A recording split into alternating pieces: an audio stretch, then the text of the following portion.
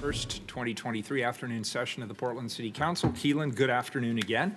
Please call the roll. Good afternoon. Mapps. Here. Rubio. Here. Ryan. Here. Gonzalez. Here. Wheeler. Here. Colleagues, today marks a significant, oh, sorry, I guess I should let you do your job too. Uh, Can you please read time certain item 926, please? Uh, That is a resolution. Uh, Mayor, uh, may we have the council? Oh, I forgot rules of order and decorum. I need to slow down. Good Thank- afternoon. thank Could you, we Ethan. please Thank you, hear the Mayor. rules of order and decorum? Glad to. Thank you. Welcome to Portland City Council. To testify before council in person or virtually, you must sign up in advance on the council agenda at www.portland.gov/council/agenda.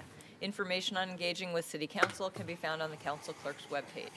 The presiding officer preserves order and decorum during city council meetings. The presiding officer determines the length of testimony. Individuals generally have three minutes to testify unless otherwise stated, as in this hearing, uh, the, the agenda said two minutes. A timer will indicate when your time is done. Disruptive conduct such as shouting, refusing to conclude your testimony when your time is up, or interrupting others' testimony or council deliberations will not be allowed. If you cause a disruption, a warning will be given. Further disruption will result in ejection from the meeting. Anyone who fails to leave once ejected is subject to arrest for trespass. Additionally, council may take a short recess and reconvene, virtually. Your testimony today should address the matter being considered. When testifying, state your name for the record. Your address is not necessary. Please disclose if you are a lobbyist. If you are representing an organization, please identify it. And for testifiers joining virtually, please unmute yourself once the council clerk calls your name. Thank you. All right, thank you. Keelan, could you please read time certain item 926? It's a resolution. Ensure an effective, efficient transition to Portland's new form of government by establishing a coordinated, high-level reporting structure for city bureaus, offices, and key functions. Good. And before we get into this, I just want to make sure I give a, a house cleaning heads up. Testimony today will be two minutes each. We have a lot of people signed up. We want to get through it all. Uh, so please uh, adjust your remarks accordingly if necessary so that you can get them in in two minutes. Thank you for that. Colleagues, today marks a significant milestone in the charter transition project. It was nearly one year ago when Portlanders voted to fundamentally change their form of government and mandated us to restructure by January 1st, 2025. Today, the transition team will present their recommendation for a new city organization that reports up to a single city administrator and mayor. While this is not new information to us, it is our opportunity to hear from the transition team, take invited testimony, take public testimony, deliberate, and ultimately for us to vote on the resolution as well as any amendments that are put forward. This has been a long, thorough, and deliberative process that's engaged the public, city employees, bureau leadership, as well as council offices. Along the way, we've been fortunate to learn from the expertise of peer cities across the country and incorporate best practices shared by the International Cities Managers Association. We've seen multiple drafts of this organizational structure over the last several months, and we're considering final recommendations today. Ultimately, council must decide the final form that we approve for implementation.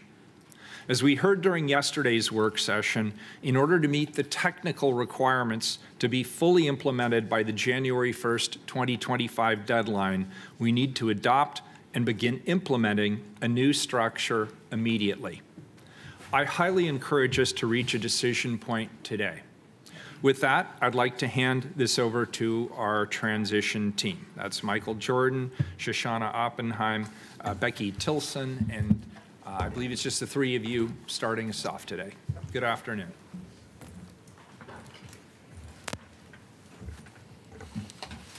Thank you, Mr. Mayor, members of the council, commissioners, thanks for having us. I was going, I was only going to introduce Shoshana. I didn't want to steal her thunder, but I just wanted to say, Go ahead, Shoshana. Thanks, Mike. Sorry, uh, we haven't coordinated this very well, sorry. Uh, Good afternoon, thank you, Mayor, Council. I'm Shoshana Oppenheim, I use she, they pronouns, and I'm the Transition Project Manager, managing the project to implement the 2022 amendments to the city charter. Quick roadmap of the staff presentation, I'll provide some context for where we are in the project and how our work fits together. Becky Tilson, the city organization project manager, will outline how the chief administrative officer developed the recommendation under consideration today. And then uh, CAO Michael Jordan will review the proposal and discuss the opportunities it provides for the city of Portland and the new city administrator. Tim Grew, the city budget officer, is here to answer any questions about the funding strategies we discussed yesterday. Almost a year ago, voters took the extraordinary action of changing our form of government. Directly after the results of the election were known, the city moved into ac- to action, mobilizing resources, engaging stakeholders, and delivering for Portlanders. I think we can all agree that the Charter Commission did not give us the luxury of time.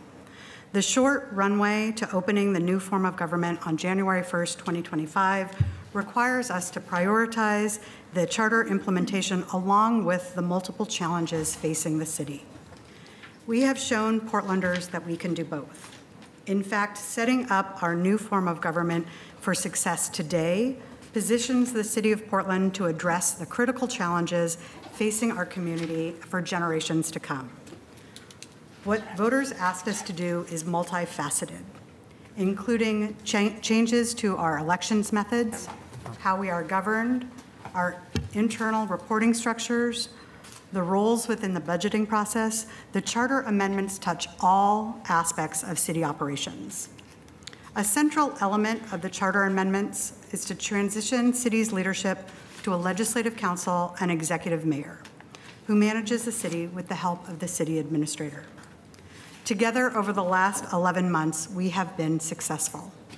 This council adopted the code necessary to implement ranked choice voting, and the council appointed independent district commission, established districts for city council elections.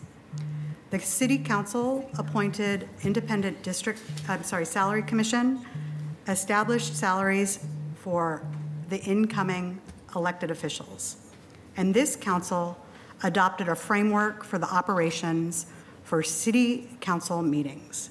And now we are here together today to adopt a reporting structure for the city so that we can be ready for business on January 1st, 2025. The resolution before you today is foundational to the mayor-council form of government, where the future executive mayor runs the day-to-day operations with the assistance of a city administrator.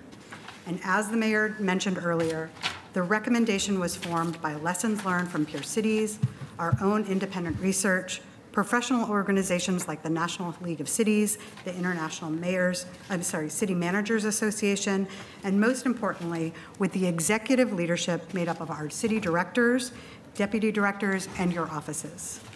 This resolution helps us prepare for the next fiscal year, which spans the current form of government and the future mayor-council form of government, and prepare for the council and mayor that join us in the middle of the budget development process.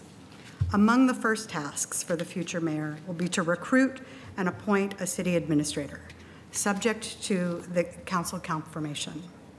The resolution that you're considering today will ensure that when that future mayor is elected in 2024 and launches the recruitment process, they can clearly articulate the organizational structure that the city administrator will lead. The reporting uh, structure that you are considering today is designed to create synergies, align programs, and improve service delivery.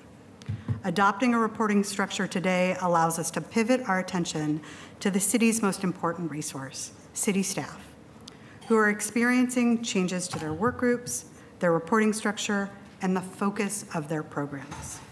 Adopting a structure today says that we can point to the destination and script the critical uh, moves to ensure our success, and create an organization of change champions who are able to innovate and build Portland's future.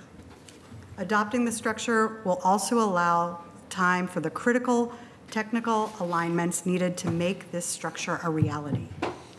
The list of next steps is long. As you heard yesterday, the team shifts into high gear after you act to adopt Portland's future organizational structure. Thank you so much for your consideration. Congratulations to this council and the city leadership for your contributions to this impressive milestone to implement the charter amendments approved by voters. And with that, I'll pass it to Becky Tilson. Hi, Mayor Wheeler, commissioners, and community members. Thank you for having us. I'm Becky Tilson. I use she, her pronouns. I'm the project manager for the city organization project, working with the Office of Management and Finance. Thank you also to Shoshana for grounding us in the context and talking about why it's important that we accomplish this work now. I want to start by saying that the recommendation you'll see today, we aimed to set up the new city administrator for success by designing an organizational structure that reports to one administrator rather than five council offices as we have now. We set out to create something with reasonable spans of control, logical groupings of bureaus, and a leadership team with shared accountability for city goals and values. Operating as one unified city under a collective vision is an exciting opportunity for us to rethink and reshape how we work together as a whole city team. The process that got us to today's recommendation kicked off earlier this year. A February 2023 council resolution directed the city's chief administrative officer, Mike, right here, to work with bureau directors and council offices to recommend organizational structure changes to prepare for the new form of government ahead of the fiscal year 24-25 budget development process. To implement the project in the time allotted, we focused on changes at the program level and higher, not at the individual or team level. As a note, if you don't see a program called out specifically on the proposed organizational chart, that means that we're recommending that it remain in its current bureau configuration. As Shoshana outlined, this timeline means that we will have the time for budgeting in new service areas, implementing the technical changes, and supporting employees through the change. A lot of feedback, input, and research went into developing the recommendation. This spring, your council offices convened teams in the service areas established by Mayor Wheeler in January of this year to conduct a series of programmatic assessments, looking at what works and what can be improved in the service areas as well as across the city. Each team released two reports which were shared with employees and community. The executive leadership team, council offices, and subject matter experts met in service area groups and as a whole throughout the spring and summer, wrestling with philosophical and technical questions, debating different structures, and working to ensure that our core values are upheld. We conducted an employee survey and a manager survey designed specifically to inform the programmatic assessments. We did a review of community feedback from a variety of sources, including city audits of bureaus and programs, recommendations from the Ombudsman's Office, public comment received by the Portland Charter Commission, and the Portland Insight Survey and the Portland Engagement Project. And we compiled all of that into a community outcomes report. We conducted best practices research and hosted several panel discussions with experts from across the country on the role of the city administrator, the role of deputy city administrators, and on centering equity through organizational change. We utilized an equity tool to help make and explain decisions based on desired community outcomes and city core values. And we released a draft chart in September and collected a large number of community employee and council member comments and feedback. Collectively, all of this input and good thinking went into the recommendation that you see before you today. Next slide, please. I also want to take a minute to talk about why the how of how we got here matters. This project is about creating a new organizational structure, and it's also about further developing our organizational culture. When we consider the transition we're undergoing to the new form of government, it's important to consider the culture that we want to perpetuate and bring with us. So I want to talk for a second about the value of this exercise beyond the development of the organizational chart itself.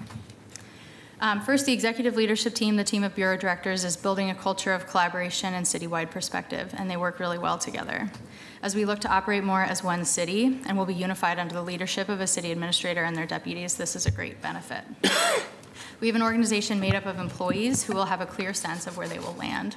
This will help the DCAs and the bureau directors as they're working within their service areas. We'll have transparency about our structure for community, and as we further build out teams, we'll have clarity around points of contact for community members looking to engage with their city government in its new form. We have centered our core values through the addition of equity, communications, and engagement officers, and a leadership team that's charged with upholding and advancing our commitments. We have employees who are familiar with the facts of the change and will be supported over the next year as we get ready to make the changes. We've heard from employees, leadership, and community during this process and have received so many good ideas about additional ways that we can improve beyond these initial structural changes, which will help frame up the next phase of work. The change is right-sized and implementable and sets up the new city administrator for success. And as my colleagues have heard me say a number of times, um, as I love to say, there are a lot of right ways to organize a city, and we're going to pick one of them. And the structure really can only take us so far. What we do with it, how we lead in it, how we continue to improve how we deliver services to Portlanders in the new form of government is what will make the biggest difference. So this is the starting point. I'm really grateful to everybody who took the time to engage with this work, um, and I really look forward to the hard and complex work of implementing um, our new structure and considering ways that we can continue to improve over time. Um, I'm going to pass it to CAO Mike Jordan to talk about the specifics of the proposal. Thanks, Becky. And uh, thank you to both of you for the part you've played in this last year particularly. It's been a Herculean lift, and uh, I'll do a little thank yous at the end of my presentation. Uh, My role here today is to talk a little bit about the structure itself and what we're proposing, and uh, some of the changes that have been made since the first draft was let out for public comment on September the 12th. So what you see on this slide is the overarching framework. I'm going to concentrate on the right side of this. Our next slide will concentrate mostly on the executive office. So this slide shows that we have six service areas that we're calling them, uh, budget and finance, city operations, community and economic development, community safety, parks and recreation, and public works. The draft that went out on uh, September the 12th had five service areas, and uh, it included parks and recreation and the arts uh, in the public works service area. Uh, We got, as you can imagine, a fair amount of feedback uh, about that proposal. And um, listening to all of that feedback, uh, one of the major changes uh, between the first draft and this uh, draft that you're considering today is that there is an extra service area that has Parks and Recreation and the Portland Children's Levy in it. Um, I mentioned earlier that arts was also in the Public Works uh, service area. Uh, We, looking at the suite of services that are in community and economic development, uh, namely the uh, Film and Events Office that currently is in Prosper, Portland, and the movement of the spectator venues from the CAO's office to the Community and Economic Development Group, uh, we believed that that suite of activities, that the arts fit well within that suite of activities. And so you'll see the arts in community and economic development.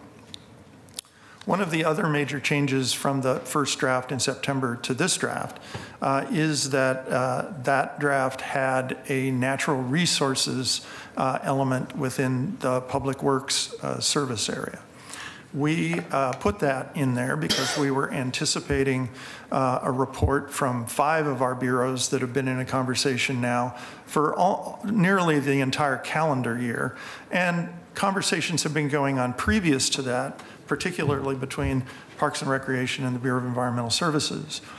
Um, We were hoping to get a conclusion to that conversation. Um, I think we've received some preliminary indications of what the choices might be, uh, but we haven't, uh, I would say we have not finished that conversation yet.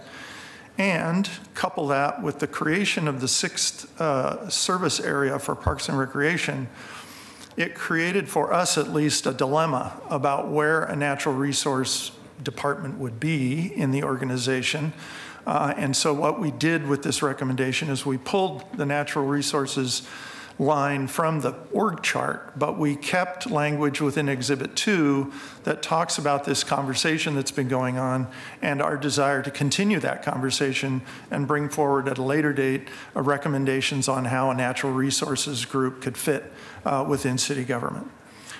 And then lastly, for this sheet, I'd like to bring to your attention uh, and everyone's attention that uh, it's a little difficult to see, but on this chart near the top, under the uh, icon for Portlanders, uh, is a, a note for a leadership team. Uh, we really envision that the deputy city administrators that will head up these service areas, the city administrator, the assistant city administrator, who I'll talk a little bit more about uh, on our next slide, and the equity officer would make up an executive leadership team for the city. And I want to emphasize that I think we are all subject to thinking about organizational structure in a vertical way. Certain groups report to certain bureaus, which report, report to certain uh, executives who report to the mayor ultimately. Um, and we think about the, the, the organization in a very vertical way. I think what this, this reconstruction of the way we uh, think about ourselves, what it offer, offers us, particularly within this leadership team, is an opportunity to look horizontally across the organization and to think about the city as a complete enterprise and how we allocate our human resource, how we think about the delivery of services, particularly within the city, to support the direct service delivery uh, of our bureaus. Um, it, it provides us that opportunity, which we quite frankly lack today. Uh, it is very challenging for us to think horizontally across the organization. And I think this new structure gives us an opportunity not only to think horizontally, but also to give clarity of accountability uh, and transparency about how we do business and what decisions get made and where they get made in the organization. So let's go to the next slide. Uh, this slide concentrates on what we've been calling the executive office. Uh, under the new structure, uh, the mayor is the executive uh, in, in the new structure, and the mayor is required to hire a, a city administrator to assist that person uh, in the day to day management of the city. The charter also requires that at least all of the uh, uh, employees that are involved in the executive branch's business uh, need to report up through and to the city, be accountable to the city administrator. So we made a change in this office because of that, and I'll talk about that in just a moment.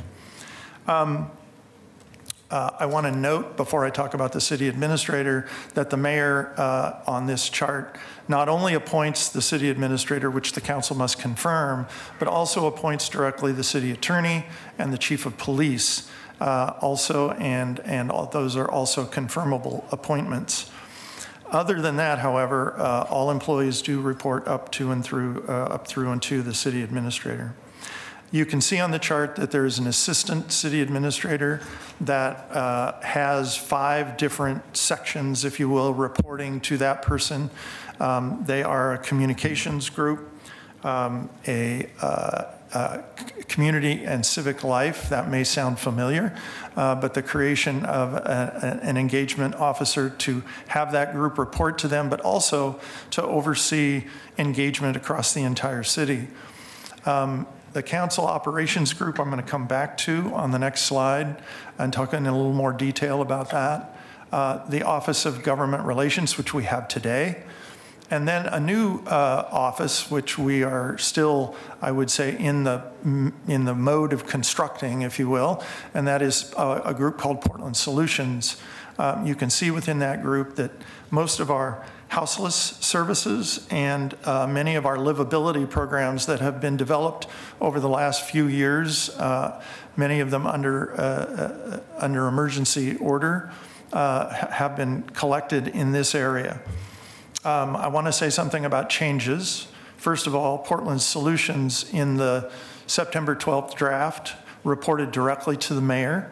Uh, we had uh, advice from the city attorney that it would be more appropriate for us to have that office report to the city administrator because of the issues I just mentioned about charter language and, and having uh, all of the uh, um, services that the city provides report up through to the city administrator. And secondly, um, that office used to have a, a line about uh, neighborhood associations and district offices uh, in it. We have moved those with a great amount of public input uh, over into the community and civic life group.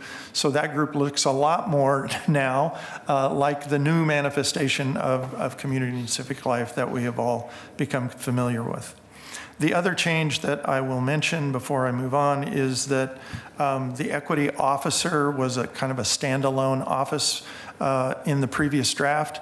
Uh, With advice from many, we moved uh, the Office of Equity and Human Rights out of the city operations uh, service area and up reporting directly to the equity officer.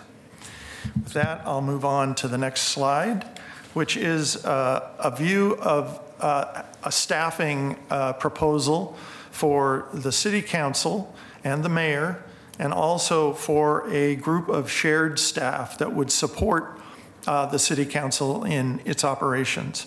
So the left side of the slide, the colored, green colored boxes uh, represent the fact that we are proposing that two staff be assigned to each uh, councilor.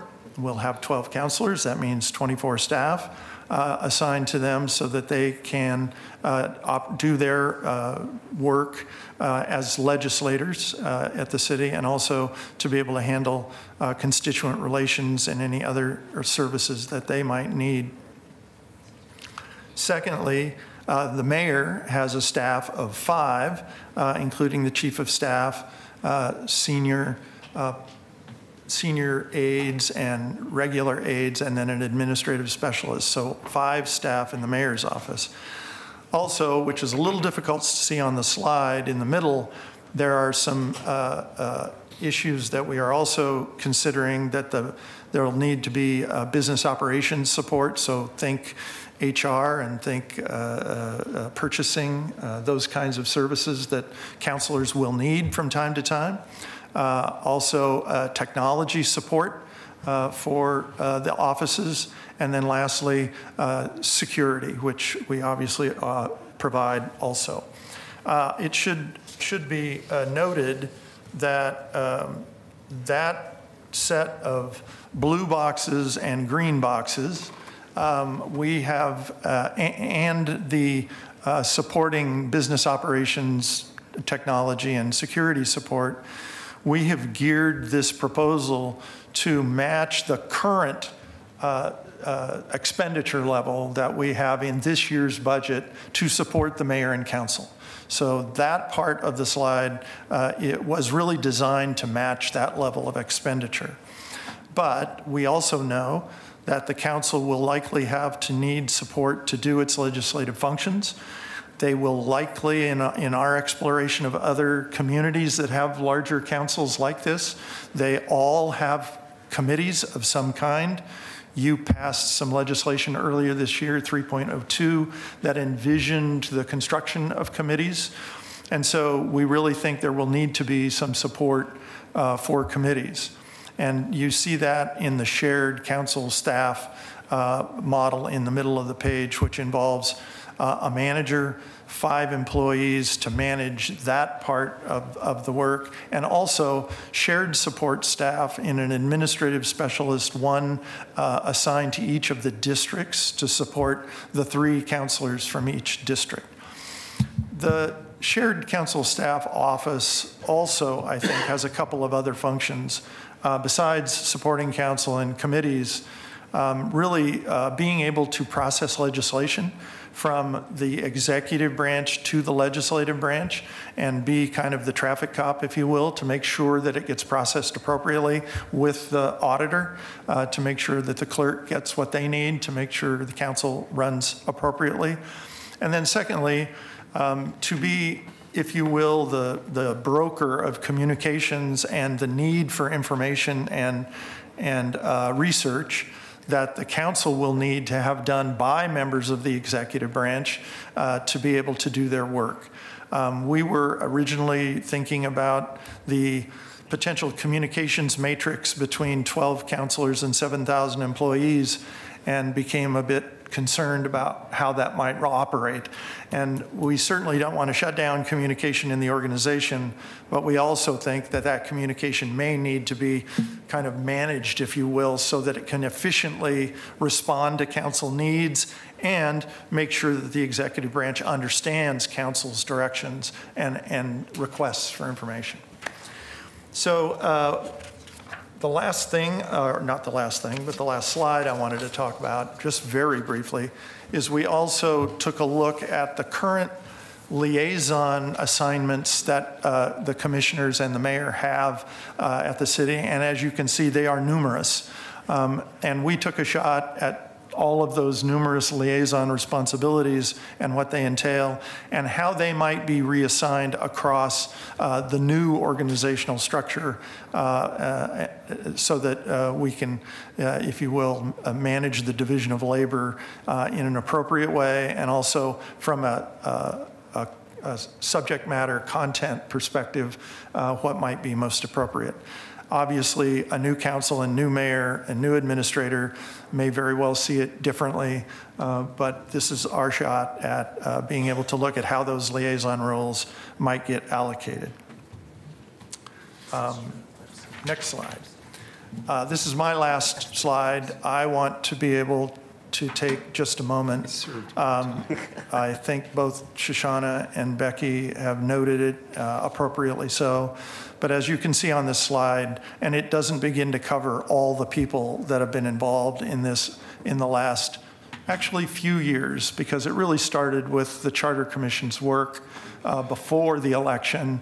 And I know that staff and the volunteers on the commission uh, touched literally thousands of Portlanders through that process. And as Becky noted, uh, we data mined a lot of that uh, intake that they did over two years to help us understand what Portlanders were expecting uh, of this changing government. And it was a, it was a very rich data source. Uh, so really for the last three years, uh, numerous, literally thousands of people have been involved at different levels. Um, But I want to particularly recognize the two people who are at the dais with me right now. Um, Shoshana, I think, had envisioned how we might go about project managing all these different component parts uh, well before the election even took place. Uh, and we certainly leaned on her good thinking uh, to get us going uh, at the very beginning. And of course, we, um, we uh, voluntold uh, Becky that uh, she was going to get the unique opportunity to try and figure out how this organizational structure could change and, and literally invented the process uh, uh, to be able to uh, process all the questions that we had and go through and engage, as she noted, uh, engage with so many folks in the organization from the very top to the very bottom and everybody in between. And so, and as I'm fond of saying, uh, they did it all at a stupid fast pace. Um, and so I want to appreciate their efforts. And with that, Mr. Mayor, happy to try and answer questions. All right, first of all, I, I just want to uh, take up where you left off. I want to thank you, Michael, and I want to thank Becky and Shoshana and your entire team. There were lots of people who have played a huge role in this up to this point. I want to acknowledge that transitioning an organization of this size and complexity in such a short time frame, a year, is, as you said, a nearly impossible task. We have a $7 billion budget, nearly 7,000 employees, dozens of bureaus, a city council, and what we don't have is a lot of time. And so I, I think you've done an outstanding job, particularly given how much outreach, how much input you've received, the work that you've put into this. I just want to acknowledge that, and I know I speak for the entirety of the council, that we truly appreciate your efforts. So thank you so much for your leadership on that. So um, I also want to point out that the hard work is yet to be done. This is the broad brush work. Now we have to get into the specifics. And as we get into the specifics, um, that's where the challenges will lie. And um, I just want to start off by saying I really appreciate this council. I believe we have been communicative. We do not agree on the specifics, and that's okay. And so I just want to level set here today and acknowledge that. Um, But I, I really appreciate and respect the amount of work that my colleagues and their, their staffs have put into this effort as well. So uh, we will now move to the portion of the hearing where we entertain amendments to the resolution. The amendments proposed as of Tuesday afternoon, and, and I should step back, Michael, as I, I do at all these and point out that, that what staff put forth was a supposal, if you will, a broad supposal that they believe encompasses the feedback that they've received from bureaus, from city council members, from staff, from the public at large, from interested groups. So they've done their level best to put forward a supposal, but it's ultimately up to this council to decide how to shape this. And so we have amendments that were proposed as of Tuesday afternoon, yesterday. Those are reflected in the Tuesday memo. You have that memo, and the public can also access that memo on the city council website. There have been three changes to the amendments in the Tuesday memo. Uh, There was a change to Gonzalez 3, a change to Ryan 4, and uh, if I understand correctly, Commissioner Ryan, there may be a new amendment, Orion 5, put on the table this afternoon, potentially. To proceed efficiently today, we'll move and second the amendments as referenced in the Tuesday memo. That will put them on the table for further deliberation. For the two amendments that have been changed, as well as the one that Commissioner Ryan would like to add, we'll ask the commissioners to read those in their entirety for the record, as they are not yet in the record in uh, their, their full capacity. If you're following along at home, please know that Rubio Amendment 1 and 2 will come up earlier in the process. Those have not changed.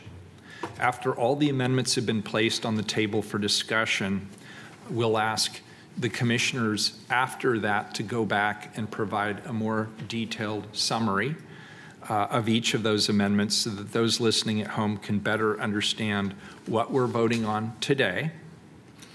I feel that this is a necessary step, given that the majority of amendments were included in the Tuesday memo and uh, will not be fully read. So if we've already got your amendments on the Tuesday memo, we don't have to hear the whole thing, chapter and verse and, and uh, attachments. Then we'll hold public, uh, invited and public testimony before council discussion and ultimately a vote on the amendments.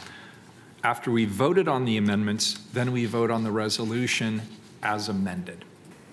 Commissioners, uh, please, uh, for the record, uh, read your name, the number of amendment, and brief reference to the topic, and then we'll seek a second for consideration. I will go ahead and model this for the group with my amendments. Mine are largely technical in nature.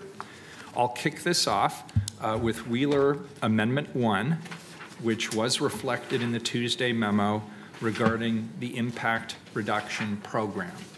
Can I get a second? Second. Commissioner Mapps second. so that is on the tape. On to Wheeler 2 is reflected in the Tuesday memo regarding the Community Board for Police Accountability and the Office of Community-Based Police Accountability. Can I please get a second to move this amendment? Commissioner Gonzalez seconds this amendment, so it is also on the table for further input and deliberation. Commissioner Rubio, I understand you'd like to bring two amendments, Rubio 1 and Rubio 2. Yes, thank you. So um, I move that the first, I- I start- I move that the First Amendment is to move um, the Chief Sustainability Officer uh, to report directly to um, the city administrator in the organizational chart, similar to the equity officer. Can I get a second? Yes. Second. Commissioner, uh, I think that was Gonzalez, seconds, permitting in, I'm sorry, Rubio 2. Thank you. Uh, Second um, one is uh, regarding permitting and development, um, and so I'm moving to, um, uh, on Exhibit A, to combine, combine permitting and development services into one line that reads permitting and development services in the Community and Economic Development Service Area section of the organizational chart to reflect council's intention to create one permitting entity per council resolution 37628. Second. So Commissioner uh, Rubio moves, Rubio 2, Commissioner Ryan seconds, that's Rubio 2. Commissioner Mapps, I understand you have one amendment. Sure. uh, I just have one amendment. Uh, Colleagues, uh, I move that we propose a change to the language of this resolution so that it directs the city administrator or the um, chief administrative officer for the city to explore how the city can do a better job at managing Portland's natural resources. Second. Thank you. Commissioner Gonzalez seconds, uh, and that is Mapps number one. Uh, Commissioner Ryan and Commissioner Gonzalez, as you know, your amendments are somewhat intertwined in order. I understand you both have five amendments to propose in addition to a shared amendment. Uh, Commissioner Ryan, do you want to go first with Ryan 1? Sure. Yes, I will. Ryan, Amendment 1, Natural Resources. This amendment will result in a citywide operational natural area and tree management unit in the Parks and Recreation Service Area, which would be responsible for the day-to-day, month-to-month management services for natural areas and the urban tree canopy. I'm reading this whole thing, right? Uh, it's already in the memo, I think. For Ryan 1, that was on the Tuesday memo, was it? Yeah, it was on the I don't have to Tuesday read all memo, that. so you don't have to. Thanks. Seconded. Uh, Commissioner Gonzalez seconds, so that is Color Ryan coding 1. was off here. Uh, And then Ryan Gonzalez 1, I don't know if either or both of you want to propose that? I'll propose it to be seconded. Okay. I so propose, just to uh, update some of the branding associated with the parks and chil- children's levy service areas, also to provide some continuity in the public safety space uh, and description of their work. Commissioner Gonzalez moves. Can I get a second? Second. Commissioner Ryan seconds. That will be Ryan slash Gonzalez number one. And Commissioner Ryan, Ryan two. Moving arts, uh, Remnant 2, moving arts to the new service area. Second? So we have a motion from Commissioner Ryan, a second from Commissioner Gonzalez on Ryan two. That is now on the table. Uh, uh, Commissioner Gonzalez, Gonzalez one. Call this service management. This is to start the early movement towards uh, flying in formation for the new service areas. It designates a commissioner in charge, uh, also allows for the designation of a deputy for each commissioner, instructs such deputies to cooperate with the CAO uh, and the city administrator, depending on how we define the role, in planning for the operations of the new form of government effective January 1, 2025. Can I get a second? Second. Uh, Commissioner Mapp seconds, Gonzalez one. And we'll go back with more thorough discussions, and some of these we're going to need to read more into the record. Gonzalez two, reservation of authority. I'm sorry, Gonzalez two. Uh, Reservation of authority, primarily purpose of this is to clarify what we don't intend to do with the very complex resolutions here, uh, is to assure that we're preserving authority granted under the city charter and budget authority in the current commission. Is there a second? Second. Commissioner Ryan seconds, that's Gonzalez two. Ryan three. This amendment ensures that council will approve the interim city administrator is hired before January 1st, 2025. Is there a Second. second? Commissioner Gonzalez seconds, Ryan three. Gonzalez three. This uh, addresses some of the necessary coordination between commissioners uh, and the CAO uh, uh, in the final six months uh, of 2024 as we really prepare for the big handoff, uh, January 1, 2025. Can I get a second? Second. Commissioner Ryan moves. Mayor, that one needs to be read Oh, yep, Uh, that's new. Yep. three. And which other ones, Haley, need to be? That's the only one. full? full. Ryan. And the new one, right? Three and Ryan, Only one so far, I meant. And Ryan, Ryan five? Ryan four and five. Ryan four and five. Okay, uh, Commissioner Gonzalez, because this was not in the Tuesday memo, needs to read the entirety of the amendment. Go Just to be ahead. clear, there was some wordsmithing, this was in the memo, but I'll read the, uh, Okay. the- it verbatim. Be it resolved, the city charter affirms the authority of commissioners in charge related to executive and legislative powers, including oversight assigned responsibilities until January 1, 2025. In addition, city council recognizes that a transition period relates to roles and responsibilities is needed. Before July 1, 2024, the mayor's office shall lead a discussion with commissioners in charge regarding roles and responsibilities, particularly related to budget and policy, that will inform how the commissioners in charge and any interim city administrator or deputies work together for the final six months of 2024. Very good, and that was seconded. I'm Did I get a second? Second. Second from Commissioner Ryan. Gonzalez four, Uh, I think that's me. transition. That's, uh, this will, sorry, I'm getting caught up here. Uh, uh, Makes clear that the org chart will be effective uh, with the potential for deputy city administrators as of July 1, 2024. Um, And, uh, yeah, that's it. Is there a second? Second. Commissioner Ryan seconds. Gonzalez five. This further clarifies the uh, authority of the interim CAO uh, throughout the transition period. Is there a second? Second. Ryan seconds, Ryan four. Council chambers and workspace construction. And Commissioner, I'll need you to read the uh, full text of this.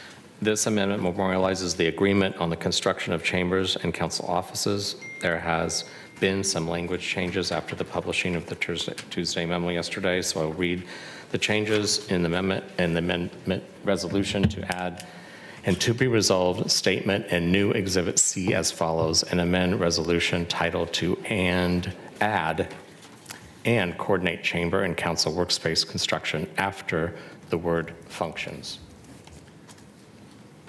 Is there a second? Second. Commissioner Gonzalez seconds, that's Ryan four. And uh, last but not least, Ryan five, I understand you have a new amendment? Yeah, it's about authority to change Amendment uh, 5, Ryan Amendment 5. I do have serious concerns about the cost of this new form of government. The voters approved a ceiling of 8.7 million to implement this new form of government. Today's proposal moves that ceiling to 13 million, result, resulting in a total investment of 23.9 million. This amendment makes it clear that there is still work to be done as we enter the budgeting season, and edits will need to be made. As this amendment was added today, I will read the amendment in its entirety. Whereas voters approved a cost estimate from 900,000 to 8.7 million in support of charter reform, whereas the current organizational proposed structure is estimated to cost 23.9 million in ongoing funds, whereas existing council and mayor's office budgets are 10.9 million, leaving a $13 million gap in funding the proposed organizational structure. Be it further resolved, council reserves the authority to make ongoing changes to Exhibit A during the upcoming budget process. I'm going to second that. We- We had also communicated the potential of a friendly amendment, but upon reevaluation, I don't think the friendly amendment is necessary. So it's going to be an amendment to Ryan's amendment, no longer necessary. So I Okay, but second. you are seconding I am Ryan? wholeheartedly second. Okay, so Ryan five is now on the table as well. And uh, could could I ask that I have a hard copy? Maybe Haley, I'm looking at you. I- I'd like to have a hard copy of Ryan five. It's in your binders. Oh, it is? This- yeah, Oh, okay, back thanks. page. Oh, in the back, thanks. All right, so now that all the amendments, are there any other amendments, I should ask? I assume not. Now that all the amendments have been placed on the table for discussion, we'll go around and give, Lindley has something. I want to make sure. Commissioner Ryan, I want to make sure we clarify, for your amendment four, there was a, a bit of language that was already included in the Tuesday memo, and I just want to confirm that it was intended to include the language with the be it resolved and the Exhibit C. So if you could just acknowledge that, that would be helpful. Yes, it was a wordsmithing moment. I should have just read that part. Okay, good. So now, um, for those of you who are watching at home, you're probably thoroughly confused, and that's okay. Uh, We were simply putting amendments on the table for further discussion. Now that the amendments have been placed on the table for discussion, we'll go around and give quick summaries for each of our amendments so that those here as well as at home can better understand what we're voting on today. That will also give you some idea potentially what you want to talk about in public testimony. We're not deliberating them yet. We're simply giving a little more uh, exposure to what the purpose of these amendments are. Uh, And I'll start. Wheeler 1 changes the reporting structure that clarifies that the impact reduction program does not report to the Street Services Coordination Center. That's what it does. It is effectively a technical amendment to make that clear. Wheeler 2 alters who the Community Board for Police Accountability and Office of Community-Based Police Accountability will report to. Because they are both uh, new bureaus and/or offices, they're required to be independent. Therefore, they need to report directly in that chart to a deputy city administrator. Again, slightly technical, but that's what it does. Mr. Mayor, uh, Yes, sir. do you need us up here anymore?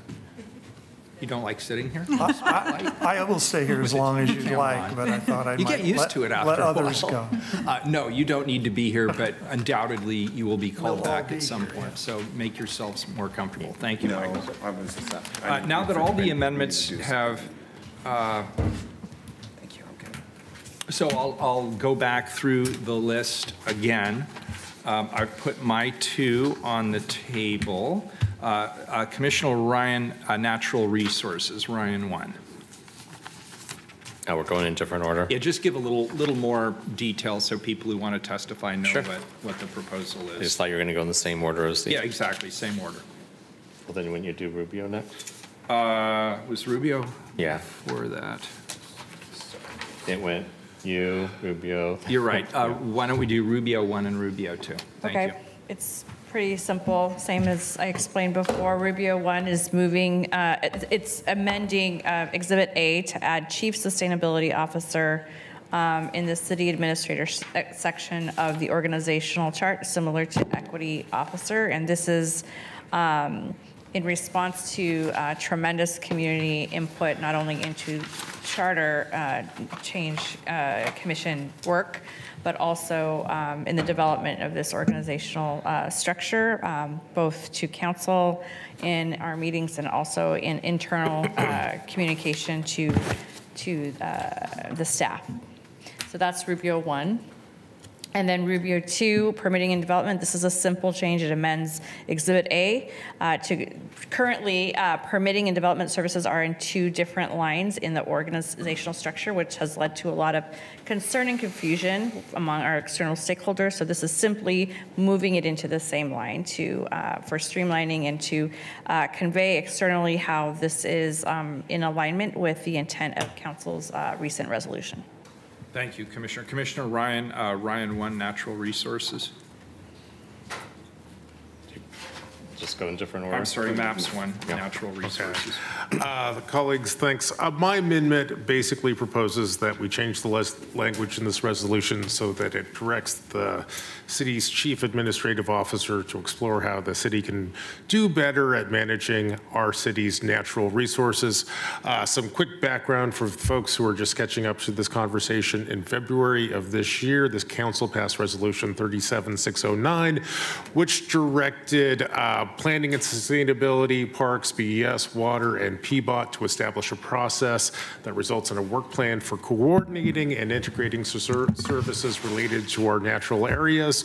In response to that directive, uh, the directors of those bureaus and staff uh, participated in three workshops on natural resources management. This group also contracted with ECONorthwest to analyze more than 140 documents, which describes the various ways our city bureaus work together to manage our natural spaces. On top of that, uh, this work group contracted with Catalyst LLC to conduct employee and advisory committee surveys, uh, which yielded over 80 pages of comments from more than 152 respondents. In turn, those analyses were presented to almost 100 staff, managers, and leaders from stakeholder bureaus. Uh, They also presented these results to the public, uh, Portland Utility Board and to a joint session of the Portland Parks and Recreation Board and the Urban Forestry Commission. Now, the results of those uh, analyses basically uh, found and highlighted five areas in the natural resources space where the city should strive to do better. Those areas included stormwater management, land conservation, watershed conservation, carbon reduction, and growing our tree canopy. Colleagues, uh, the amendment that I bring forward today is straightforward. It just directs the city to continue to support these efforts to improve the way we manage our natural areas. Um, I want to be clear on what this amendment does not do.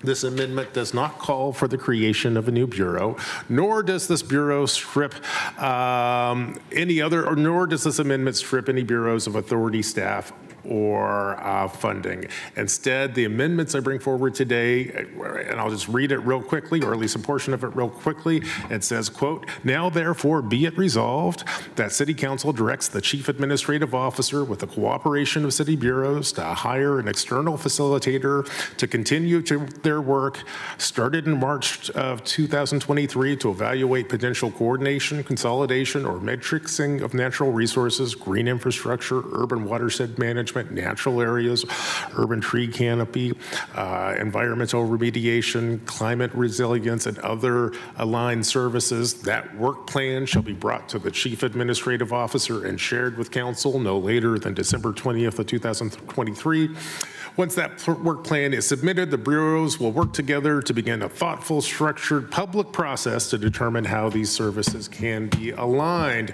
Um, And I'll skip a little bit of language here. Um, That, basically, that uh, plan on how these services should be realigned will come back to this council on September uh, 30th of 2024. Thank you. Ryan, one, Natural Resources. Yes. This amendment will result in a citywide operational natural area and tree management unit in Parks and Recreation Service Area, which would be responsible for the day-to-day, month-to-month management services for natural areas and the urban tree canopy. This new organizational unit will build upon existing operational management structure to be more accountable, efficient, and effective, meet regulatory and financial requirements and best practices, and will include community engagement and community stewardship related to this work to the city's natural areas and trees. Portland Parks and Recreation is the largest operational natural area and tree service provider for the city of Portland, with almost 8,000 acres of natural areas and 1.2 million park trees under its management. Portland Parks and Recreation has successfully found a balance of protecting the environment and urban forest and connecting Portlanders to nature. Public safety in natural areas is primarily responsibility of park rangers. As one of our greatest threats to an urban wildfire, Portland Parks Rangers, Portland Fire and Rescue, and PP&R Land Stewardship work together to mitigate urban wildfire threats. Portlanders and environmental advocacy stakeholders have repeatedly demanded that the City of Portland prioritize nature in our city clean rivers and streams, a healthy urban forest, and connecting Portlanders to nature. This is not an effort to let certain bureaus invest less in natural resources, but to the contrary.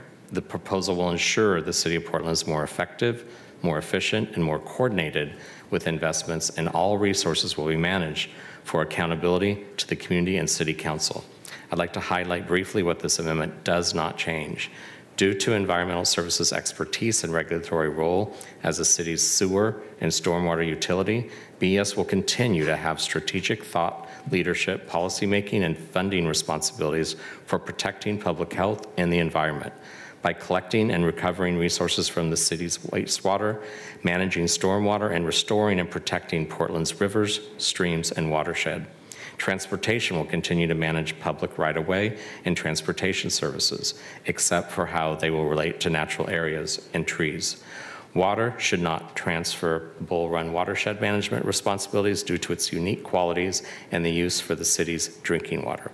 I'd like to thank Director Long and her team for bringing a common sense proposal for Council's consideration to, to make sure we have a vibrant communities in Portland by supporting nature. We need to become more efficient and effective together. I want our new form of government to align city bureaus to support nature and make Portland a place where families and all Portlanders want to live, work, and play. Thank you. Uh, Ryan Gonzalez, one. Uh, I think we described, go ahead, do you want to Oh, describe? it? sure. The renaming of this service area speaks to a more aspirational aspect of this body of work within our city. We must confront an undeniable truth. We're losing families. We're losing enrollment in our schools. We're also losing elders who I wish would stay in Portland and age in place. Quite frankly, they're leaving our city in grim numbers. For the first time since the 80s, our population growth and school enrollment are waning. There needs to be more focus on creating a thriving, more livable city for all Portlanders. And so I just think it's important that we really focus on families at this time and have a, work area that's really uh, looking out for our families and our elders aging in place. That's what we need for a vibrant city, for a vibrant economy in a city that we all love. I'll pass it on to you for public safety. Uh, I think I've alluded to, it's a continuation of the description of the space, uh, and I was just assuring some continuity. Leave it at that. Great. Uh, Ryan, two, Moving Arts. Colleagues, in the spirit of Portland's longstanding commitment to arts, culture, and innovation, I'm here today championing a future that intertwines our city's values and our actions. Portland, as we know, is ever evolving, ever growing, weaving the arts into the fabric of our city's beloved institutions Portland Parks and Recreation, the Children and Youth Levy, natural areas under the banner of vibrant communities isn't just about reshuffling, it's about reimagining and deepening our commitment to every community member. Why this move? Why now? Because in Portland, arts and culture aren't just add-ons. They are the lifeblood of our neighborhoods, the stories we tell, the history we honor, and the future that we envision. This service area is where we play, sport, and convene in community and showcase our diverse talents and cultures that define us as Portlanders. Our parks are a testament to our love for nature and gathering, have long celebrated the beauty of diverse expressions. It's not just about efficient management, it's about holistic vision where every tree, every trail, and every piece of art tells a tale of our shared journey. Pairing this with the Children's Levy, we can open doors for our youth, sparking creativity and ensuring that our next generation remains deeply connected to the cultural threads that make our city unique. It's a vision where art and education walk hand in hand, inspiring and uplifting. In essence, we're not just reorganizing, we're revisioning. We're crafting a space where arts don't just exist, but they flourish, where they become the rhythm and rhyme of our daily lives. I wholeheartedly support these amendments vi- seeking a vibrant future where arts and culture are not just on the sidelines, but at the heart of our collective identity. Thank you. Uh, Gonzalez one, service management. Uh, I- In the intro, I described in reasonable detail. uh, This, as well as the rest of my amendments, are, on the one hand, uh, largely legal-oriented in clarifying authority through the transition, uh, but secondarily to um, facilitate prompt support uh, from commissioners uh, to the CAO and uh, to the charter reform implementation process. So we're trying to do two things simultaneously, clarify legal responsibilities and uh, authority uh, during this transition period, uh, but also how we best facilitate cooperation among the moving parts during that period. Thank you. And Gonzalez two, reservation of authority. Uh, I think I described two, three, and four, and five uh, reasonably well in the intro. so Got it. I'm Good. Uh, Then we'll move to Ryan three, approval of interim CAO. Yeah, just uh, a practice that I know is part of the new form of government, just to be actively engaged in working with the mayor to approve the interim. Thank you. Uh, Ryan four. Council chambers and workplace, workplace construction. Well, Gonzalez, three is, Uh, He's, he's already described three. You did four, three and five. four? He's different. and five? Yeah, so we're Okay. back to Ryan four. I'm digging. No worries. You did all three? You did all four of yours? Did I, for once, I was brief. This amendment is about the council chambers and construction place. We had three work sessions, felt like more on this topic. Um, This amendment memorializes the agreement on the construction of the chambers and council offices. There have been some language changes after the publishing of the Tuesday memo, so that's why we read that earlier. Great, But and- basically, we're all on board, we got there. Great. Bravo. Last but not least, Ryan five. The authority to change. Yeah, I, I read that, a little bit more about that earlier. I just think it's important that as elected officials and that we're transparent with what the voters, the will of the voters, um, and that, that was obviously in all of the materials. And so we have to make certain that we, um, even though we're right now aspirationally working on the org chart, we have to do a lot of work that, um, we're decoupling the budget. When the budget sessions come up, we need to get back on uh, track in terms of honoring the ceiling that the voters approved. Perfect. Okay, so now that all the amendments have been motioned and seconded and briefly described, it's my understanding that some of my colleagues have invited testimony. Uh, I would ask that invited testimony, please keep your remarks to no more than three minutes so that we can get through all of the people here who are here for public testimony. Uh, Commissioner Ryan, would you like to kick off invited testimony? I believe you have four folks joining us today. Yeah, um, Willie Levenson, there you are. If you could come up with Ilana Perligini, where she's been here all day. Thanks for being back, morning and afternoon session, one of your children. And J.R. Lilly, are they here?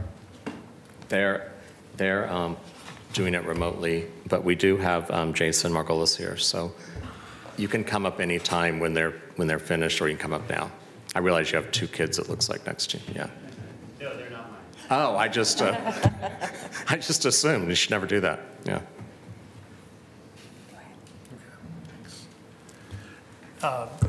Willie Levenson uh, with Human Access Project.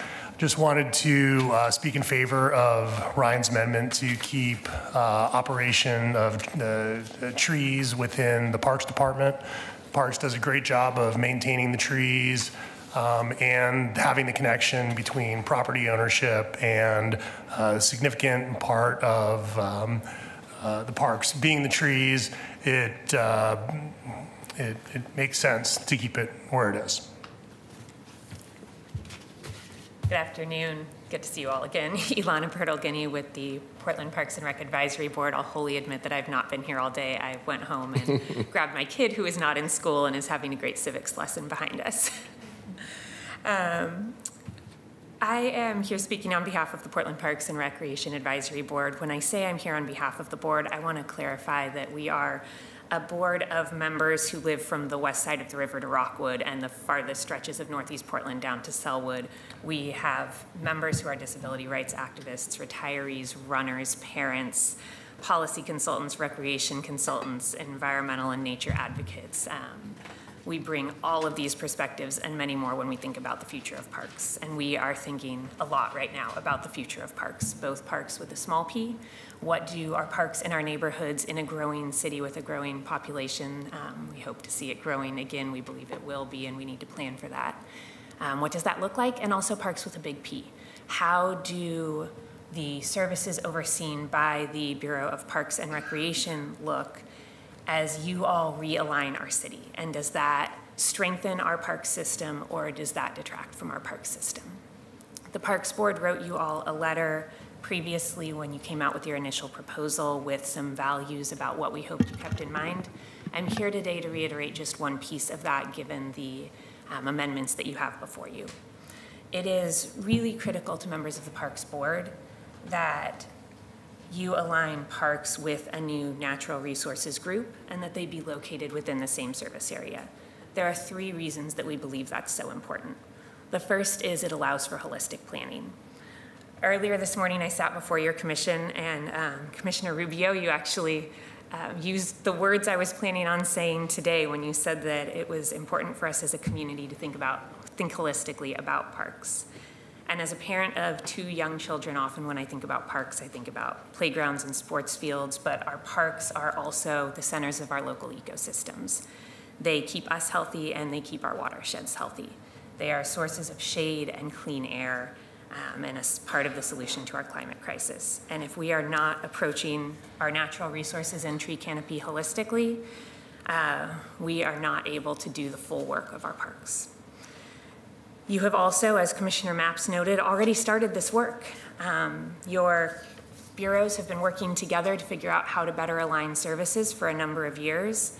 And one of our board's recommendations when we heard the presentation recently about that work was that centralizing the work around our tree canopy specifically and around natural resources more broadly could create significant efficiencies within city government. Creating a place for this work to occur within the new city structure, that location where those efficiencies can be achieved, and placing parks and recreation and the operation of those natural resources together builds on the work you've already become, begun. It's the next logical step. And finally, I promise I'm wrapping up, Mayor.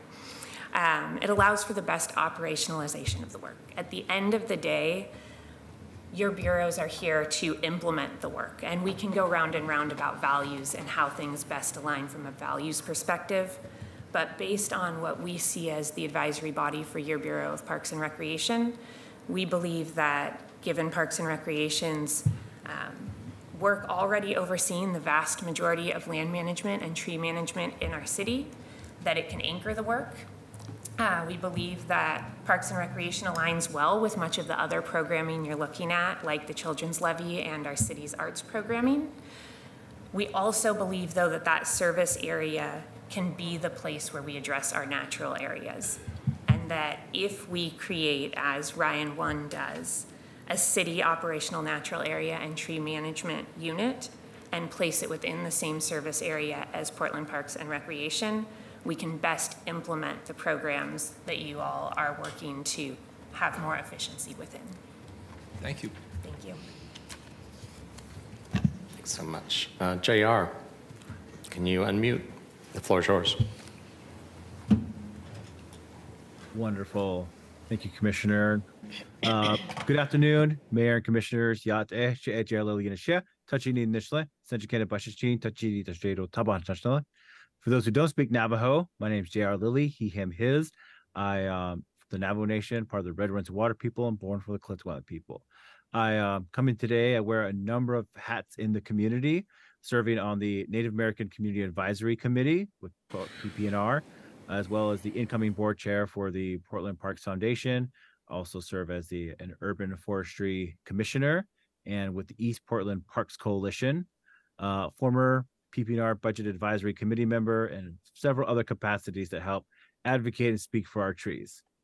Um, testifying today in support of Ryan one, the amendment to add a citywide operational natural area and tree management with Parks and Rec, mainly be- because I believe it will better support our goals of including community voices in the process to grow to grow our tree canopy, especially in places like East Portland where we need more trees, uh, not just for shade equity, but also for our critters and our birds, and just the overall health of the community. Places where there's trees that are planted uh, have a better outcome for all communities on various levels. Um, when Portland Parks and Rec does some really good engagement with the neighborhoods around a park site like Mill Park or Park Lane, um, other areas, other departments in the city could really benefit from that engagement already and that existing relationship that's happening. Uh, like PBOT could, um, that, that's planting street trees nearby could benefit from that engagement and community voice because I know when community, we just see trees. We see trees, um, but us bureaucrats, when we look at the situation, we see park trees, we see street trees, we see trees on private property and trees on business property, and those are all managed by different people. And so, who we have to give, you know, feedback to and thought process is like four different people. If we can consolidate some of those processes together and share the engagement, would be a, community would really appreciate that. Uh, the hope of this process would be to support um, staff members just working closer together in these area. The idea of like a one-stop shop for community to really engage and let our voice be heard and help um, just practices of trees and making sure that they're taken care of properly.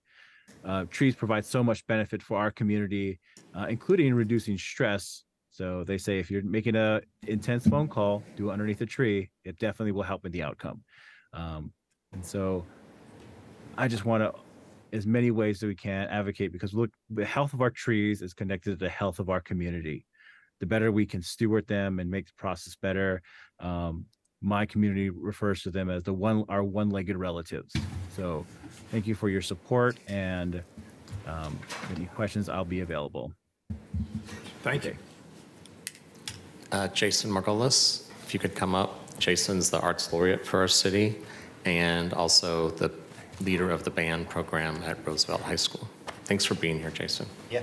Sorry, I assumed every child near you was yours. No, it's fine. I do have children at home, so. I know. Okay. Um, yeah, I wear blue today to show my solidarity for my fellow teachers who are on the first day of strike. And I just got back from Roosevelt where all the teachers were convening. And I believe I'm here today to talk about just how this affects art programs in general. Um, from a performing arts perspective, um, I was speaking with our choir teacher today, and they were on track to do their final tech production today for their play that starts tomorrow. And depending on how long the strike goes on, um, everything's getting pushed back. And in terms of even ticket sales and auditions for the musical, which are supposed to take place later in the month. Um, for music teachers, it's, it's just you know, coming off of the pandemic, I feel like we are just starting to get traction. And um, it's so devastating for kids not to be together because all these art forms are contingent on students being together. And of course, I realize we're all fighting for rights for teachers, which is rightfully so.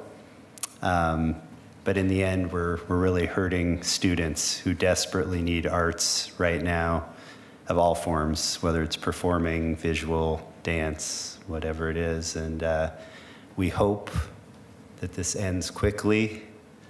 We would have all thought, I would have thought that this would have been resolved by now, but it's not.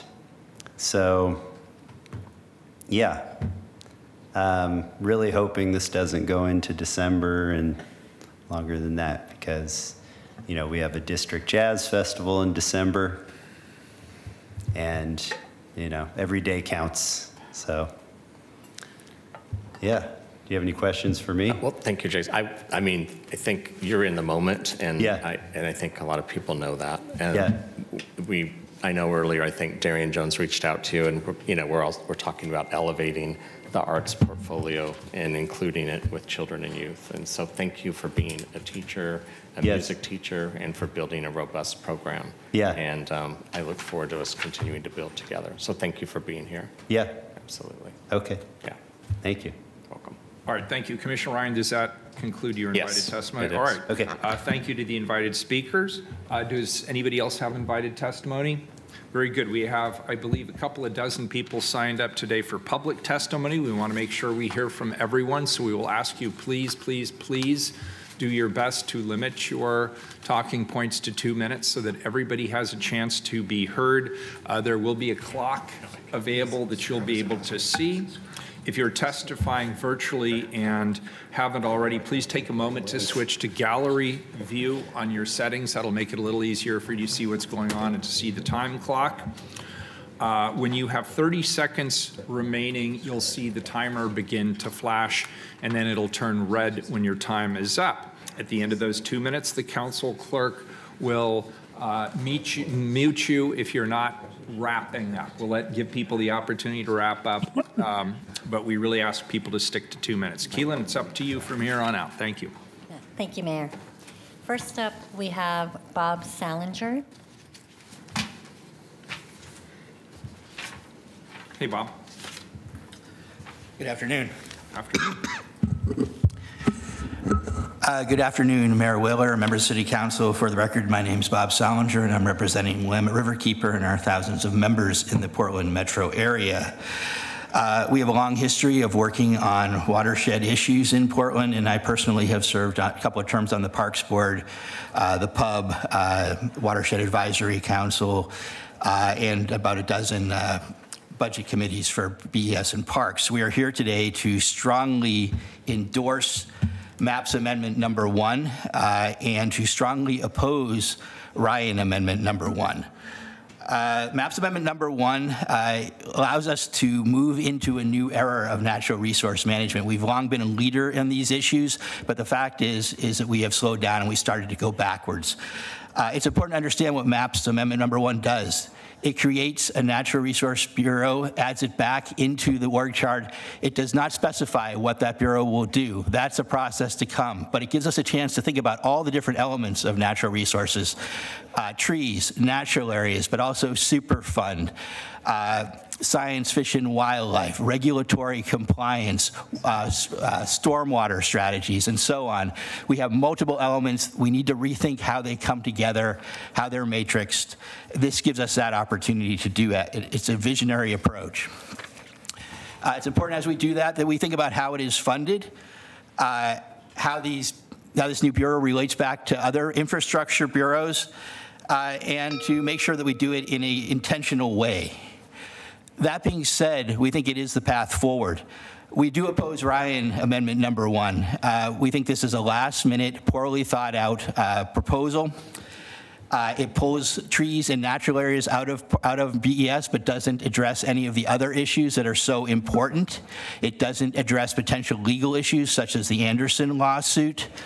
Uh, And it basically re, just modifies an inadequate status quo. We can do better. We urge you to go with the Mapps Amendment Number One. Thank you. Thank you. Next up, we have Walter Weiler online. Welcome, Walter. Hello, I'm Walter Weiler, uh, downtown city resident and voter.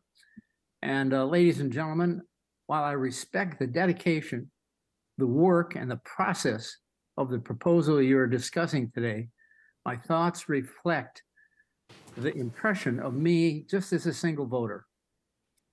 I urge you to reject this proposal as too complicated, too expensive, and lacking adequate community input.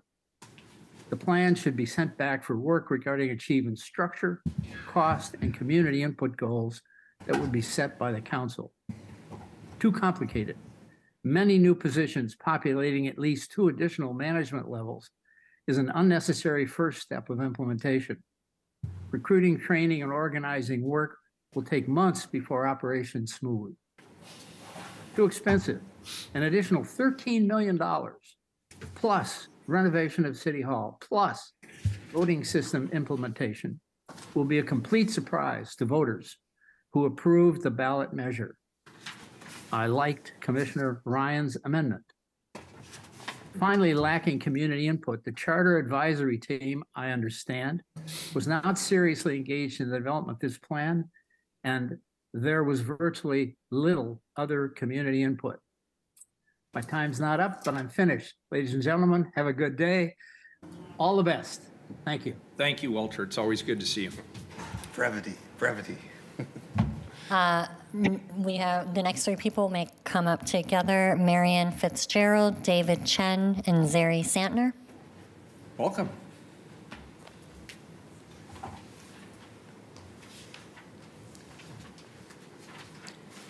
Should I begin? Why don't you go ahead and start? Thank you. Good afternoon. My name is Marianne Fitzgerald, and although I'm the president of my neighborhood association, I'm here on behalf of myself only. Um, Neighborhoods have always taken a horizontal view of the delivery of services throughout the city, and when I saw the organization chart that came out last week, particularly the big exhibit with the electeds and mayors, it's top-heavy, it's got unclear authority and accountability to the people of Portland, and it's crazy expensive. Um, I urge you to start lean and build later, rather than build this big bureaucracy and have to make cuts that we can't afford these positions. Um, I want to just say that I didn't know until this week about the uh, Mapps and Ryan proposals for natural resources. My neighborhood has two parks and three natural areas and no stormwater system. And nobody has come to either my neighborhood in Southwest Portland nor the SWNI Parks Committee to discuss this. And, you know, we need more discussions. So I support Mr. Mapps's proposal to study it further and come into the community because we live here. We want to use these resources and nobody's checked in with us. So I, I do want to thank Commissioner Ryan for moving the neighborhoods and district offices a little further up in the civic engagement, but I still don't understand why there's eight city administrators and why civic engagement is with the junior administrator, the assistant administrator, rather than the deputy administrator, when everybody needs to be at the table um, as peers, not as um, unequal um, people. So I just want to um, conclude agreeing wholeheartedly with the last two speakers that there has not been enough meaningful civic engagement on this proposal for the last you know, year. And it's very expensive, and I'm really concerned about the trade-offs and services that the people will experience in order to pay for a very top-heavy administration. Thank you. Thank you. David Chen. Hi, David. Mr. Mayor, Commissioners, thank you for the chance to talk to you today. Uh, last I saw you, other than Commissioner Gonzalez, was about 20 months ago when you appointed me to the Charter Commission, um, and I, I, was not in the supermajority. I'm here to mention two things. Uh, first, in the proposed org chart, it looks like the city administrator is overseeing the council staff.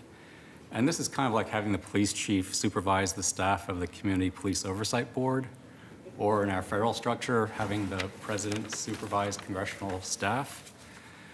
Probably council staff uh, should be included in the city's HR system, IT infrastructure, and other uh, basic admin functions, but it might be worth looking at how legislative staffs in other cities are managed, or to my point, not managed uh, by the executive function. Uh, second, uh, I think a little more attention needs to be paid to the charter section that empowers the mayor to appoint the city administrator.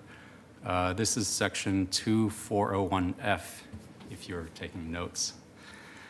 Uh, on January 1, 2025, the mayor elected in November 2024 uh, takes office, and they're empowered to appoint the city administrator. And as you know, that appointment needs to be confirmed by the city council, the new city council. Section 20401F also says that the mayor acts as the city administrator if the office of the city administrator is vacant. So we could end up indefinitely with a mayor acting as the city administrator because they have either not appointed a city administrator or because council won't, won't confirm the mayor's appointee. Uh, This could make the mayor's office more attractive than some critics have been saying. Uh, But if you don't think that's the right result, uh, I encourage you to fix it. Um, And thank you for all you do for the city. Thank you. And- And David, if I could just quickly, you know, we, we did think about that, and the expectation is the interim city administrator will actually overlap from when I leave office on December 31st for six months in the new mayor's term. So there, the, the expectation is there will not be a vacancy, and that that city administrator would leave once the process has been completed and a new city administrator has been appointed. Although the mayor But can lo- Longer term, that could happen. the mayor can unilaterally remove the city administrator. though. Correct. Yeah, Mayor, it actually brings up a, or Henry, it, it brings up a change in what our amendment proposed. We had originally proposed that the council approve the interim CAO, which might align with the new charter structure. We actually softened the language in the amendment to merely be consulted on it. It does, the testimony actually raises a question if, in softening it, we inadvertently took away essentially ratification of that CAO for the new form of government, right? If council had approved that CAO, is there an argument that that's somehow more effective going into the new form of government? I, I don't know. I'm just posing an open legal question. Your, your exchange actually creates an interesting, an interesting question that I don't think we're going to resolve today, but. Thank- Thanks. And, and we can raise it later with legal counsel. You have a city attorney. like. Yeah. Thanks, David. Hi, sorry. Good afternoon, Mayor. Members of the council, my name is Zari Santner. Some of you know that I worked for Portland Parks and Recreation for over 30 years, the last eight years as its director. I was prepared to um, offer three points in my testimony. I'm afraid the time is not going to allow me to cover all of them, but I'm going to give it a shot. The first point that I wanted to make uh, was that parks, recreation facilities, natural areas, urban forests, they are not luxury. They're not amenities. They're part of cities' infrastructure, and they should be treated as such. In that light, I firmly believe that they should be located with other city infra- infrastructure. And I want to uh, stay away from the word public works. Everything that the city does is public works. We need to call those bureaus infrastructure bureaus, and Parks and Recreation is one of those. So they should be aligned with other infrastructure bureaus and report to the same deputy city administrator. The second thing that I want to mention is that when I was with Parks, I, I worked uh, very closely with, I and my staff worked very closely with a lot of other infrastructure bureaus because uh, our work, every, every work that we did, it touched upon that. And um, we found that working, um, well, I'm not even going to make my second point. Um, I realized that uh, whenever we, Commissioner of Parks, had another infrastructure uh, under its portfolio, the two bureaus worked most effectively and productively. And that's another reason that I think the infra- uh, Parks Bureau should be under the infrastructure. The second point is that I believe that all the natural resources, urban forests, I'm afraid, Why don't you make your point? should I make my point? Um, I want to give you a little bit of context, Mayor, if, if I may. When I was a bureau, if, if, when I was a bureau director, I formed a natural, a, a, a specific unit in the bureau called City Nature. I brought the urban forest and natural resources together. And the intent was collaborations, transparency, and efficiencies. But one thing that it did, it signified two elements. One was the in- inadequacy of funding for those. And th- third, the second one was that that fund was fungible. It was used at the end of the year to fill the gap, the shortfall in other divisions. And I wanted to stop that. So I think, although parks, we all loved our natural areas, our urban forests, but when push came to shove, the asset, expenditure on assets would be minimized. Thank you. And, okay. Appreciate it. Next up, we have Terry Harris online, followed by Sarah Silky and Jenny O'Connor. Welcome. Uh, Good afternoon. I'm Terry Harris. I'm an alternate member of GTAC, testifying in my personal capacity. Um, I've provided detailed written comments. With three minutes, I'd um, also explain why you should adopt only a budget framework today and remand the org chart for future refinements. But with these two minuscule minutes, I will simply urge the council to reject outright the mayor and council scheme you've been presented here. The structure and staffing for the mayor and council made only public a week ago is ill-conceived, massively under-resourced, misaligned with the charter and charter amendments. First of all, the chart's incomplete. Uh, the mandatory roles of the auditor and city attorney are not accounted for here.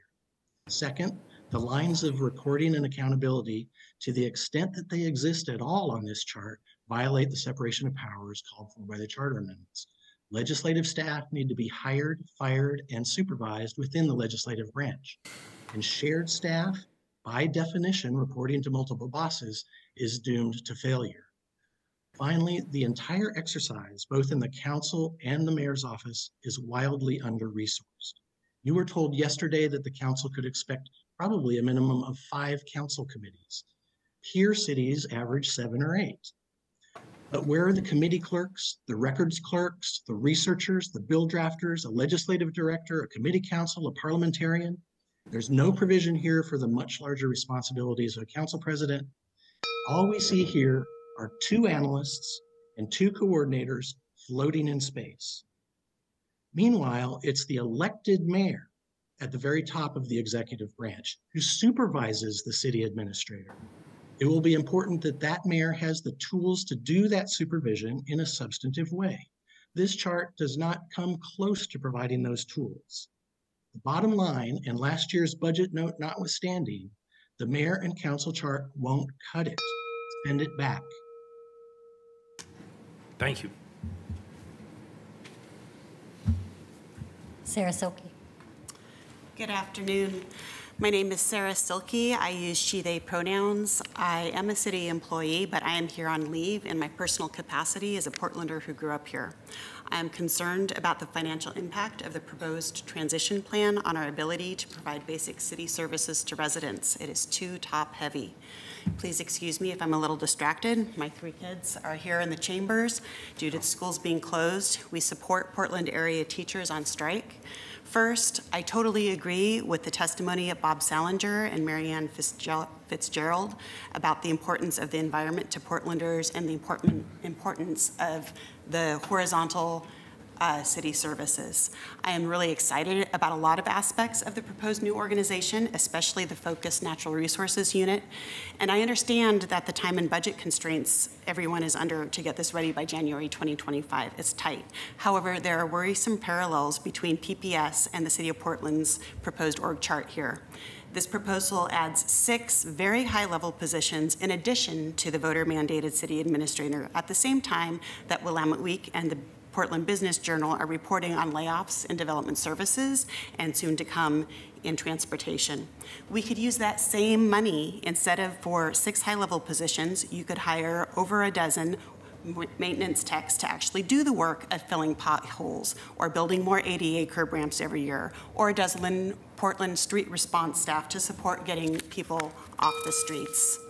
The analogy to Portland Public Schools is that teachers want basic things like functioning and safe classrooms, just like Portlanders want basic services, not additional layers of administration. I ask you to consider a commitment to no net addition of high-level management positions in implementing this transition. Even better would be a reduction of high-level management so that resources can go where they're needed most on the front line. Again, I really appreciate the time, thought, and effort of all involved. It's been a fast and top-heavy process with minimal input from frontline workers.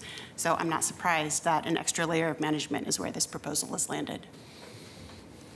Jenny O'Connor. Yes, hi, my name is Jenny O'Connor. I'm a Portland citizen and property owner. I'm also, I'm speaking for myself as a citizen, but I'm also a member of the 350 Watchdog Team and a member of the Emerging Coalition on Climate and, uh, of Climate and Environmental Groups. Um, I wanted to acknowledge the work that's been done and say thank you to all of you. I'm going to leave it at that. I, I I'm impressed. Um, my point one is I support Commissioner Mapps's amendment on the national uh, natural resources as outlined. I, I ditto um, Bob Sallinger's remarks. Um, I liked it because the scope of work was outlined. It had tasks, it had a timeline, and it also had public uh, involvement, which uh, Commissioner Ryan's didn't. So therefore, I'm opposing Commissioner Ryan's amendment, and I support Commissioner Mapps's amendment. I, let's see, I'm, I'm opposing Commissioner Rubio's Amendment 1 to amend exhibit to add Chief Sustainability Officer. There's been over a thousand comments that have come in asking for a climate uh, uh, officer to be added at the top level under the city administrator. There's been a lot of thought, a lot of thought that's gone through this. We are, we're, uh, uh, we, we're, we got the idea from Kings County, who's already done this, and we have a scope of work for them to implement the climate emergency. And this is to your legacy, Mayor Wheeler, because you uh, declared that we have a climate emergency. Then BPS did a really extensive look at all the things we have to do to get to uh, zero emissions by 2050. Nobody has talked about this, none of you. And um, I want to see a climate officer added to the administ chief administrator's office at the top level. Is that what your amendment does? I think that's what an amendment does. no, she's saying that you're going to take the chief sustainability officer, Vivian, who's already managing and already has her, her plate full. If you look, and we looked at the um, job description of your chief officer, your chief sustainability officer, and we looked at the job description of the climate officer that Kings County hired last year. Big difference, big difference. And if you guys are going to do your homework, then look at that.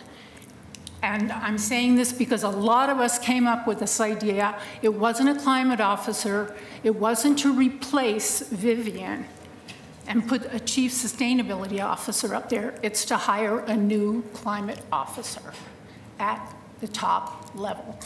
You know how far we are into this? I do. Okay. Well, 92% remaining Sure. on 47 tasks. Well, I, I really sincerely appreciate what you're saying, and I don't think we're far off. I think our intention, actually, I know, our intention was to be responsive to what community was saying. So I think that there's a way for us to close that gap. Um, we, we're happy to talk to you afterwards. There's still room for us to shape things going forward. Yeah, no, I'd love to talk to you because I have, I, I've been, I've been thinking about this for two weeks. Okay, but just know that our intention is there. It's not to subvert, we're in alignment. Then why is there no one assigned to oversee the climate emergency work plan? This is who, this position would be doing that for the whole city, as well as overseeing the new climate commission that we're about to start. So you're going to take Vivian's job of all that and you're going to add this on top of that? Our goal is to add capacity so that we are hopefully moving into position to be a I'm climate sorry. leader. I'm getting really upset, and it's really, you know, not, it's not a good thing. Okay, well, we, we can always agree to disagree. That's a We- democracy. Commissioner Gonzalez? Uh, Maybe I just- guess so, but. Can I just clarify one piece here? So I think part of the confusion is the header on the amendment versus what the amendment actually does. The amendment adds a chief sustainability officer in the city administrator section of the organizational chart, similar to the equity officer. The, I think where the confusion is coming is that, is the header says moving chi- chief sustainable officer to city administrator. So the body, the intent is to create a new position. And, and I'm going to put an asterisk on this, just to be clear, but I think the clear intent is to create a new position that has parity with the chief equity officer. Just the header says, uh, the header's confusing. Uh, So I recognize the grounds for your confusion. I would back up what Commissioner Rubio is saying. The intent here is to create a new position that ha, that sits at the chief administrative officer's direct report level, as senior as you get. I say all that with the caveat that I'm going to repeat a number of times, and I said it yesterday, we still have to go through the budget process. So regardless of what we do today, we have to go through a separate process to figure out how we're going to pay for all of this overhead, as a number of folks have testified to. So just trying to reconcile where there might be some confusion on this. Now I feel kind of stupid because it's almost like, you know, I didn't understand it right. Hey, Well, we didn't a help, we didn't help you with the heading, and that's my You apologies to you. didn't, you said you were going to move the chief, and so I took that literally. So, sorry about that. Not, not, not at all. And, and while you're here, just so I can be clear, and maybe Michael, you can answer this later. I think in addition to the budget, don't we have to bring the definitions of the positions? Do we need positional authority? Mm-hmm. Which means we actually have to have a public discussion about the specific duties in those positions. Is that accurate? New classifications have to come to council. And would this be one? I think so. Okay, so it's very likely we'll, we'll have a more in-depth conversation about the specific duties of this position. So would you consider looking at King County Climate Officer job description? Yes, and you can talk to my office and me directly. Yeah, no, I'd love to. One more point, as I was look- listening to all you yesterday, I thought, you guys should hire from within. You've got a lot of talent, a lot of talent. I, I know, I worked for the Department of Public Works in San Francisco. I worked at different levels. I left as a project manager. I know what the problem with budget comes with. I would say, look at your, you know, what, the talent you have within your uh, organization and, and elevate. Absolutely. Thank you. Appreciate you. Thank you. Thank you Sorry both. for the, uh, That was a good discussion. No, it was a good, uh, very good discussion. I learned a lot too. Thank you. thank you. Next up, we have Micah Meskel online, followed by John Turan and Dan Handelman, Portland Cop Watch. Hi, Micah. Hi, Mayor, Council, thanks for the opportunity to testify. My name is Micah Meskel, Assistant Conservation Director for Portland Audubon. I'm going to keep my testimony um, brief as I and the general public have had limited time to review the proposed amendments, but um, I'll start broadly. Um, I urge, and Portland Audubon urges you to ground your decisions today on optimizing future function instead of the politics of today. Um, and uh, yeah, the key piece is um, we believe that the formation of a natural resource group could be very beneficial towards the holistic protection, stewardship, and expansion of our environmental assets in the city. We have long been in this position um, for 40 years, um, really advocating for the holistic um, treatment of all those as they will bring synchronization um, among these efforts. And so today we're in support of Mapps Amendment Number One to allow for the further ongoing discussion and collaboration between bureaus. Um, it's been ongoing and we want it to continue about how to best organize the city's environmental programs, um, including recreation, and how the new groups can maximize their joint goals. We're planning on continuing to follow that discussion and the development of this group to help inform it. Um, and taking a, a real watershed approach to um, watershed approach to um, its work. Um, I'll note that there's a lot of grassroots community support for this model um, that we've heard over the years and um, for this um, session today, and that you've seen in the public record. Record. Um, we do not support Ryan Amendment w- number one on structural level, though we agree with the goal um, and think it can be achieved through the ongoing discussion of the city's natural resource group. We're dedicated to continuing to advocate for the achievement of retaining a strong connection between parks, natural areas, recreation, and people. And lastly, um, I- we support the placement of the chief climate officer in whatever position that will empower it the most to really coordinate the city's entire efforts towards building climate resilience. Um, thank you for your time. Thanks, Micah. John Turan. Uh, Good afternoon. I'm John Turan, longtime uh, downtown Portland resident. Uh, I'm here to urge a a no uh, vote on the city re- reorganization chart.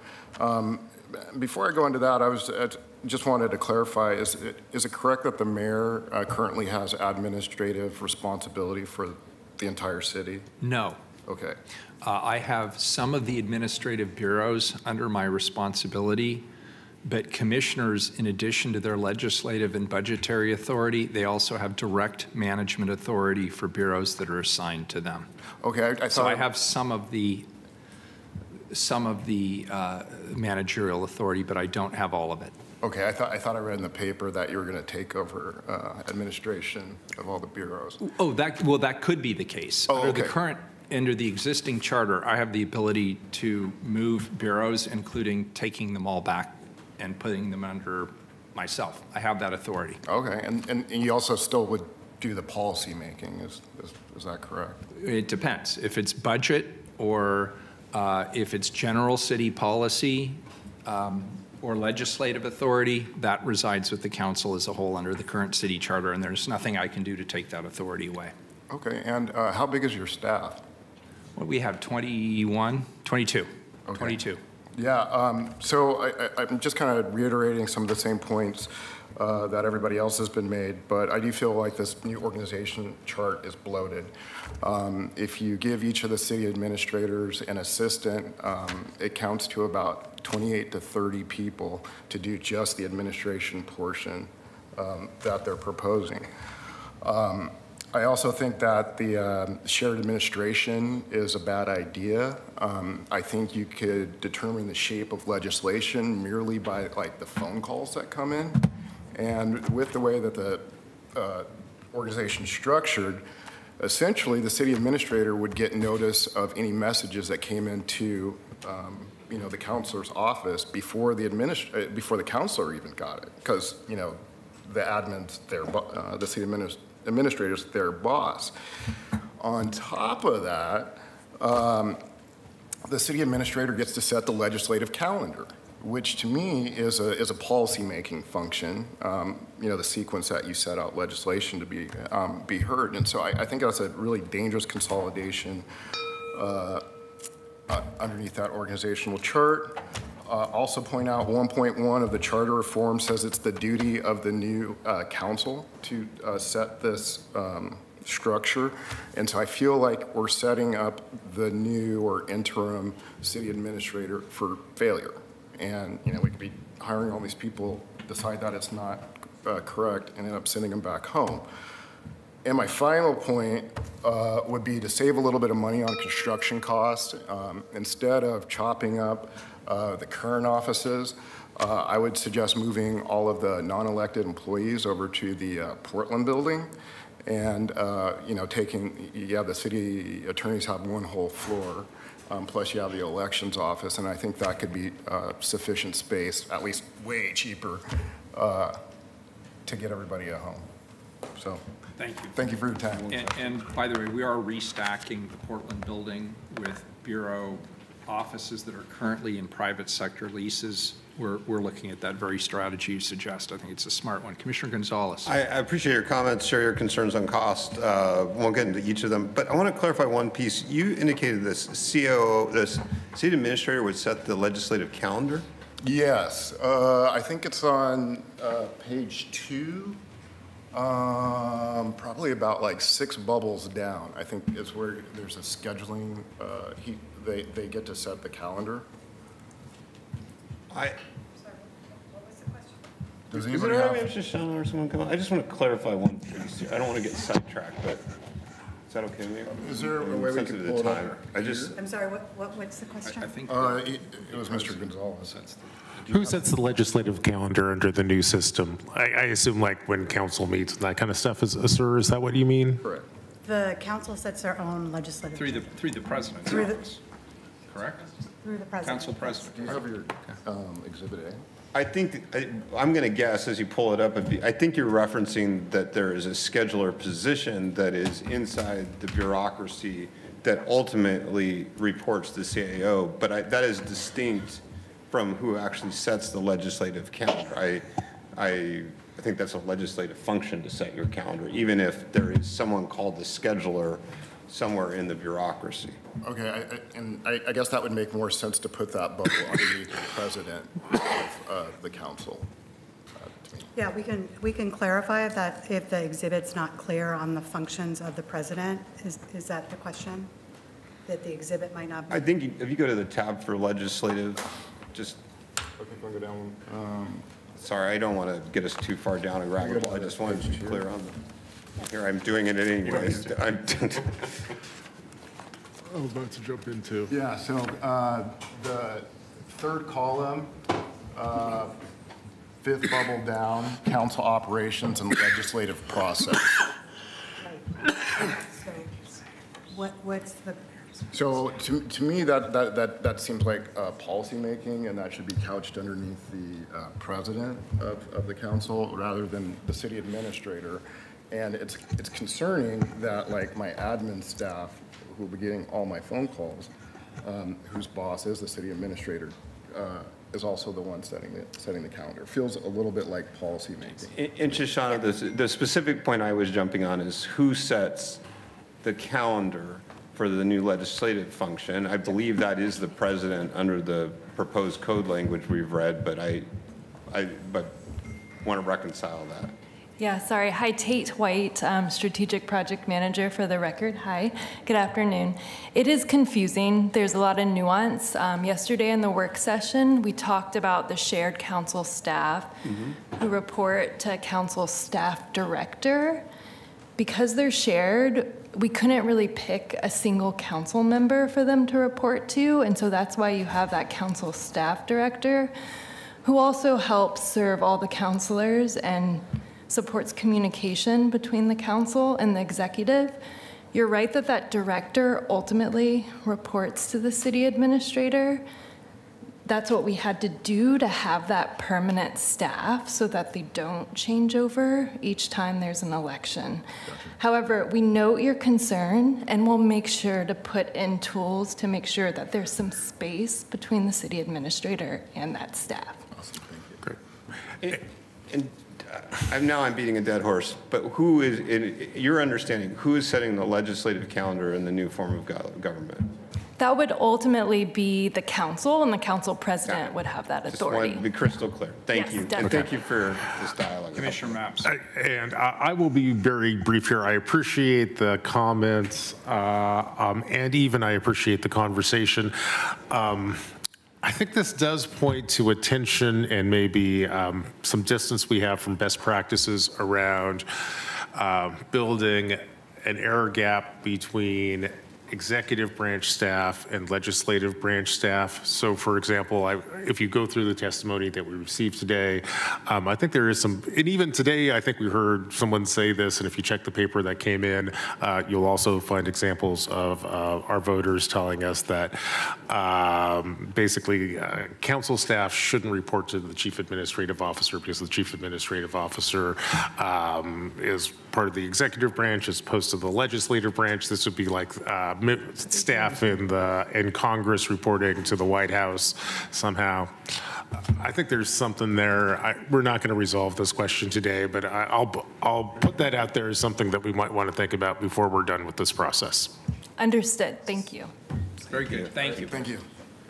Um, Colleagues, could I suggest we get through the rest of public testimony? Because I, I know there's some people who have to get home to their kids with the, the school strike. Let's get through the testimony, make notes of things you want to follow up on. And we'll follow up at the end. Next up, we have Dan Handelman. Welcome. Good afternoon, uh, Mayor Wheeler and members of council. I'm Dan Handelman. I use he, him pronouns, and I'm a member of Portland Cop Watch and a former member of the Police Accountability Commission. The PAC's work ended when we presented a plan to you on September 21. It's not 100% clear how much the resolution you're adopting today will be able to undergo further changes. As a group focused on police accountability, we're deeply concerned that the new oversight system is proposed to be under the same deputy city administrator as the police bureau. Um, this is not in the uh, slides that you were show, shown. It's in the mayor's amendment. It's buried on page 19 of the memo from the chief administrative officer. Um, it was not the recommendation of the PAC, nor is it consistent with the charter to put the new board into the community safety division. The charter section 2-106 clearly indicates the new board will be independent of all other city offices. Just last year, when the independent police review was released from the auditor's office, they became an independent agency not linked to any other office. In 2001, when IPR was created, it was put into the auditor's office, although then Mayor Vera Katz had taken the older system, PIIAC, into her portfolio. She recognized that the police commissioner should not also manage the oversight system. Mayor Wheeler also recognized this challenging part of the existing system when council heard appeals from the Citizen Review Committee, and he was asked, as police commissioner, to weigh in on decisions previously made by the Bureau. There seems to be some misunderstanding of what the new charter says. I read it carefully because there was discussion at a PCCEP meeting a few weeks ago where it was asserted the new mayor will also be the commis- police commissioner. That's not what the charter says. The mayor will hire and the employees of all the bureaus will report to the administrator and their deputies. At Portland Cop Watch, uh, we urge the council to add an amendment that makes it clear the new board will be independent. It will not report to the same administrator as the police, or else you will risk perpetuating the distrust that has existed ever since before the PIIAC was created in 1982. The appearance that the police are the ones who investigate other police. If uh, you want a suggestion, the city operations area where the Bureau of Human Resources will be located for the new board. Thank you. Thank you, Dan. The next three testifiers are Jenna Kane online, Kyle Johnson, and Babs Spinelli online. Welcome. Go ahead, Jenna. Thank you. Uh, dear council members, thank you for your intentional work to facilitate a smooth transition to a new form of government with a substantially increased council. I'm testifying today to ask for your support to adopt Commissioner Mapps's amendment number one to restore a new Bureau of Natural Resources and to come up with a natural resources plan by uh, September 30th, 2024, um, and to have a facilitated discussion with a rich uh, public engagement process, um, and to ensure that funding streams are uh, assured for uh, a Bureau uh, of this important magnitude. Um, my hope is also hear, hearing the testimony through Parks earlier that um, that parks, it seems like would be an integral part of a natural resources um, service area. And so I strongly um, would hope that these uh, bureaus would come together to really look at the public's good instead of what's politically feasible um, to be able to work together uh, to protect um, the environment um, for Portlanders and future generations. The other aspect is that um, I too noted the um, incredibly inflated uh, top tier management in this proposed budget. And I have some concerns around the staffing impact for line staff um, at the city. And to really keep that in mind as you look at the groupings of the service areas to ensure that, you know, rather than allowing politics to dictate uh, what's the best for the public is to really keep the good of the public in mind, as well as um, protecting staffing positions at the line staff level. Um, I'd like to also add the importance of focusing on equity. Um, and I'm glad that you have an equity officer at the highest level. And I'm saying that um, in addition to um, relying on that position, ensuring that that position is well integrated and has the authority to work across bureaus, that the same is true for hiring a new climate officer um, in the city administrator's office. That's in, integral to being able to address the climate emergency work plan and um, to make sure that we make progress instead of being steeped in the status quo and in action um, as far as the climate. Thank you so much. Thank you, Jenna. Next up is Kyle Johnson. Mayor Wheeler, uh, Council, thank you for the opportunity to speak today. My name is Kyle Johnson, and I'm uh, the Vice Chair of Bike Loud, although today I'm speaking for myself. I've been a transportation advocate in Portland for the past 15 years. During that time, I started Portland's bike train movement and the largest bicycle valet in North America. Uh, and I've also helped get several important transportation projects over the finish line. As of this morning, I have also stood in front of a street grinder to prevent a bike lane from being removed. Over this past 15 years, we have never experienced uh, what is going on right now in terms of the city actively seeking to remove bike lanes. Uh, as you talk about how our government should function under the new charter, I hope that you'll consider a less centralized and less politicized transportation decision-making structure that is more accountable to the policies City Council passes. The Broadway bike lane scandal has tarnished Portland's reputation, both within the city and globally. Most importantly for this council is the damage that has been done to the relationship of trust between this council, PBOT staff, and all Portlanders.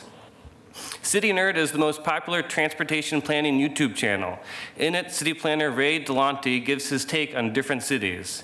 In his recent video about Portland with over 300,000 views, he dedicated an entire section to the Broadway scandal. At the end, he said something that I think captured what people felt when they read Director Williams' emails and the veil was lifted on how these life and death decisions are being made. In his video, he said, planners are doing years of extensive outreach to every impacted community. But if a rich business owner wants to take out a bike lane, they can just take a city council member out to a nice lunch. I can't even imagine how demoralizing this is for staff. All I can say to them is try to remember why you got into planning in the first place. I'd like you to all consider what would have happened if Director Williams' emails had not been leaked by her own staff. The sudden nighttime removal of the Broadway protected bike lane without any public engagement would have been unprecedented in North American history.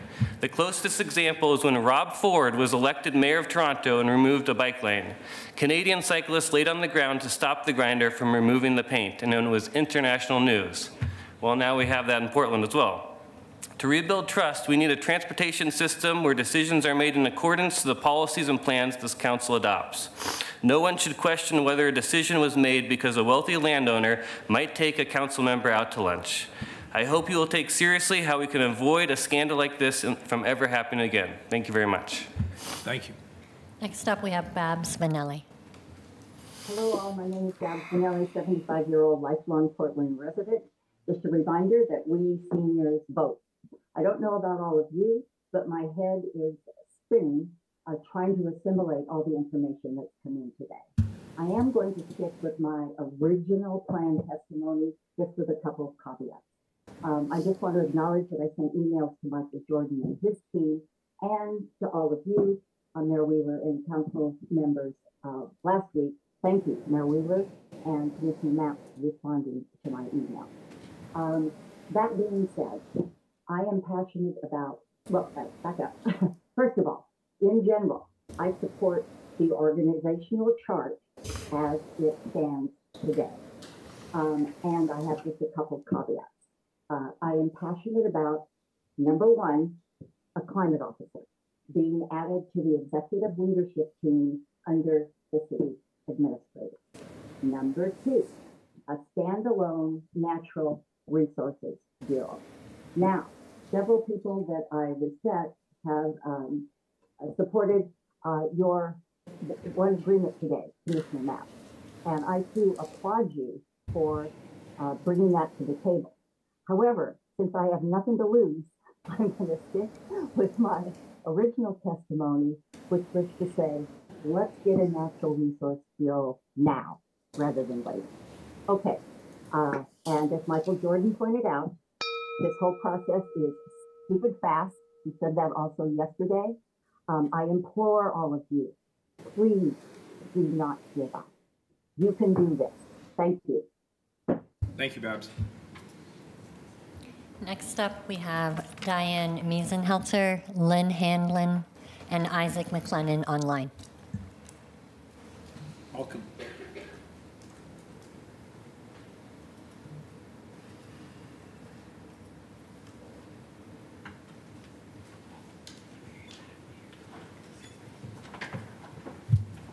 Go ahead, Diane.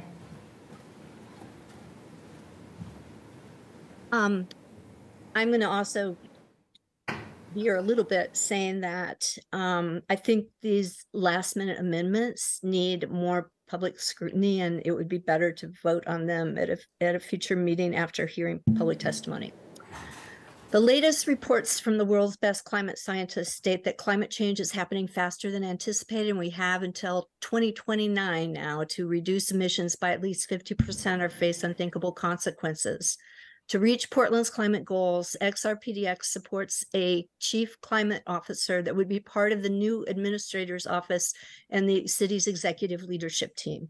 The climate officer needs to have the authority to develop the necessary budgets adequate external funding, and oversee the implementation decisions in the realms of climate, natural resources, environment, and sustainability across the various bureaus. We support the restoration of a Bureau of Natural Resources, and so I'll say I support um, Mapps Amendment One and do not and oppose Ryan's Amendment One that will create and implement a plan for the protection of the city's natural resources as a buffer against climate change, reducing emissions, and for community health and well-being. This bureau should undertake policies around climate change mitigation, adaptation, restoration, ecological resilience strategies with respect to how climate change will affect our natural resources and vice versa. We support a version of the Climate Sustainability Committee at the administrative executive level that will be more open to community involvement and input with working groups involving representatives of local climate organizations actually taking on res- research development and plans for actions to move things forward quickly through a coherent strategy in collaboration with a climate cabinet, cabinet of city bureau representatives all of this should be accomplished within a climate justice and equity framework with involvement and input of a diverse body of citizens who have worked on climate advocacy. The transition to this new government will uh, be a distraction to the timeline we have. So together, like the citizen-led campaign for PCEF, we can succeed alongside a city leadership planning for just and effective responses to expected climate disruptions and trying to mediate and reduce emissions so that we don't have the worst case, to prevent the worst case scenarios. Thank you. Thank you. Lynn Handlin.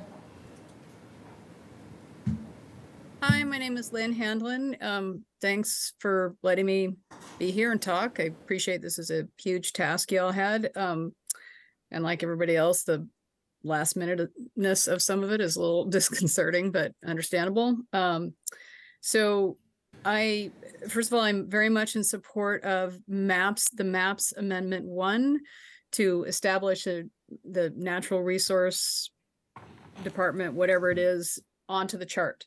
Um, we need this very badly, uh, in part, and the Bureau needs, this Bureau or whatever we're going to call it, needs to have real authority to do stuff and work with other bureaus in part to prevent things like the Division Street debacle, debacle when PBOT and the Water Bureau refused to talk to each other. And now the people in my part of town, Outer East Portland, have a worse heat island situation than ever. We got concrete instead of trees. So to prevent that, let's do this.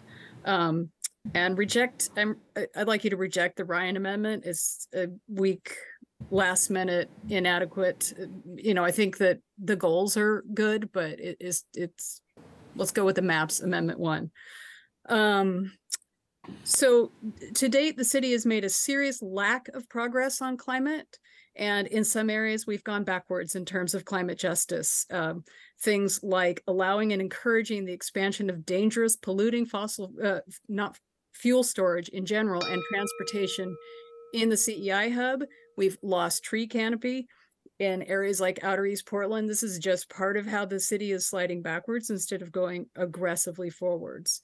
Um, I very much support having a city climate officer. I'm a little bit confused about the interaction earlier because I also thought that when um, Commissioner Rubio said, "Oh, we have one. We're just promoting them up to the to be under the new manager." So I want the, the, the new climate officer to be in addition to the planning and sustainability officer. I don't I don't want those combined, and I maybe I'm confused about how all that happened. I would I would like some clarification on it, if at all possible. Um, I think I've run out of time, so uh, thank you. Thank you. Isaac McLennan. Good afternoon, Mayor Wheeler. Uh, hello again, and commissioners. Uh, Isaac McLennan, Portland Firefighter Association President, uh, a firefighter for over 20 years and a resident of the Roseway neighborhood. Uh, I address you here on this point uh, only because I'm concerned about the overall cost of this transition, specifically on uh, how we're going to find the funds in order to transition the city government into what the voters passed. And I completely understand the, the task before you is monumental, and I know that you all can do it. This council is by far the right council to, to take us across this uh, this bridge. Um, but the voters did not pass the uh, a reduction in public safety, and I'm concerned that when the bill comes for this transition, uh, it's going to be we're going to look for how we can come find the money to do that. And in times in the past, we've gone through budget cuts.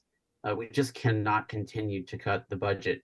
Uh, we know the number one priority to reduce the overall cost, specifically in fire, is to hire more firefighters, and that ultimately reduces the cost of overtime.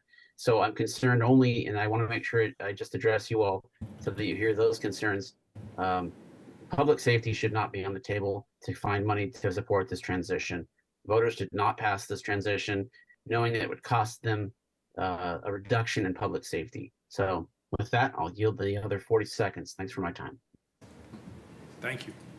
Uh, Next up, we have Sherry Spock, Bob Weinstein, and Terry Prague Rigsby.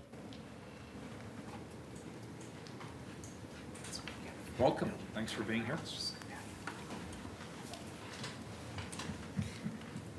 Thank you. Uh, Thanks, Mayor Wheeler and Commissioners, for giving us time to make comments today. My name is Cherice Bock, and I work for 350 PDX, which is a environment and climate justice organization here in Portland. And we've been doing a lot of the organizing around the climate officer position, and so appreciate the uh, intention to make sure that that uh, outcry from the public is heard, and so we want to make sure to work on making that something that is going to work really well for the city. I think the main thing that we want to emphasize is that in this moment where we have this historic opportunity to reorganize the ways that we structure the, the city and the ways that we work together, we want to make sure that climate is really emphasized in there. This is going to be the number one thing that all of our bureaus and service areas are going to have to deal with, in addition to the normal things that everybody's had to deal with in the past, but it's going to get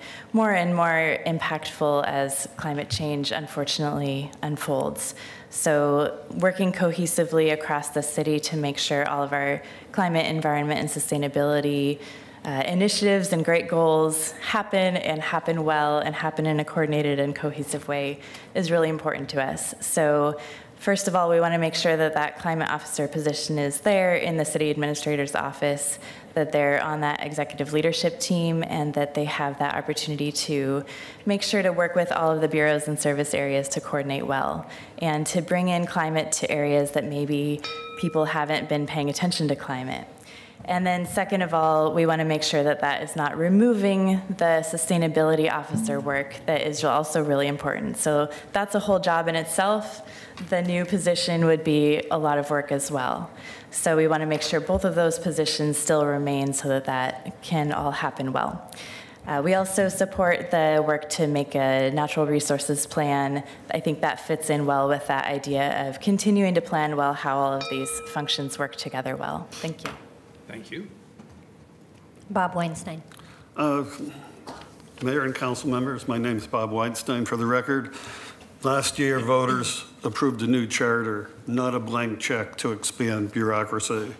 Projected annual costs are 13 million above current costs, 1,344% and 120% above the commission's low and high estimates of 0.9 million and 5.9 million provided to you and the public. Estimates for transition costs are nearing 20 million and counting, 66% and 13% above the Commission's low and high estimates of 12 to 17.7 million provided to you, but unfortunately not provided to the public.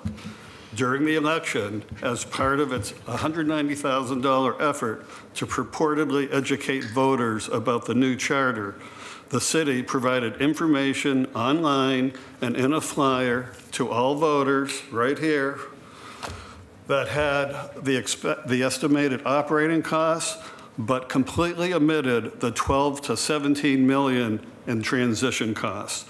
The city rebuffed my effort to have this information provided to the voters. San Diego, Sacramento, and Seattle council members have nine, six, and four staff members respectively. While I know staffing levels will be up to the new council, the current proposal grossly underestimates the cost of and understaffs the future council. Having any council member report to the city administrator is not appropriate. It's anti-democratic. There should be a separation of powers. Other cities, the state of Oregon, and federal governments all have legislative staffs report to the legislative body, not to the executive branch. It's basic part of our democratic fabric in this country. On June 29th, 2022, Commissioner Ryan raised the issue of conflict of interest with respect to commission members running in the first election under a system they designed, comparing it to hiring committee members who design a process and job description and then apply. Mayor, Mayor Wheeler later stated that if any members ran, it would be a campaign issue. Both of you are correct. Any new position appointments should be interim until the new city administrator can make permanent hires. Please engage citizens on whether millions in new bureaucracy is the best use of limited financial resources versus, versus investing in priorities like first responders, PBOT, and other pressing needs. Thank you. I took Walt Wheeler's extra time. He said I could have it. so. Thank you, Mayor. Thank you, appreciate it. Carrie? Hi, good afternoon. My name is Terry Pre Grigsby. Uh, Thank you for allowing us to uh, provide input today. I um, am a natural resource professional, and I strongly support Commissioner Mapps' um, amendment to restore the uh, City of Portland's uh, Natural Resource Bureau, and in particular to ensure that that's adequately funded and that that natural resource um, office or bureau has the authority to impact priorities and programs um, amongst other infrastructure bureaus. Um, However, I'm actually here today as someone with a disability, and I, um, in looking at the proposed city restructure, um, I see that it completely lacks representation and programmatic support for people with disabilities as well as for our aging community. Uh, most major cities have aging and disability offices that are both visibly, um, easily visible and regularly engaged with the community. And the proposed Portland City restructure verifies that Portland views those of us with disabilities as well as our seniors as less important than our able-bodied and young citizens. Uh, the restructuring process is an opportunity to shift how Portland engages with and supports the disabled and aging community. And much like the proposed new Bureau of Natural Resources, I ask that the restructure create a centralized office that can um, support programs for our disabled and aging communities. Um, the current program located within the Office of Equity and Human right, Rights is so under-resourced that it does little more than ensure basic compliance. And that not only leaves the city open for legal repercussions um, when bureaus are not in compliance, but it keeps the city from truly addressing the unique needs of our growing, aging population and those of us with a myriad of disabilities across all ages, racial and gender identification, and socioeconomic status. Um, So this is a large area of opportunity for Portland to become a leader, and I urge you to take this um, issue seriously and add it into the restructure. Thank you very much, appreciate it. Thanks, all three. Our next three testifiers are Kelly Yanspa, Debbie Aiona, and Janice Thompson.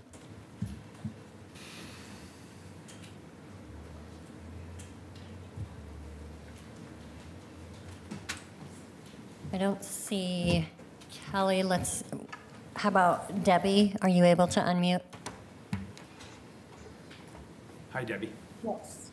Thank you. Um, I'm Debbie Aiona, a former member of the Police Accountability Commission, and I'm speaking in that capacity today.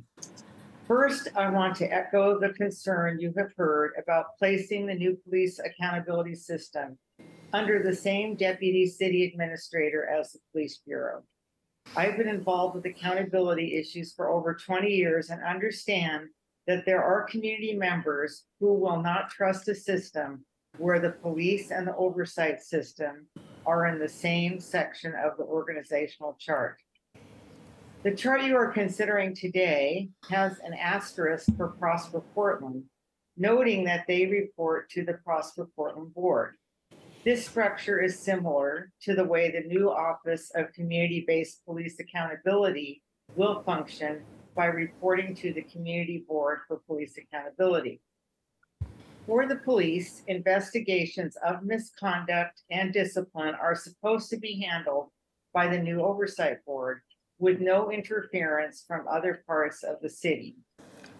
Other types of hiring, firing, and personnel matters will be up to the chief and the deputy administrator. It is not spelled out that the mayor would have any authority in those decisions. Mr. Jordan's memo seems to acknowledge this interpretation of how the system will work, even though it doesn't reflect the concern about the real or perceived conflict of interest. He wrote, there is a proverbial dotted line from the police bureau to the police chief.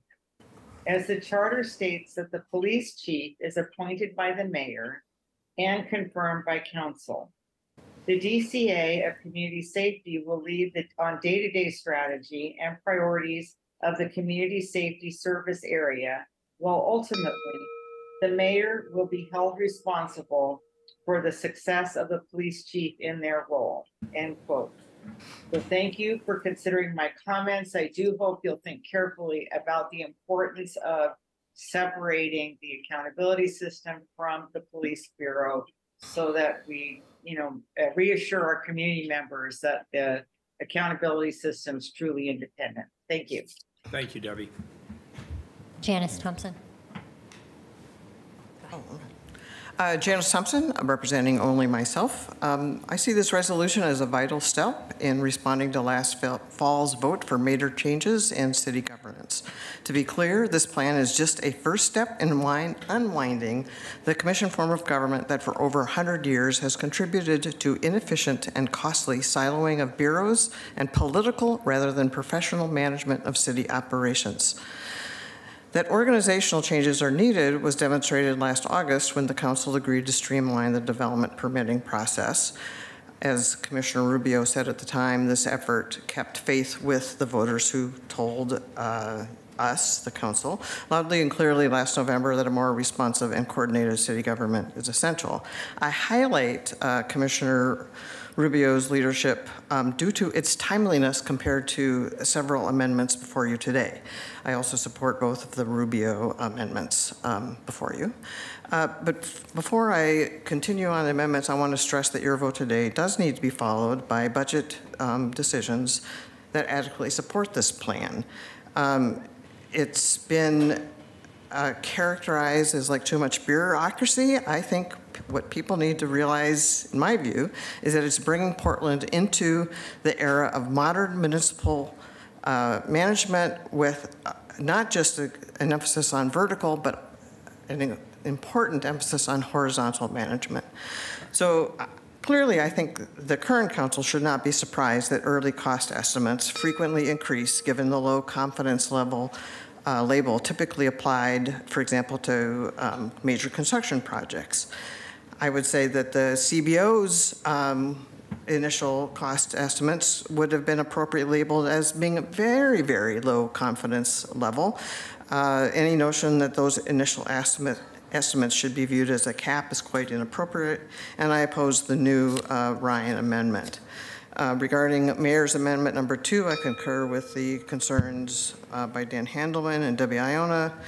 I see um, pros and cons to both Mapps and uh, Ryan's Amendment Number One. However, I oppose both of them due to their 11th hour presentation.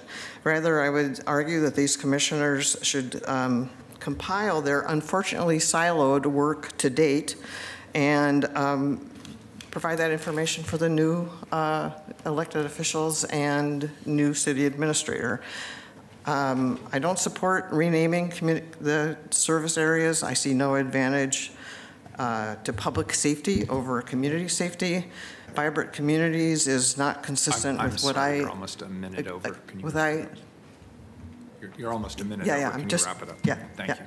uh, is not consistent with what I think is a more appropriate use plain English approach. Thank you for your time. Thank you. Appreciate your thoughtfulness. Um, Let me circle back. Kelly Ianspa. Uh, Our last testifier is Keith Edwards. Keith Edwards. Okay, That completes testimony. All right, very good. Uh, So I, I actually want to acknowledge something that was just said that's really important. None of this gets. There's Keith. Keith, is that you? Yeah. Oh, come on up. Yeah, it's me, Mayor. You got to yell. You got to yell. You got to have energy. Welcome, sir. Thank you. I'm You get- than all of you. You get the last word. Okay, thank you very much. Thank you. Thank you, Mayor, and thank you, City Council. Um, Appreciate the opportunity to speak to you today.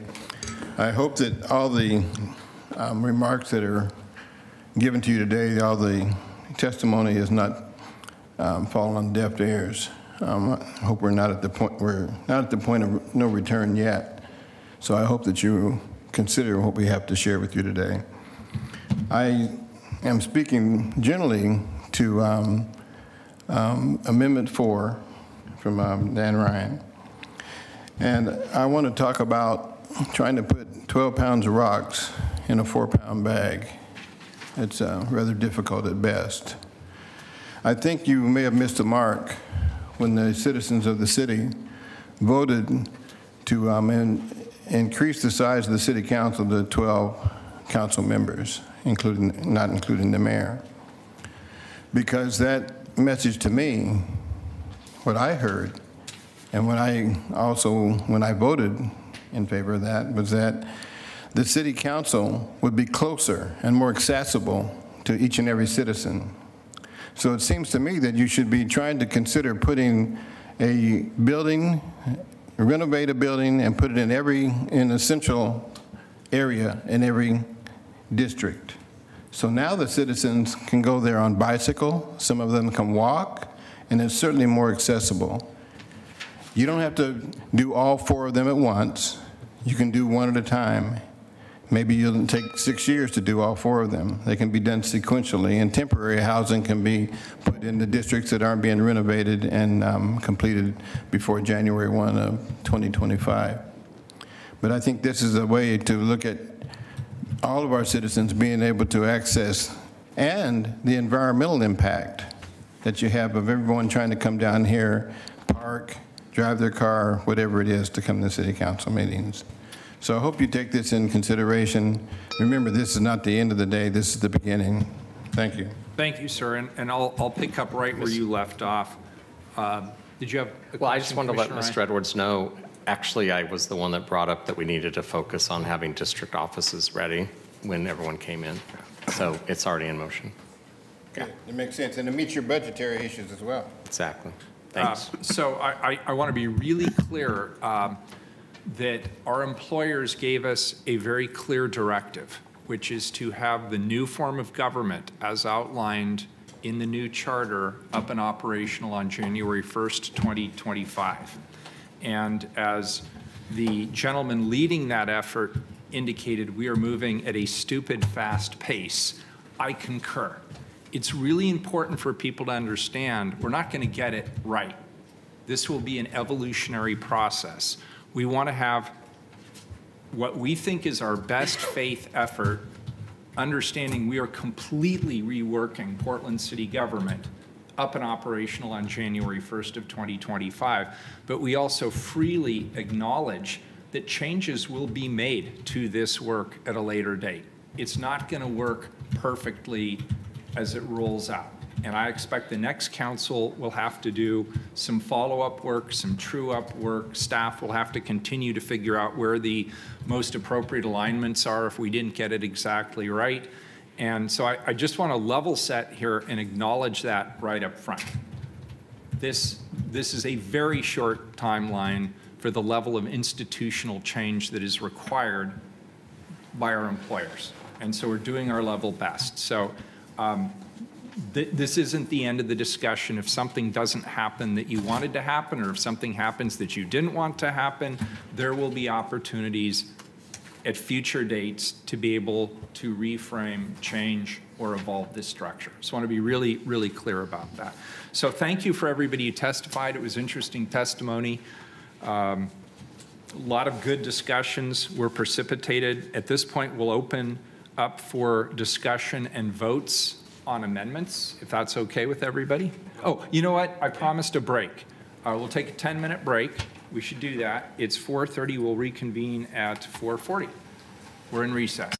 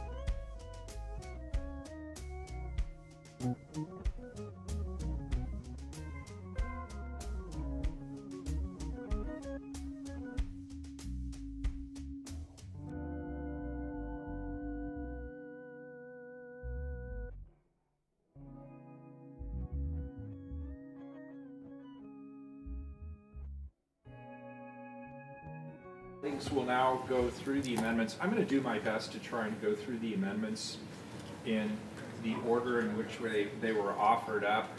Um, Again, Wheeler 1 is first up. This is a technical amendment uh, in honor of our elementary school teachers who always taught us that it matters where the comma goes or where the bullet point goes.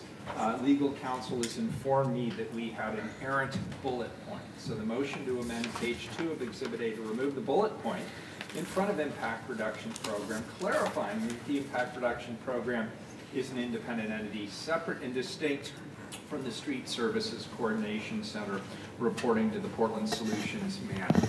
Uh, Any further discussion on this amendment? Seeing none, please call the roll. Mapps, Aye. Rubio. Aye. Ryan. Aye. Gonzalez. Wheeler. Aye. The amendment is adopted. Wheeler, two, um, this is the motion to amend Exhibit A to establish the Community Board for Police Accountability in the Office of Community-Based Police Accountability. The oversight system is a standalone entity in the Community Safety Service area, reporting directly to the Deputy City Administrator for Community Safety. If anybody has further questions, we do have Robert Taylor here who can discuss this. This is somewhat related to the settlement agreement questions as well. Yes? Will you check that your mic is on? Oh, sorry. Do I have to repeat all that? No, you don't want me to.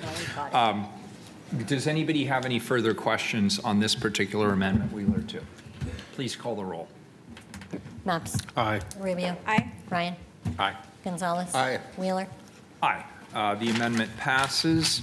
Uh, Rubio number one, which is moving the chief sustainability officer to the city administrator. Commissioner Rubio,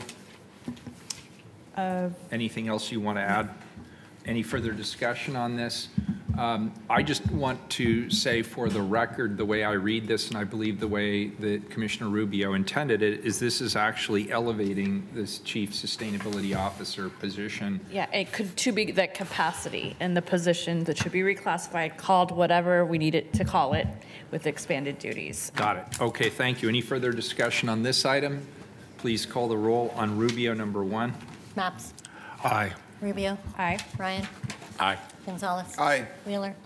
Aye. The amendment is adopted. Rubio 2, which is related to permitting and development. Any further discussion? Further clarification? No. Please call the roll. Aye. Oh, sorry. Mapps. Take two. Mapps. Aye. Rubio. Aye. Ryan. Aye. Gonzalez. Aye. Wheeler. Aye. The uh, amendment passes. Mapps 1 Natural Resources. Uh, Mr. Mayor, can I make some comments here? Please. Um, uh, Number one, I, I want to express my appreciation for all the testimony we heard today. Um, I think we, over the past cou- several days, we've all probably received more than 100 letters and emails from folks who had opinions on this. Uh, Frankly, I believe most of those emails have been in support of the proposal that I brought forward. Um, Colleagues, um, I believe this is a common sense, um, uh, common sense good government proposal, which basically uh, suggests that this council continue the work that we ordered our staffs to do to uh, bring together our best thinking about how to um, do a better job of match, managing our natural resources. Um, now, um, it's probably quite apparent to everyone in the room um, that we have two amendments that kind of butt each other and are in roughly the same space. You got Mapps 1, and then we got Ryan 1, or whatever uh, Commissioner Ryan's amendment is. As I see it, um, I don't think there's anything which is inconsistent with my proposal and what uh, Commissioner Ryan proposes to do. Um, Commissioner Ryan wants to stand up, um, or Commissioner Ryan wants to move uh, resources, staff, and um, and services into a new trees and um, natural areas unit. Um, I have a lot of questions about the micromechanics, the economics of that, um, which I will explore when we get to Commissioner Ryan's amendment. Um, nothing I'm proposing today precludes doing that. I will make it clear. I also think that it is too early today to um, uh, vote yes on Commissioner Ryan's uh, proposal, but I think that we can continue to have this discussion. Uh, today we've heard from a wide range of citizens and experts uh, who really have encouraged us to move in this space, and I sure hope that we will. And if uh, any of my colleagues have any questions, I'd be happy to respond to them. So I, I have a comment, and it's based in part on the testimony we heard. Um, and, and maybe it's based on my own assumption that the reason we're having this conversation now, and this pertains to your amendment, it uh, pertains as well to Commissioner Ryan's amendment, is because of the organization chart discussion that we are having. And here's the concern I have. Um, as I read these, I got the impression, and I think people who testified got the impression that these are mutually exclusive. And I believe there is even staff here who believes that these are mutually exclusive. I would say And- go- Commissioner Ryan's, uh, Commissioner Ryan's proposal precludes, would make some choices that means that if you proceed my, my proposal, we wouldn't be able to have on the Let- anymore. Let me expound on this just a bit. So with regard to your proposal, first of all, um, my understanding is that we are now in possession, like literally in the last 48 hours, of the draft report that you and your office and a number of bureaus have spent a considerable amount of time and energy putting together. Council has not yet even heard the final report. And uh, furthermore, um, we already have encapsulated in a previous resolution that we would bring this back to council by a certain date. That was uh, on, under Exhibit 2 of the resolution we passed, page 20 and 21. So that process is already underway. But what I, and, and I think we should let that process run its course. I'd, I'd actually like to see and read the final report before I make a decision. And on top of that, in this amendment, as I read it, it is assigning the chief administrative officer the responsibility for landing this project in this calendar year. And I'm worried about that just in terms of capacity, uh, because as he said so eloquently earlier, maybe it was even earlier today, a lot of things have been thrown over the fence. And, and I'm worried that something this important may not get the attention it deserves given the other duties currently assigned to that office. Um, Commissioner Ryan, we heard substantial, and we'll get to yours in a minute, substantial testimony on yours. There were a lot of people who liked it. Um, There were people as well who, who raised questions or concerns. And so I, I guess my question, and this may be for Michael, um, rather than either of you, is if we you know, the, what's precipitating what I think is a premature conversation around the natural resources question is the org chart. If we were, and I'm just saying this for my own edification for a moment, if we tabled the discussion of the natural resources till we get the final report, till we have more information from both offices about what they're proposing, about whether these are in fact in alignment or in conflict, if we tabled that conversation, and therefore it was not included in the org chart today, could it be included in the org chart later, and if so, how?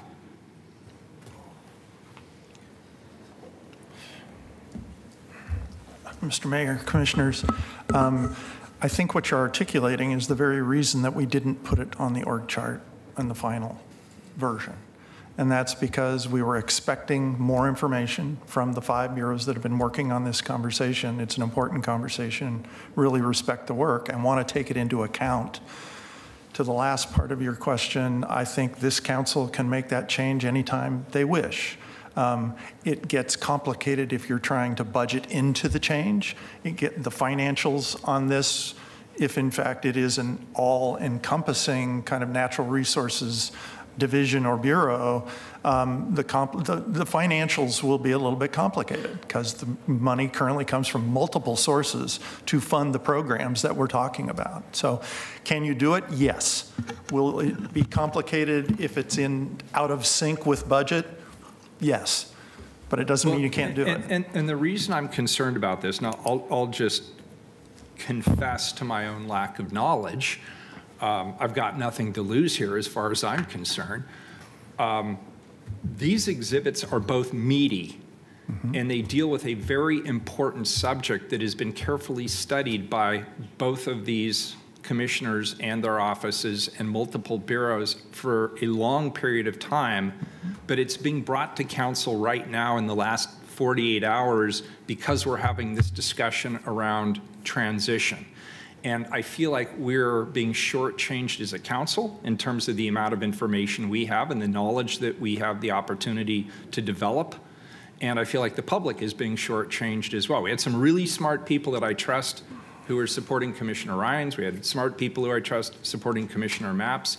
But I have not even begun to read the 300-page draft report on Commissioner Mapps' proposal around natural resources. And, and from my perspective, if it's not critical path to the question today, which is the transition plan, I don't see why we need to shoehorn it into this conversation and give it a half-hearted effort. I think we need to understand the natural resources question thoroughly, but separately, if it can be re-injected into the, the process at a later time. Well, I think from the testimony today, uh, Mr. Mayor, you've heard that it's an important topic to the community. Okay, So I, you know, personally, um, just me, one vote out of five, I would table both of these amendments, but that's just me. But I'll leave it to my colleagues. Um, l- Allow me to speak for a moment, and I appreciate everything you said, actually. Uh, Yeah, might as well stay there. Um, The reason we didn't have an amendment. Nice is try, Michael. The reason we didn't have an amendment till, as you say, the last 48 hours is because we knew about this process, and Parks was heavily engaged in it. And I'd actually like to hear from Director Long and Todd about um, what what they could add to this conversation, which I think would be really helpful. I do have a question for you, Commissioner Mapps. Yes. Um, You, you're right, there was a, there was a campaign of letters that came in, Yeah. and there was a lot of testimony today in support. Almost 95% of them spoke of the new bureau that you're building. You then said, that's not true. It's time for you to be on the record, uh, because all of the supporters that came today and in the letters all spoke to a new bureau. Sure, uh, Commissioner Ryan, thank you um, for that question. To be clear, what I'm proposing in my amendment is that we continue the planning process that we've had, that we've sta- had amongst our fi- five bureaus. Um, I know if you're a layperson, it's, it's easy to kind of uh, uh, reduce that to setting up a bureau. So also an artifact of the way this conversation has been structured in that we have to put something on the org chart in order to have a continuing discussion around that. I don't think we've been particularly well served by this. One question you have to answer is where does this discussion actually kind of physically happen? But just as Commissioner Ryan, your uh, your amendment so wait. calls for the creation of a did you answer the question? management unit. I don't know if you actually mean to stand up a whole new unit there, a whole new bureau in that space. You know, I see you're shaking your head no, so I suspect that these are artifacts of language and artifacts of the way uh, conversations get framed in a public discourse that have uh, confused you a little bit. They're not, no, what's confusing to probably anyone that's been paying attention is that the letters, again, that came in, the testimony today in support of your amendment was all about a new bureau. So I just wanted to hear you on the public record say that is not, even though your supporters came, many of them to say that, you're telling the supporters that came today, that's absolutely not the case. Uh, Commissioner Ryan, I appreciate your uh, curiosity about uh, natural uh, areas and how to manage them. Uh, What we've been trying to do um, in this building over the last year or so is have to interbureau conversation about how we can do a better job of managing our natural uh, areas. Uh, That could be manifested uh, through the creation of a new bureau. It could be manifested through reassignment of responsibilities. It could be manifested through new IGAs. It could be manifested through the city getting out of certain uh, lines of business. It could be manifested through the city getting into new lines of business. Um, Commissioner Ryan, what I am proposing is that we continue this important conversation. Um, and I think if you look at the the language that I put forward, especially in the where, uh, no, in the now therefore, or be it further resolved, that's exactly what I call for. And if you'd like, I could read it for you, but I think I've already read it for you one time. I, I'm fine, I just wanted you to be on record because I thought it was confusing for the people Do- who came Commissioner to Ryan, I just want to be clear. Are you clear? Uh, Do you understand what I said? Right, And actually, maybe it would be helpful so we don't have to make everyone go through this over and over again. What is it your under, what's your understanding of what I just said? Just so the record can be clear, because I know you care about this moment. What I understand is that based on the campaign and everyone who's sent in letters, which you mentioned earlier, that you, that they were in support of your amendment, and the people who came to speak today, many of them, seem to be expecting a new bureau.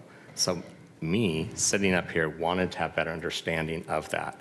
I brought up uh, Director Long because they have been participating in this uh, work because it was asked of them to do that, which dates, uh, predates all of us. It goes back to uh, Commissioner Fish when he had both BES and Parks. So just trying to level set. Sure. So Commissioner And be Ryan- transparent. Commissioner Ryan, just for clarity's sake, what question is it that you're, you're trying to pose to the Parks Bureau at this moment?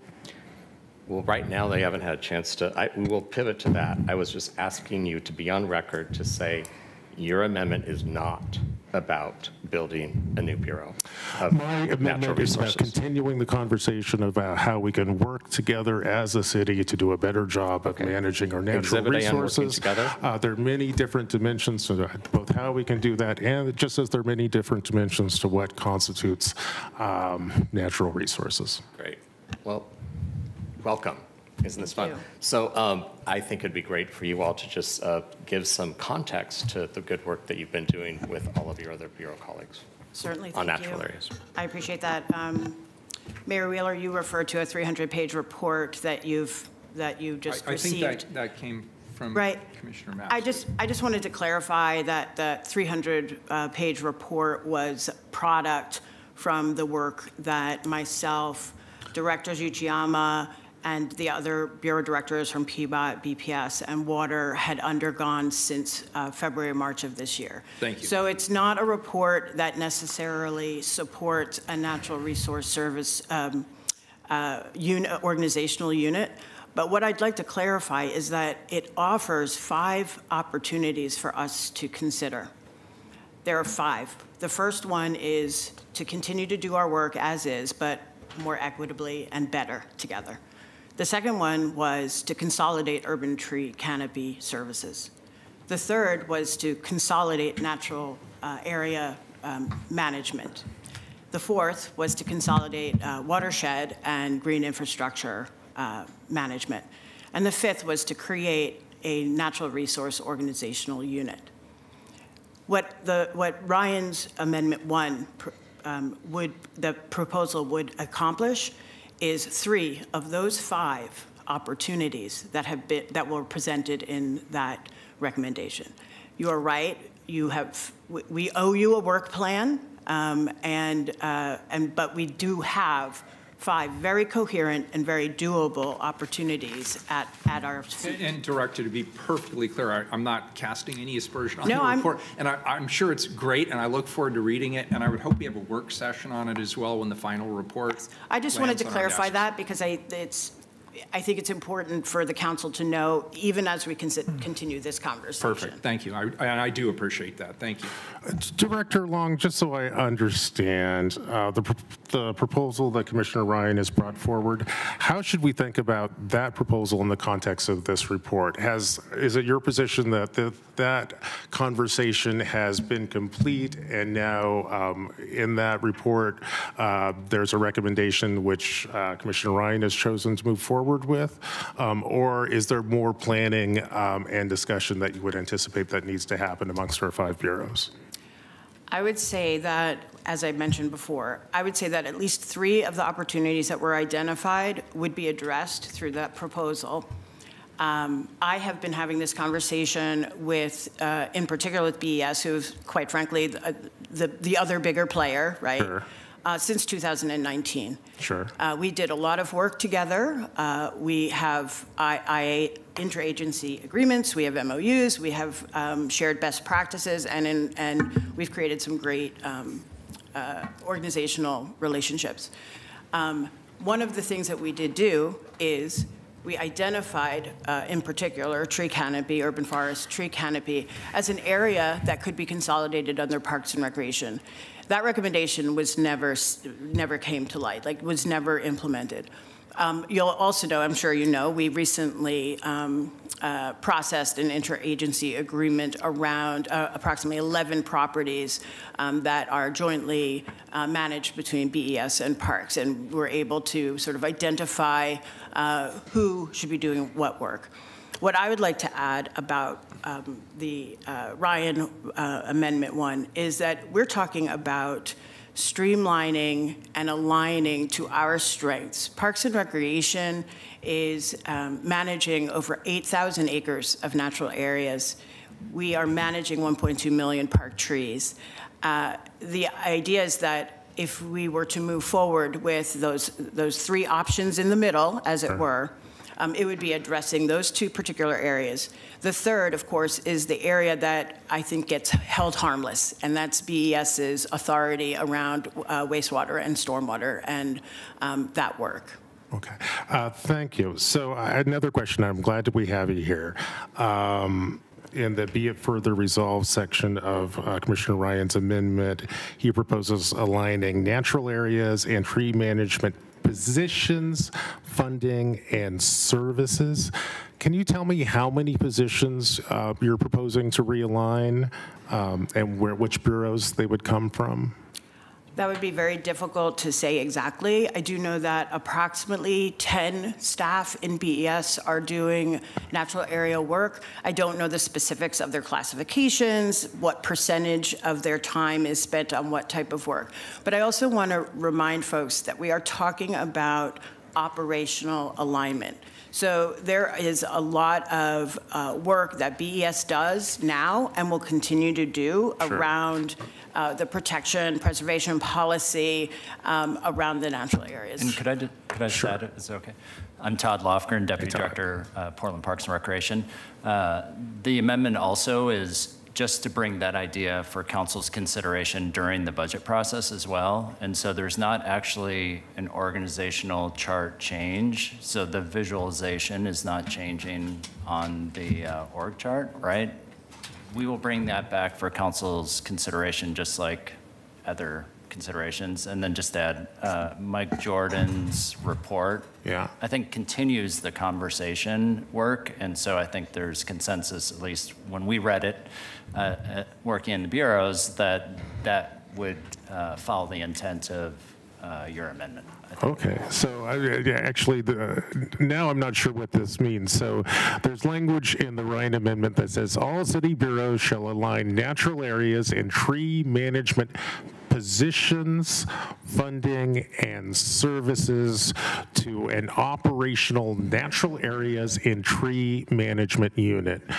Now, two questions. Number one, does that tree management unit already exist, or is that a new thing? Is it the operational natural areas of tree management unit? So that's already an existing thing. Okay. Um, so what, what is that directing us to do? To me, it kind of sounds like when we go to the next budget process, we're supposed to move some bodies, some dollars, and some programs into this new unit. That's correct? And so uh, you said there might be 10 bodies in BES. I was looking at this chart that pulled, to, do you know if any other bureaus would, might be involved in this space? So for example, I was looking at this graph that came out of uh, the study group, and I, I was actually kind of surprised to see how many uh, PBOT dollars uh, go into the urban canopy space. Can you give me a sense of what um, this, what Ryan's amendment would mean for PBOT, especially in terms of staffing and funding? So I can just jump in. So we have interagency agreements already with some of these bureaus to do Yeah. some of this work. Uh, For PBOT, uh, the interagency agreement for this past year was about $1.2 million. A little over a million of that went to urban forestry operations. A lot of that was emergency response for fallen trees in the right-of-way, as well as horticulture services where PBOT wanted to purchase trees. So beyond that, there might not be too much. There are some natural areas, to be frank, aren't actively managed by PBOT, right? Because they're focused on the right-of-way transportation infrastructure as their core mission. But for a variety of reasons in this form of government, we have natural areas that are spread around in different bureaus. So they have unserviced, uh, you know, unmet service needs. So that would be a conversation of like, how would we have better trash pickup? Do we want to mobilize volunteers to help PBOT's uh, natural areas? Do we want to address nuisance behavior or other things that are happening in those natural areas that currently maybe PBOT doesn't have the resources today? So those would be the conversations that would be opened up by having kind of a one-city approach to natural area management and tree management. So, um, so you're not saying here, uh, when you say align positions funding and services um, into this new parks unit, you're not necessarily saying that uh, we're talking about moving dollars or staff from, from PBOT? Well- It seems like we were with BES, but now we're not with Right. PBOT. So PBOT maybe? right now, well, we understand, and this is why we need some time to work with the bureaus, Okay. right? To have this proposal come back to you is during the budget process. Well, the And then also do community right engagement, right? So- like, So we do minutes. the budget advisory committee reviews that all the bureaus would have for these proposals, and then it would come back for you. So it would give more time for public engagement around this idea. Mm-hmm. But there's at least an estimate of about $1.2 million, not FTE, for these kinds of services from PBOT today. So about $1.2 million out of PBOT uh, that goes to parks? Okay. They're currently expending those resources already, so this is really about a functional alignment. And so uh, I heard a lot today about community members saying that they want to have a one-stop shop for services that they understand. Sure. And so this would provide community members, volunteers, and others to Yeah. say, hey, do I have a concern about a natural area in Portland? Is the beach not cleared up, you know, along a river? Is there, you know, some other activity that's happening? That would be this operational unit where we'd mobilize day-to-day, month-to-month resources. Meanwhile, the, the bureaus would still retain their regulatory and to, until we have a new form of government, uh, active city administrator. Sure. Their own budget decision-making authority to set these service levels. Sure. Great. Uh, One more question, colleagues, and then I'll let us uh, try to get home. I know people have kids at home. Um, One of the reasons why it's kind of hard for me to um, evaluate Commissioner Ryan's proposal is, of course, over in the BES space.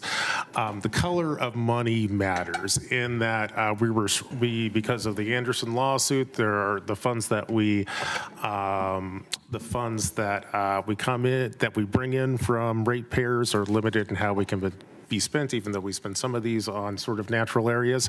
Can you give me a sense of how the Ryan Amendment intersects with the um, Anderson lawsuit? Do you understand that? Sure. Okay. Um, So it's really important that ra- ratepayer dollars go to the mission of water and the- the BES bureaus, Yeah. what those missions are.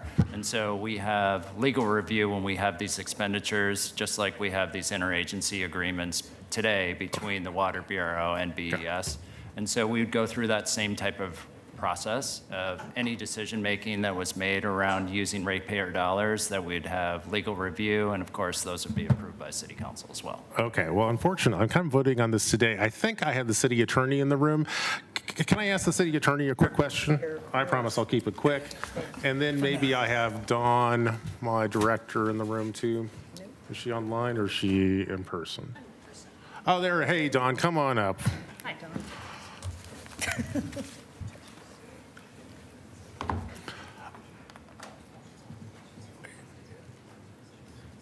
I know Robert has kids at home, so I'm going to try to uh, ask him a quick question, then let him get back to his young person. Not the only one. Um, um, Robert, you probably should introduce yourself. Uh, Thank you, Commissioner Robert Taylor, City Attorney. Uh, Thank you. Uh, Just a a quick question. We got Ryan 1. I've been trying to figure out how uh, Ryan 1 um, interacts with uh, the Anderson lawsuit, which I have to live under. Um, Do you understand that, based on what you've read today? Can you, uh, or what you've seen in these amendments, do you understand the implications of this? I, thank you, Commissioner. Um, Looking at both the Mapps 1 and the Ryan 1 amendment, the, the Anderson lawsuit and the settlement would apply to both of those the same way. And your point about the color of money is right. And so what Anderson essentially said is that um, water and sewer funds can only be spent for things that are reasonably related to the provision of water and sewer. And that's true regardless of how we organize the city under Mapps 1 or Ryan 1. Okay. Um, So can I, you- we, although I do spend some dollars, especially in the BES space, for uh, green approaches to especially stormwater management, um, what would that mean to align those dollars into, uh, into uh, parks? Do we, do we know? And this is an- a kind of an authentic question. I know I do lots of subcontracting with lots of different groups, but. Yeah, and, and, you know, the, the facts matter and the specific expenditures matter. Yeah. And so once those come to council, or once there's a plan to do that through an IGA, our office would get involved to review it. And, and the critical inquiry is whether it's related to water and sewer services. You can't use those funds to do other things outside of that. That's the big lesson from that lawsuit. I got it. Thank you so much. And uh, we also, colleagues, have the Director of the Bureau of Environmental Services, uh, Dawn, here. Uh, uh, Well, Dawn, uh, please introduce yourself, and I might have a question or two for you. Good afternoon, City Council. Dawn Uchiyama, Director of the Bureau of Environmental Services. Uh, What would you encourage uh, this council to think about as we consider uh, the Mapps amendment and the uh, Commissioner Ryan amendment? Council, I think that you should uh, absolutely um, approve um, Mapps Amendment 1, and I completely disagree with Commissioner Ryan's uh, amendment. Um, I am I'm kind of shocked that we're at this point uh, after spending the last uh, nine months looking at a work plan, developing uh, relations with community, thinking about all of the um, overall work that we need to do together to be in, crammed in this point, trying to make this decision in the last minute. Uh, we have uh, an, an, a more analysis that needs to be done. We have more engagement that needs to be done. That's what we've promised our, our uh, constituents. And, and I think we need to make good on that promise of doing that work plan. Uh, we also, uh, BES needs to consider how we are using ratepayer dollars, the legal implications, our, our um, uh, regulatory requirements. That analysis have, has not been done, and we should not be making this decision in, in such haste. Uh, We have a work plan, uh, and it's, it's uh, built on the work plan we did for the um, development services work and and permitting. And uh, we have a promise to work with our stakeholders and have a process that they can follow and contribute and weigh in on. This is a topic that Portland cares deeply about, and it's part of our identity, it's part of our recovery, and it's not something that we should be doing uh, in, in such haste. So I, I uh, support Commissioner Mapps' your amendment and uh, speak uh, very strongly uh, for support of us uh, uh, con- continuing on the path of the work plan and, and answering to the Chief Administrative Officer and, and working with our community um, to help, have them help guide us. Uh, Thank you, Director. And in, in fairness, I'd like to give the Director of the Parks Bureau an opportunity to respond to uh, some of the feedback that we just had. Uh, Director, do you have anything you'd like to add? Thank you, Commissioner Mapps. Yeah, um, um, Dawn is right. We've been working uh, hand in glove uh, since February, and like I mentioned, uh, together as bureaus since at least 2019, um, having these conversations. Um, I think there's more conversation to be had. I do believe that uh, Ryan One's amendment um, is solid, um, and I believe that, as I mentioned, it is one of the opportunities that has been identified. Um, I, I do believe that uh, many of the nuances can be worked out and um, be considered, and it doesn't preclude continuing to have conversations with stakeholders, both internal and external. Can I add one thing, Commissioner Yes, Mapps? please do. I, I just want to add that I feel like um, uh, peeling off uh, the Park Bureau into a sixth service area and then uh, putting this proposal of natural resources is antithetical to the way that we've been working. We're trying to bring uh, our work closer together. We're not trying to peel off and do things on our own. Uh, my understanding is, is this, this transition was supposed to bring us together and help us organize services in a way uh, that, that uh, looked at new ways of working, not peeling off and doing things uh, independently. Um, And, and so I, I think the Ryan proposal is uh, uh, in opposition of the spirit of the transition. Well, thank you. Uh, Thank you, Director. I know it took some courage to uh, um, say all of that, and I know I've taken up a lot of um, space and oxygen right now, so I'd like to give my uh, friend and colleague Dan Ryan an opportunity to say a few words. I appreciate that you both came up. Thank you. Um, I definitely would like to say that we are working as one city. And when we found out that this amendment was coming up, I just looked to my bureau at Parks to say, I thought we've been working together as a team. Can you please make your case? And then that's why they brought the amendment. So I think we both are saying the same thing. I think so. Yeah. I just didn't want to give one side the moral high ground on that. So I, I really appreciate this. I, what's most important right now is that we're getting everything out on the table. Yep. Yeah, It's overdue. because there was So- just so much confusion about um, what you were hearing in the campaign that was coming to us, and then with the Mapps amendment. So I, I want to thank our directors. You're both awesome. I want to thank my fellow commissioners. Um, I'm wondering if, based on the conversation, anybody's given any further thought to my proposal that we table both of these amendments, have a work session when the report is finalized, have a more thorough discussion, let you complete your outreach. Any further thoughts? I'd be interested to hear what Commissioner Ryan has to say. I was ready to vote. Okay, let's call the vote. Then, then I, I will signal that I'm going to vote no on both, not because I don't respect or trust the work you've done. I just think we're shoehorning it into this process, and I'd like to know more about it before I vote on it. Please call the roll on Mapps 1. Mapps. Aye. Rubio. Um, This is a lot. Um, I also want to just, you know, say that um, I think I'm in a little different position than some, a lot of my colleagues on council because of my previous knowledge of this issue as Parks Commissioner and something that I've been engaged in and been getting updates about. And so knowing how natural lands um, are, you know, specifically and currently divided, and the ma- vast majority are currently being managed by the Parks Bureau, it's, it's comfortable to me. So I'm not as, um, you know, feeling like I don't have all the information. Um, But I am not supporting this amendment, and really, I do, and I, uh, Commissioner Mapps, I want to say I really support the intent and the spirit of this amendment. It's just the first sentence that locates it, that's, that's a little bit more prescriptive, prescriptive about its location, which conflicts with the other amendment.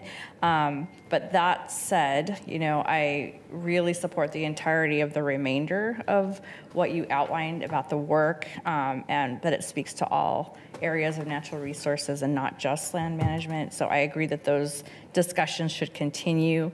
Um, I also believe that expertise that exists inside of the Bureau at BES related to regulatory compliance needs to stay at BES because of their core responsibility over water, stormwater, and wastewater.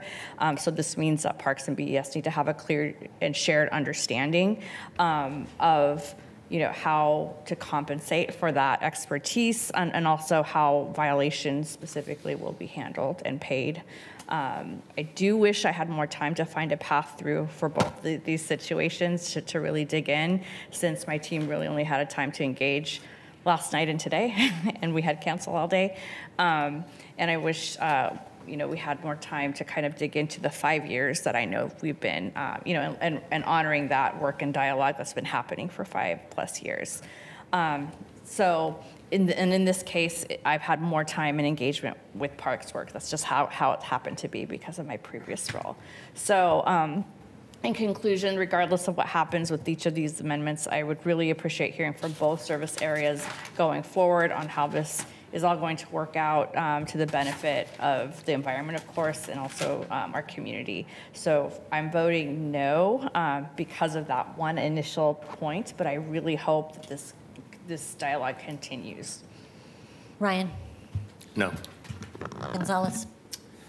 Uh, I think I'm going to echo a lot of uh, Commissioner Rubio's uh, points here. Uh, In the interest of brevity, I'll just keep it moving along. I, I, um, I'm going to vote no on this at this point in time, but my understanding of these issues in, in a really random way, even Portland Fire deals with these in a non-intuitive way, and I've learned a lot in my bureau assignments about these complex issues um, with respect to natural areas. I, um, I have appreciated the, uh, the dialogue with both uh, bureaus that are impacted here uh, and both offices. Um, I hope that dialogue continues, and regardless of the votes today, um, I'm kind of signaling which way I'm going today, but it's conditional. It's subject to uh, deepening understanding of uh, these complex sort of operational decisions we're making, not even getting into the policy. I think I've got- gotten more clarity on the rate-making pieces, and I'm getting comfortable there, although there's more information, please continue to send my way uh, on that.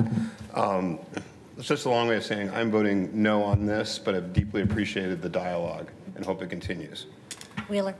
Yeah, I, I appreciate the dialogue too. Uncomfortable though it was, I got a lot out of it and I appreciate it, uh, particularly our directors and our commissioners for, for bringing their different perspectives. Uh, I hope we wait until the final report comes out. I look forward to reading it. I look forward to discussing it with my staff and I look forward to us holding a work session so that we go, can go through and continue this uh, conversation that we had today. I vote no, the amendment fails. Please call the roll on Ryan 1 pertaining to natural resources. Mapps. No. Rubio. I won't, I won't repeat what I've just said in the context of the prior um, amendment, but in short, I do support the operational lands management and tree management shifting to the Parks Bureau, again, because I have more familiarity um, in this approach and model and have for two-plus years. Um, But I also want to reiterate that I believe BES's regulatory expertise stay intact where it is, and um, it's just, that's a very strong line for me. Um, Also, I uh, want to uh, acknowledge that um, for face value, what uh, Director Long and um, indicated that this is still an ongoing conversation. The budget is really where it's gonna, we're gonna have to have a plan that actually operationalizes TBD. So um, again, I hope and expect the larger natural resources discussion uh, continues and it reaches a resolution in a timely way. I vote aye.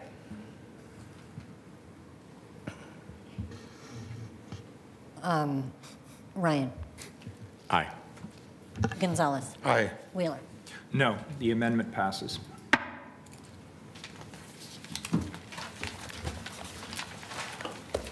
Uh, Ryan Gonzalez, 1. Any further discussion, renaming of service areas? Please call the roll. Mapps. Aye. Rubio. Um, so issues of personal safety are top of mind right now, but, but for me, um, I don't think there's a need to rename the service area. I like the idea of community being centered in the name. Um, I would, uh, you know, like to, you know, I- if I made a friendly amendment, um, I don't think that it would necessarily pass today, and I know we're all tired. So I'll simply vote no and allow us to move on. Ryan. Aye. Gonzalez. Aye. Wheeler. I vote aye. The amendment is adopted. Uh, Ryan 2, moving arts to a new service area. Is there any further discussion on this particular amendment? Commissioner Mapps. Just very quickly, I know it's late, um, and I don't want to get too deep into this. I'm going to vote no on this one. Um, I think arts is appropriately placed with economic development. I realize Parks plays an important part, uh, or has a, sponsors some important arts programming, and that's great. Uh, um, However, um, the arts in the life of Portland is much broader than um, what is being offered uh, through the Parks Bureau. And indeed, I think that if we were to move this, we would lose some opportunities to use the arts to turbocharge our economy. Um, So that's my discussion. I don't think we've called the vote yet. Or have we called the vote yet? Yeah, she's. Okay, oh, then I- haven't, Sorry, never mind. Okay, good. Any further discussion? Please call the roll. No. Rubio. Um, arts is uh, very connected to our community and economy.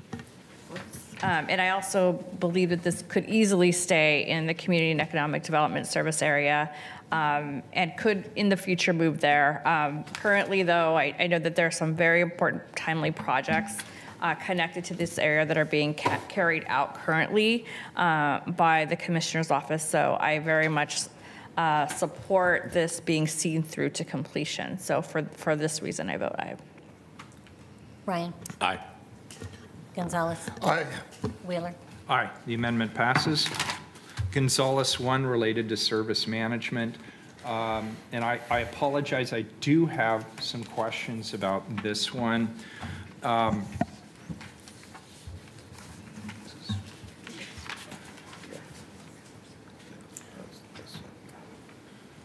So I, in reading, reading this, uh, the language strikes me as somewhat inconsistent. It, it states what I think is obvious. It says, "Nothing precludes the mayor or commissioners from initiating streamlining, integration, or other development of their respective service areas prior to July 1st of 2024." That is simply establishing, as I understand it, current authority?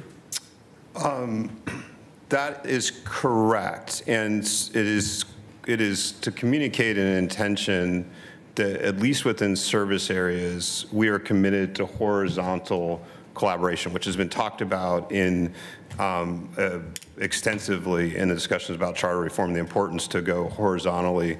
What we're saying here is that we're committed to that, it may have to start inside our current responsibilities to really, and, and many of us are already doing that. Um, it- So it's more of a aspirational commitment where, where we want to continue to go. Well, let, let me just lay my cards on the table. I think this is inconsistent with the transition goals. As, as I read this, this maintains the silos. You still have commissioners in charge of vertical silos. Am I reading that correctly? Uh, You continue to have commissioners in charge of service areas. That is correct. But what this is trying to communicate is that we are committed to finding ways for our existing bureaus to work more effectively together. It is an element of horizontal collaboration. Uh, It, it, it's not trying to do everything all at once, but we're putting on each of us responsibility to, in our areas, find ways for our bureaus to work better together. I would say in public safety, there are some very interesting questions about how this will all play out. Uh, Fully recognize that you and I, should this pass, will have to work through some things on, uh, in public safety, because there are some, some pieces that are across each other's lines a little. bit. So how, how would then the commissioners work with the deputy city administrator? Who, who, who's in charge of the deputy city administrator? Is it the commissioner or is it the interim city manager? It is the commissioner, uh, although with instructions from the commission, the last part is uh, instructing each de- designated deputy uh, to work cooperatively with the CAO in planning uh, for the operations of new form of government. But that, that's the current form of government we already have, and, and clearly the voters have directed us to transition to a more horizontal structure by January 1st, 2025. So I, I think what we were getting at was we were trying to move to that structure on at least July 1st of 2024 and operate with the interim city administrator managing the entire enterprise, including the horizontal and the vertical, but then have deputy city administrators, and then if commissioners wanted it, commissioners could be advisors in specific areas, or they could oversee specific programming. Uh, My concern here is this just cements what, what we're already doing. There's no point continuing the transition if you have commissioners in charge of vertical sleeves and the interim city manager has no authority. Uh, Well, the subsequent resolutions do set forth the uh, city administrator's authority.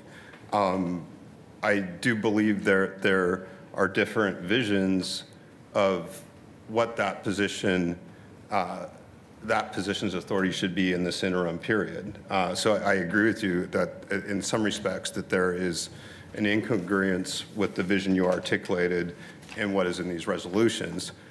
I will say at a more fundamental level, that actually is a difference between your view of how the transition should work and potentially uh, your colleagues. That's not a disagreement on where we need to be on January 1, 2025.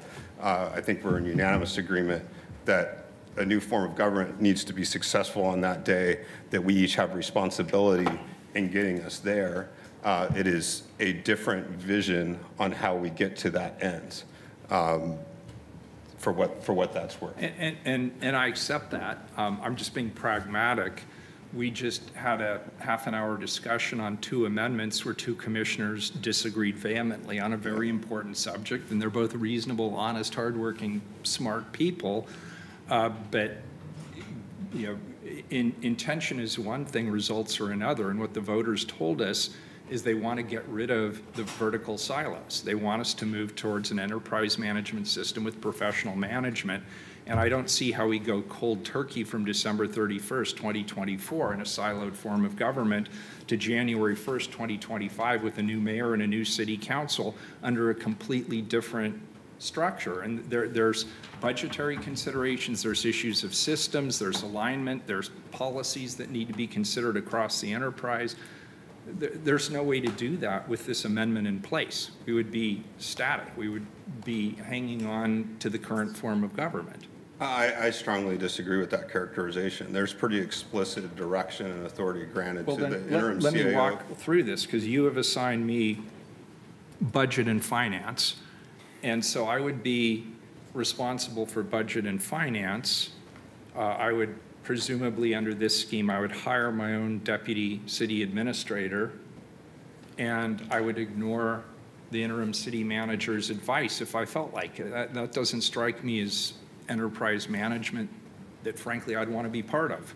I, what it authorizes you to do, should you so choose, is to designate the CAO as your deputy. That's entirely your choice. You opt not to. Um, It also gives that opportunity to each of your colleagues uh, who were duly elected until uh, end of 2024 to serve as commissioners. In some cases, we were elected until 2026 to serve as commissioners. Well, I, Um, I, mean, I- I will be stronger in my language. If this amendment passes, we are scrapping the transition process. That is utterly false. Then explain That to is a false characterization. Okay, well then explain it We are me. clearly stating we are committed to serving the new form of government January 1, 2025. So because we don't agree necessarily with the path that you have charted and how to get there, that does not mean we are not committed to delivering the new form of government. I think leaning towards that characterization is unfair to your colleagues who are all duly elected to serve the city of Portland until 2024 or 2026. And we are all committed to servicing our areas, to do the best job we can until then, and also to support a very complicated implementation. Uh, So I, this can't be either or. It shouldn't be either or. Then what, what is the role of the deputy city administrator under your proposed amendment one? He is uh, under deputy city, could you? The inter, I'm sorry, the inter- interim city manager. What is the role of the interim city manager? Because they won't have authority to bring bureaus together if the commissioners in charge of the sleeves don't agree. They won't have the ability to do a joint budget if the commissioners don't all agree. They won't be able to align systems if the commissioners don't all agree to give him that authority, or her, uh, but I'm, I'm assuming I would pick Michael. Um, I, I don't, I don't see how this doesn't create problem after problem after problem in terms of trying to transition on a very short timeline to January 1st, 2025.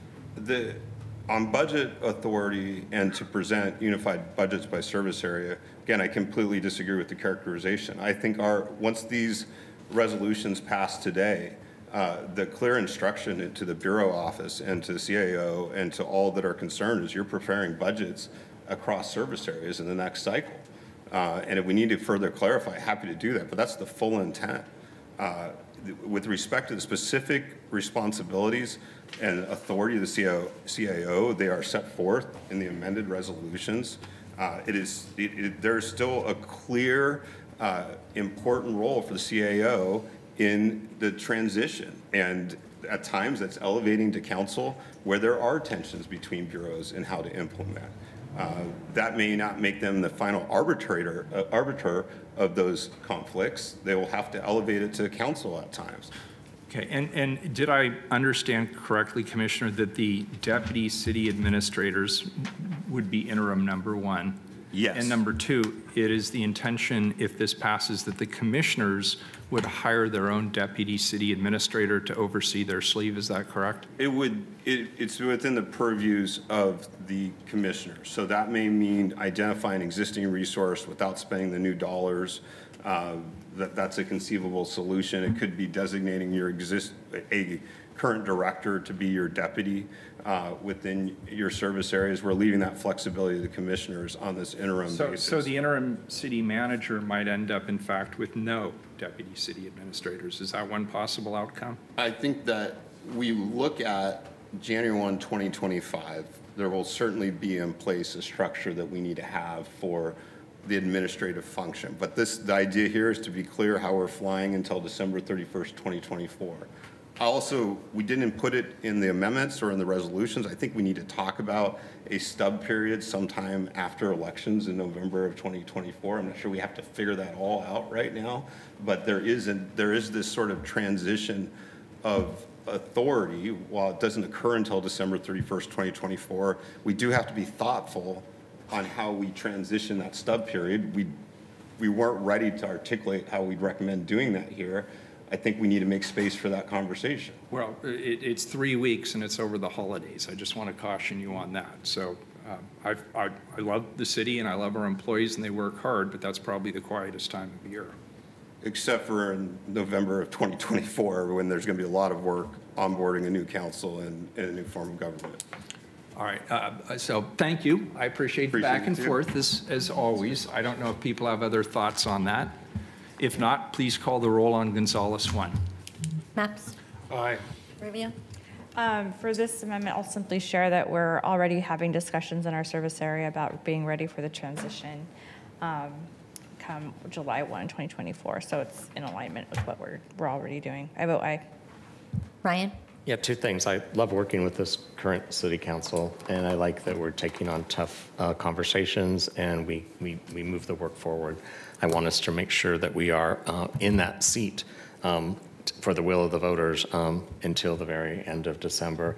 And second point is, I look forward to the shared leadership decisions that we will do with the interim CEO, CAO, sorry. I vote aye. Gonzalez? I vote aye. Wheeler? Well, needless to say, I'm deeply disappointed. I think this sets us way back. I think this will create additional impediments to making this transition a successful one. I think we've just added a ton of work to Michael's plate. I think we've disrespected the work of the transition team up to this point. That said, I'm not a quitter. Um, And I hear my colleagues and I respect their voice. We will figure out how to make it work. Michael, will you commit to, we'll sit down and we'll make it work. Um, So I vote aye, but I'm clearly outgunned on this one. The amendment passes. Next one, uh, Ryan Amendment 3, approval of the interim. I'm sorry, I vote nay. Thank you. Uh, But I still lose. Thank you. Uh, Ryan Amendment 3. I, I think we have Gonzalez Amendment 2. Did I skip one? I think so. Gonzalez, yeah, reservation. Yeah. Jim- Oh, I'm sorry, I'm looking at the wrong one, thank you. Uh, Gonzalez 2, which is reservation of authority. Mapps? Aye. Rubio? Aye. Ryan? Aye. Gonzalez? Aye. Wheeler? Uh, This is very similar. Uh, Again, this maintains silos through 2024. Um, It maintains the status quo. I vote no, but the amendment passes. Uh, Ryan Amendment 3, approval of the interim CAO. Mapps? Uh, I think I can, I'd like to have some discussion on this one. Um, Amendments have been evolving over the course of the last day or two, and even maybe over the course of the day. One of the questions I had um, was, I believe, some amendment uh, was on the table that essentially allowed uh, commissioners to es- essentially appoint their own uh, deputy city attorney, or deputy city administrators, um, which struck me as being a little bit inconsistent with um, the practice of the mayor not being able to um, appoint his uh, interim chief administrative officer. Um, And I, I feel like Commissioner Gonzalez might be the expert in this space. Uh, Commissioner Gonzalez, uh, given your understanding of the amendments on the table, uh, Yeah. what's the practical effect of Ryan 3? The, the, and certainly we can have Robert supplement, uh, big, as big as the language has evolved a little bit here. So Gonzalez one clarifies that both the mayor and a commissioning charge may designate a deputy. So every, that's one of the lang, areas of language, uh, changed, is that any of the five of us can designate a deputy. Okay. Uh, uh, The mayor's not at all, hands are not at all tied there. Um, What has changed in this language is we uh, initially proposed that the city administrator or the CAO would have to be approved by a majority of this council. Um, We've actually softened that language here. Uh, We're, we need to be, essentially be consulted, we need to be engaged. This parallels a little bit how uh, uh, I believe the CSD uh, had, was uh, set up. Um, I will call out in testimony, there is an interesting question. If this council doesn't approve the interim city administrator, do they actually carry forward to the next form of government? And I don't know. I mean, it, it, and it's, you know, they would be approved under the existing charter. The new charter says that a city administrator has to be approved by council. I, I know in some of the dialogue, we thought, well, the previous council approves that will be sufficient temporarily uh, for the new form of government, but that's kind of an interesting legal question. So, one, did I answer your question? I just want to make sure I'm answering your question, but it, it- led to. So uh, um, I might have missed it. It's, it's been a long day. Um, So since Gonzalez 1 passed, um, does that functionally make Ryan 3 mute? I don't think so. I mean, we, I, I- don't think so. It's asking that we be consulted on the city administrator. I mean, that's essentially, and, and it's, uh, it's softer than the way it previously uh, said. I, I, I guess I think I'm getting to your point, though. If the mayor wanted to adopt an interim CAO, they can certainly adopt a deputy. You know, does this, this, is this some way weaken the mayor's power? It's not really the intent. I mean, the goal here is really setting up for the- what goes in the next form of government. Is that where you're, is that where you're, get- is that where you're getting that we're somehow discriminating against the mayor? Uh, yeah, th- that was my that was my concern. Although that, that, I think literally this amendment looks different today than it did, or at this hour than it did last night when I went It to did, bed. it changed. This is definitely, previously this said majority council had to approve. I, I don't know, Robert, if you have thoughts on here that, on this piece. I- Uh, Robert Taylor, City Attorney. I, um, so the, the council uh, just passed Gonzalez 1. Uh, That gives the mayor and each commissioner the ability to designate a deputy in charge of their service areas. And that designation is at the sole discretion of the mayor or commissioner in charge. That's how that amendment works that was just passed. This uh, Ryan Amendment 3 would provide that in the event an interim city administrator is hired, then uh, the mayor would involve all of the council members and their staff in the hiring of that person. So under the amendment we just passed, appointment of the deputies, sole and complete discretion of the commissioner in charge or the mayor. Under this, the hiring of the interim city administrator would take the input of all of the council members in the hiring process. To, to be clear, the deputies no longer report to the city administrator. They report to the commissioners. Under the amendment that was just That is passed, correct. the deputies appoint, So report to the that, that commissioners is in not, charge. necess- you, you are presuming what might happen. Yes, yeah. Or I- could, That's right. I think if we're talking about who has, who has authority and who has to be involved in the hiring process compared to the amendment that was just passed versus this amendment, I think that's the big difference. This requires um, uh, input from other offices.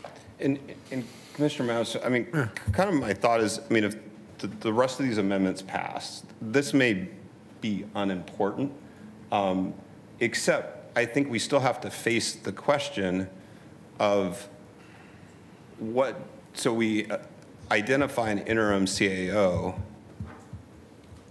what is their authority on January 1, 2025? And if this council doesn't approve that CAO, do they have less authority than they otherwise would? So the, Commissioner, the way I, the way I think of that is you, you, you have to separate the position from the person who's in the position. And so the position would be created by uh, action of council through an ordinance through the budget. We would say there is now an interim city administrator. That interim city administrator will serve from this date through the first six months of the new form of government, subject to the new mayor's authority to fire that person day one and hire somebody else. That, council can take that action now to provide for that continuity of the position and authority, subject to the authority in the new charter for the mayor to just fire that person. Who actually serves in that role?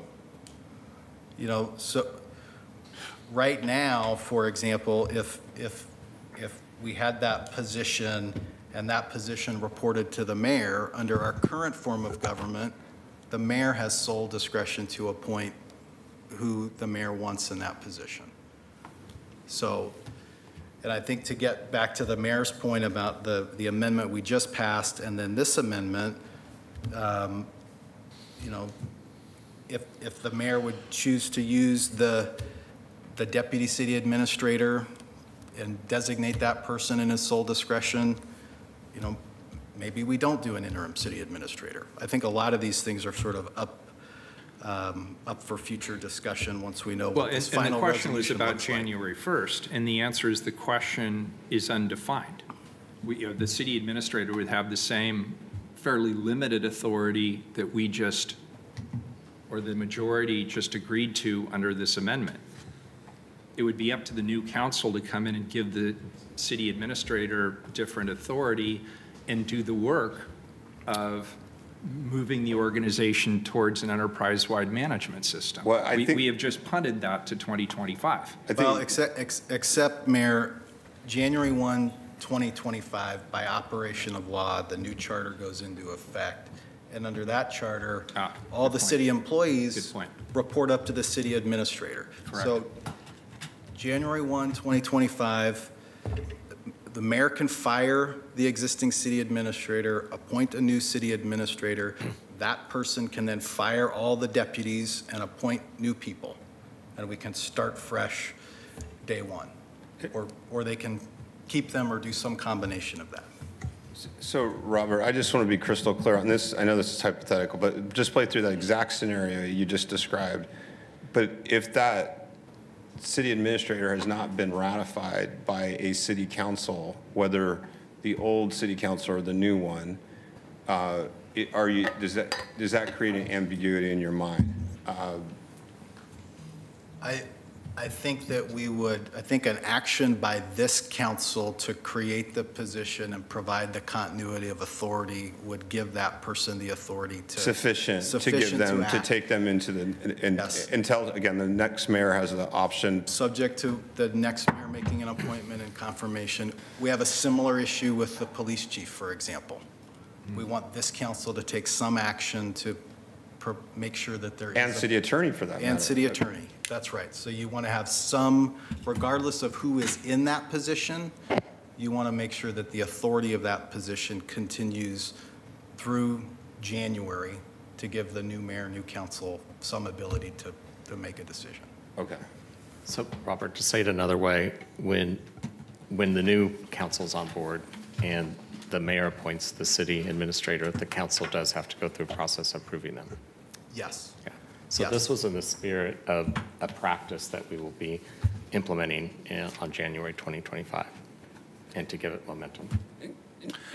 And Commissioner Mapps, I mean, what I would say is, I'm not sure this is necessary, but the last thing I want to do is, uh, I mean, I I don't want to disrupt the mayor's ability to do the same thing the rest of us do. It was originally designed to, to, w- when we were concerned about the CAO having broad authority over our bureaus, that was part of the concern here. I just don't feel strong about this one way or another, to be honest with you, but Commissioner Gonzalez, thank you for that clarification. Uh, I want to thank staff and my colleagues for this discussion. Um, I th- I'm going to vote no on this one. I don't think we have called the vote yet. Have we called the vote yet? No. I've lost track No, of where we're at. yet. So just so uh, um, I understand the spirit of what Commissioner Ryan was trying to do here, um, I think it may Voting be yes, right. a little bit redundant yes. in this particular space. So voting when we do call the Piper, I'm going to be a no.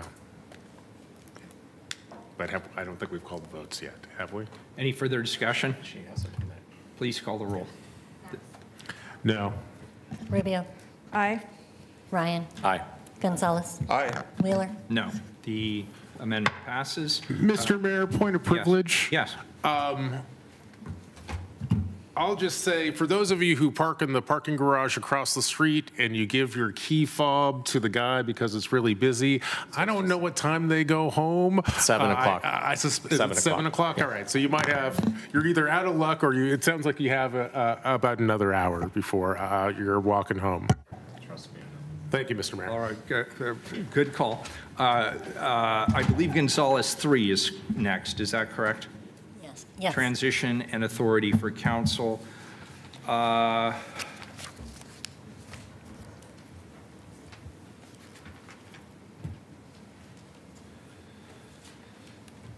What, what does this do that's different than what was previously voted on?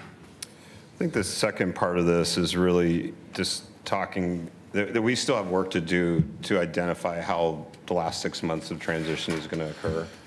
Uh, Those would be discussions led by you uh, with each of us, uh, including uh, in our service areas, on what's the, what's the right way to fly in those last six months. So while we're setting up a general framework for how operation of the city is going to go until December 31st, 2024 today, um, there's still going to be further um, design work that needs to be sorted out, led by you.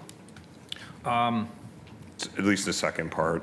Yeah, and I'm always happy to have these conversations, and I've had a lot of them, and I've offered a lot of them, and I'll continue to offer a lot of them, and Michael and I will always have a door open to do that, to discuss the issues that are here. Uh, The, um, you know, th- this is also a restatement of the uh, commissioners being able to choose their own deputies, that issue is now settled. Um,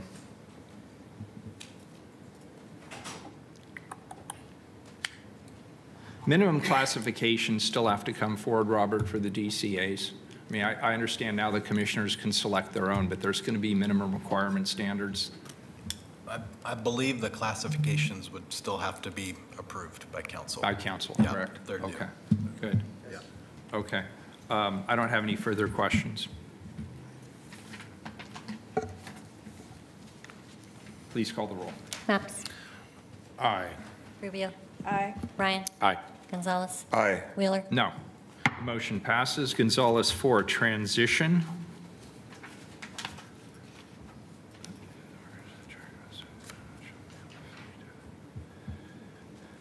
Uh, I did have a question on this. Um,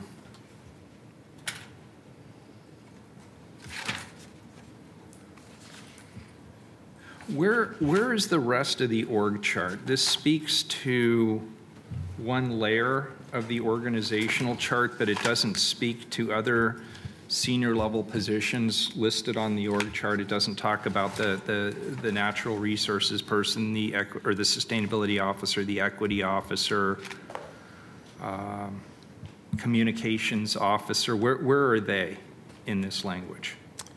Well, I think there's really two parts. One, we're clearly adopting today uh, approval of the service areas as amended, uh, including its composition uh, the concept of deputy city attorney, uh, deputy city administrators, and that that would be effective. We wanted to be clear that in some ways on a date, July 1, 2024, even though, um, you know, I think that's open discussion if we want to make that org chart sooner or later. But this would make it clear that it's effective July 1, 2024. The second part is also just being clear, we have to have a whole separate discussion on authorizing positions and, and the budget process. So even though we're adopting the org chart, each of the positions in, in there uh, are still just, you know, subject to budget discussion, authorization, and uh, the other components that uh, Robert and um, team had sort of alluded to. We have to s- define some of these roles. Did, did legal counsel, did you review this? Yes. So um, I have a question maybe for you. Um, Obviously, the transition team, they're already feeling the pressure of time, uh, and they need an indication that they can move forward in developing classifications and pay ranges uh, for the full org chart. Um, d- Does this allow that to move forward? And I guess I'm also not clear on whether the council wants to move forward on that. My, my, my reading of this is that it would uh, give the direction to the transition team that this is the organizational structure that council is anticipating budgeting into starting July 1, 2024. And that council can start doing things in anticipation of that. So creating the classifications. But, but only for, but not for all the classifications, if I'm reading this correctly. Um, I think that there's, there's other uh, amendments that come later that also get to that point about directing the budget office to organize the 24-25 budget in alignment with the new org chart. So I think some of, some of these uh, amendments build on each other, but the, the, the important point is that this council is telling the transition team that it should take the steps in anticipation of budgeting into an org chart that looks like this, starting July 1, 2024.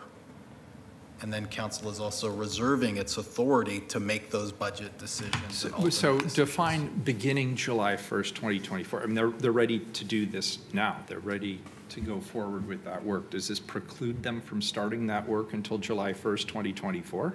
No, I don't think it prohibits that. It doesn't prohibit the pre-work, no. Okay, I just want to make sure we have that on the record. And I- and I'd be clear, I I actually am encouraging it. We want a a fiscal budget for 2024, 25 that makes sense. We have a lot of complexity to work through. There are also going to be some very difficult budget decisions, and that's what the second sentence is trying to allude to. But um, we're trying to fly in formation so we can prepare a good budget in the Got it. next cycle. Okay, Uh, any further discussion? Please call the roll. Mapps. Aye. Rubio. Aye. Ryan. Aye. Gonzalez. Aye. Wheeler. Aye. The amendment is adopted. Uh, Gonzalez 5, the authority of the chief administrative officer.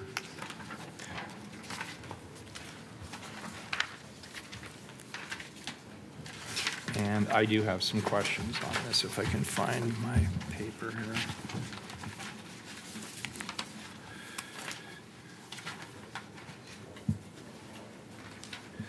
So, um, and this may be a moot point at this point. Um, Michael, could you come up, please? So my original reading of this was that it makes it very, very difficult to think about things at the enterprise level. And I know you've had a chance to go through this amendment. Could you give us your impression of it?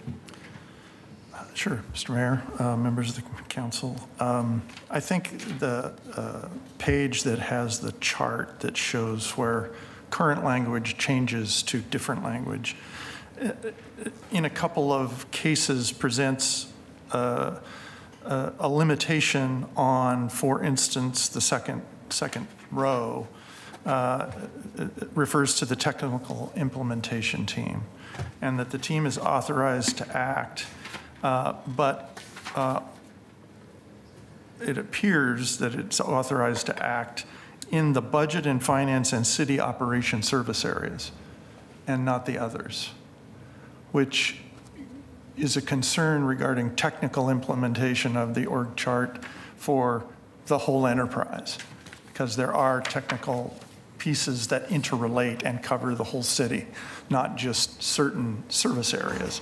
And I may be reading that wrong, but that's how I read it, the, the language on it, on its face. Mike, could you give, I I know we're getting late, but could you give some examples of where that would be outside of um, budget and finance and city operations service areas? Well, the org chart, if adopted, moves programs from one service area to another. And some of those service areas aren't finance and budget and operations. And uh, for instance, the couple of programs that moved from the CAO's office now into uh, community and economic development we need to be able to consider all of the service areas when we're making technical changes, whether it's in SAP or it's in the human resources systems, particularly in the budget systems. So we really just have to consider the whole enterprise when we do this. Um, Obviously, we have to, given, given the amendments that have already passed, we have to do this in conjunction with you who oversee those other service areas. So Michael, under this amendment, who's in charge? Who- Who's, who's making decisions?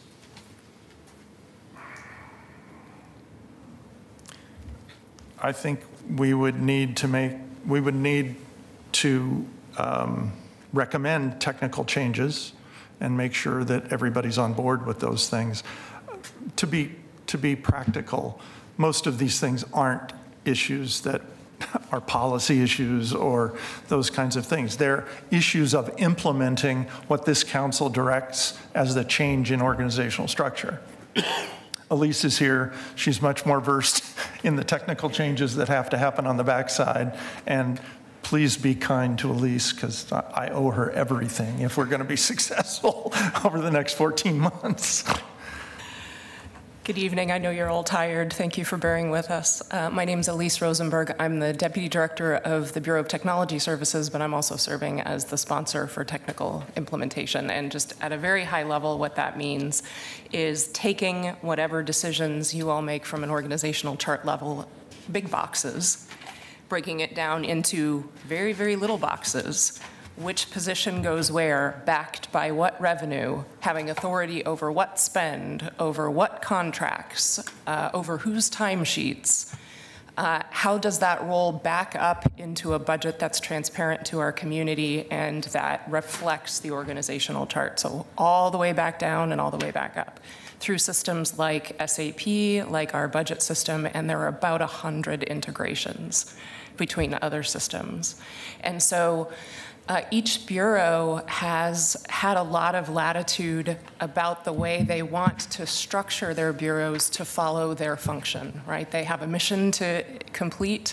They structure their bureau financially and personnel wise in terms of the way that they need in order to develop and deliver that function. And they have the expertise to make sure that uh, while we might put systems and processes together to try to accommodate these changes at scale, which will be extremely challenging, in order for them to be successful in the bureaus, we really need to work with every bureau who's impacted.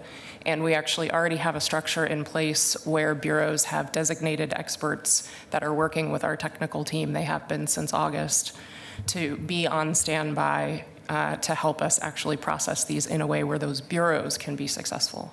Got it. Does that make sense? It- Very helpful. And what what I would call out here, Mike, is that Gonzalez Amendment 1, it it directs deputies to work with you to facilitate uh, completion of charter reform implementation by January 1, 2025. So uh, they have explicit instructions to do so. Uh, We are also ratifying the org chart today uh, that hopefully gives the structure in which this work would be done. So if you find a technical gap in your technical authority, little pun there, uh, uh, it- I think you can come back. I, I mean, you, you have other things to hang your hats on uh, in what we've approved here, and if you're getting, you know, obstruction from a designated deputy, frankly, if you're getting obstruction from a commissioner, like you, you have something to point to in, in here, um, is what I'd submit. All right, uh, any further I've uh, kind of, Commissioner Mapps? I've kind of lost uh, track of the plot here. Commissioner Gonzalez, can you briefly summarize what you're trying to get at with this uh, amendment? Yeah, and this is, this was essentially, uh, there were broad authority uh, provisions granted to the CAO in the original uh, resolution before us. Um, I think much of it was intended to address the transition. The, the challenge is always, you know, when you get into the nitty gritty, um, does this inadvertently undermine um, existing commissioners' ability to function over their, their service areas. And so uh, the spirit of these edits is just, Mike's got a bunch of work to do, technical team have a bunch of work to do. They can do whatever the heck they want inside of the first two service areas, the kind of the internally focused ones. If there are issues they bring outside of those, one, deputies have to cooperate with them. They're explicitly instructed to work with Mike uh, under Gonzalez one.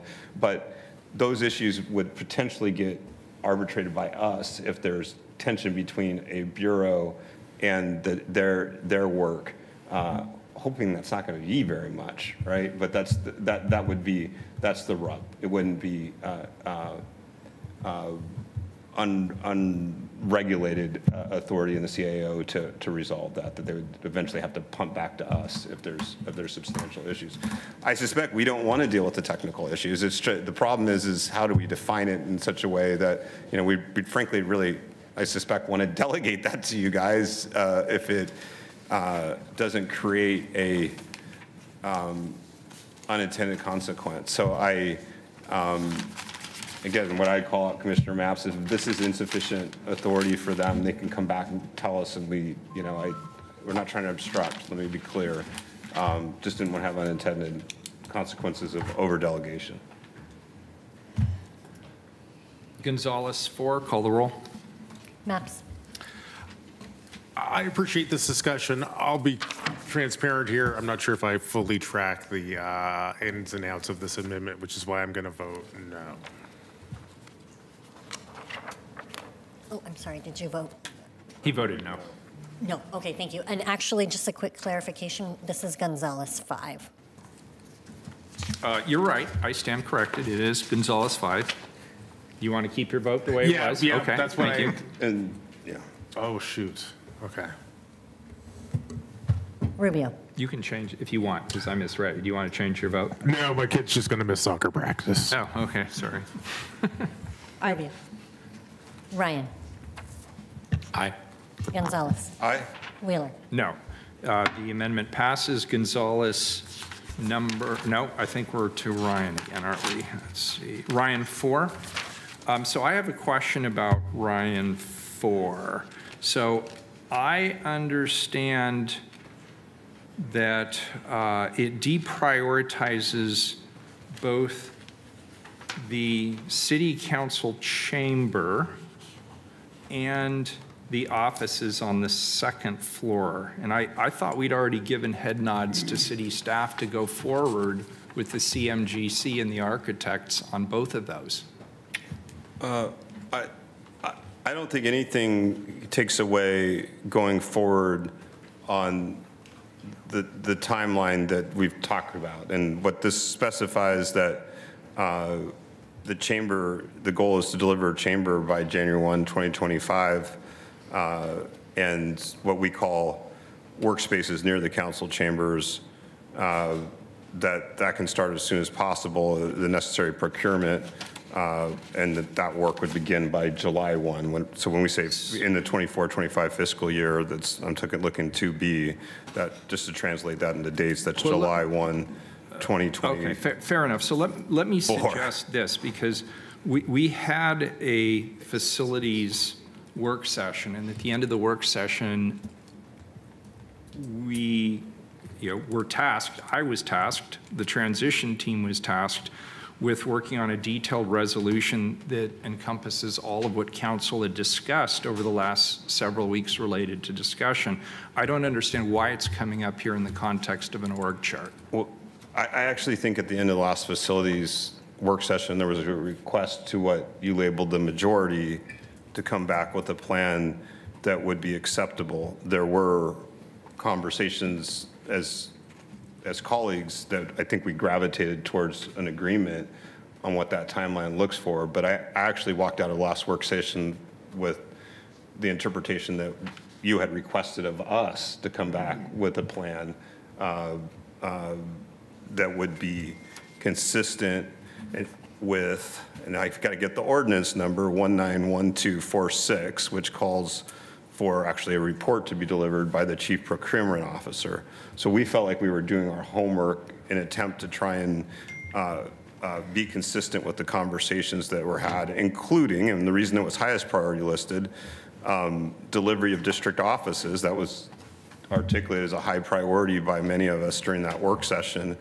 Um, and when respect to deliver the new mayor and city administrative office as a highest priority, um, we see that as an easy get. You can set up. Well, let, let, let Yeah, me ask, let me ask you a specific question because I'm, I'm getting nervous for Commissioner Mapps.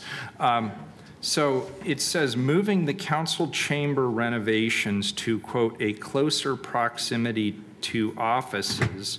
We agreed in work session with a thumbs up that the offices wouldn't start until July 1st, but we heard from the CMGC and the architect, they need a year to do the chamber. So are we delaying the work of the chamber? No. Oh, Then well, why, this- why is this language here? It's, it's to give procurement and give facilities, if they came back and was going to save us a million bucks, right? To start chambers on March 1 instead of January 1, it gives them the ability to come back and do that estimation. I'm not sure that's the case, but we heard in the work session, it actually became crystal clear that the bigger the gap between starting chamber and starting offices on the second floor adds to cost. And so if we're not prejudging, we just heard that loud and clear, so we're giving them flexibility if they want to uh, compress those two together. Well, we, we already have checkpoints built in, and one of them is we have to come back to council with the guaranteed maximum price. And if we add additional checkpoints, that seems to me it's just adding uncertainty and adding cost and potentially making the work of the CMGCs more difficult. I'm not, I don't see why we do that. I don't, What's, what's the gain? I, the, the only piece is if it came back and, and they told us that you're starting second floor offices on July 1, that's set. We've all agreed on that, right? July 1, 2024. Yeah, I think- 2024. I think we did, it's, yes. and, and we're also committed to starting chambers January 1, 2024. But if they came back, we heard it, that they, that the longer, that the bigger that delta between those two dates, it can drive up costs. So if they want to delay council chambers, they can do it a little bit if it materially saves costs. That's, that's the space we're giving to facilities. Frankly, we're giving it back to you. If you conclude it's not really worth it uh, in that plan, then so be it. We're still January 1 and July 1. I guess I just have one comment about, about Exhibit C. And, and uh, as long as the intent is that we can begin chambers January 1 and begin second floor offices July 1, I think that will probably meet what the discussion was about.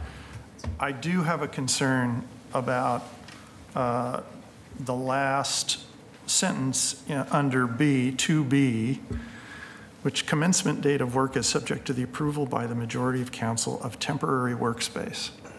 So I will tell you, we probably need to get that done very soon Well, ha- ha- Hasn't Be- everybody seen the temporary workspace? because each of the CMGs, e- each of the guaranteed maximum prices, there will be three, I understand, Uh, Two to three. and each of them are somewhat dependent on all of them being approved. Mobilization, demobilization, you heard from the CMGC, they need to plan for the entire work plan mm-hmm. before they can give you the first guaranteed maximum price. We need that soon so that we can mobilize by January 1st, I believe, for council chambers, or ish. And, and so they're interdependent, which means the second floor space, if it is dependent on your approval of temporary space, we need that approval like soon. So I just wanted to make everybody aware of the interdependencies of the different parts of the project as it goes to cost for the CMGC. And the people who really know what they're talking about are here. So I, I may be off, and they can say what the director meant to say was, and I'd appreciate that. So Now you want your, If you want to add. Caitlin McGehee. So we could go forward with GMP one based off of the most efficient process of construction and then either do a change order to add cost. No, no, no. So. No change orders, please. So I'm just me, saying, just you know, we could go forward with what we assumed or were um, approved to do so. But the goal would be to have everything outlined so that when we come to you with our GMPs, the multiple ones at one time, we understand and outline the schedule and how they impact each other. So they're not, we're not coming back to you with added costs. That's helpful. Can you remind me the difference between Plan 1 and Plan 2, just in the original ordinance? Plan 1 was, or 1 was chambers and 2 was office space? I'm just trying to remember how the Correct. ordinance, the original ordinance was Yes, the operating. GMPs, yeah. Got Um, it. And, um, you know, frankly, this, Maddie, this is as much for you guys, like, the, the hope, uh, I had understood our homework was to come back and come up with a plan out of the last work session and, and to reflect dates that were being discussed.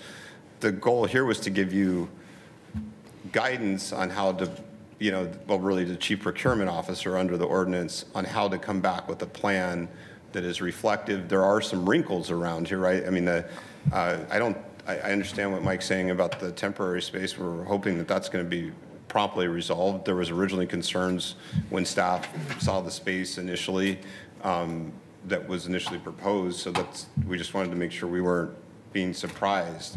Um, but the other piece came out of the direct conversations with CMG that just started in the work session.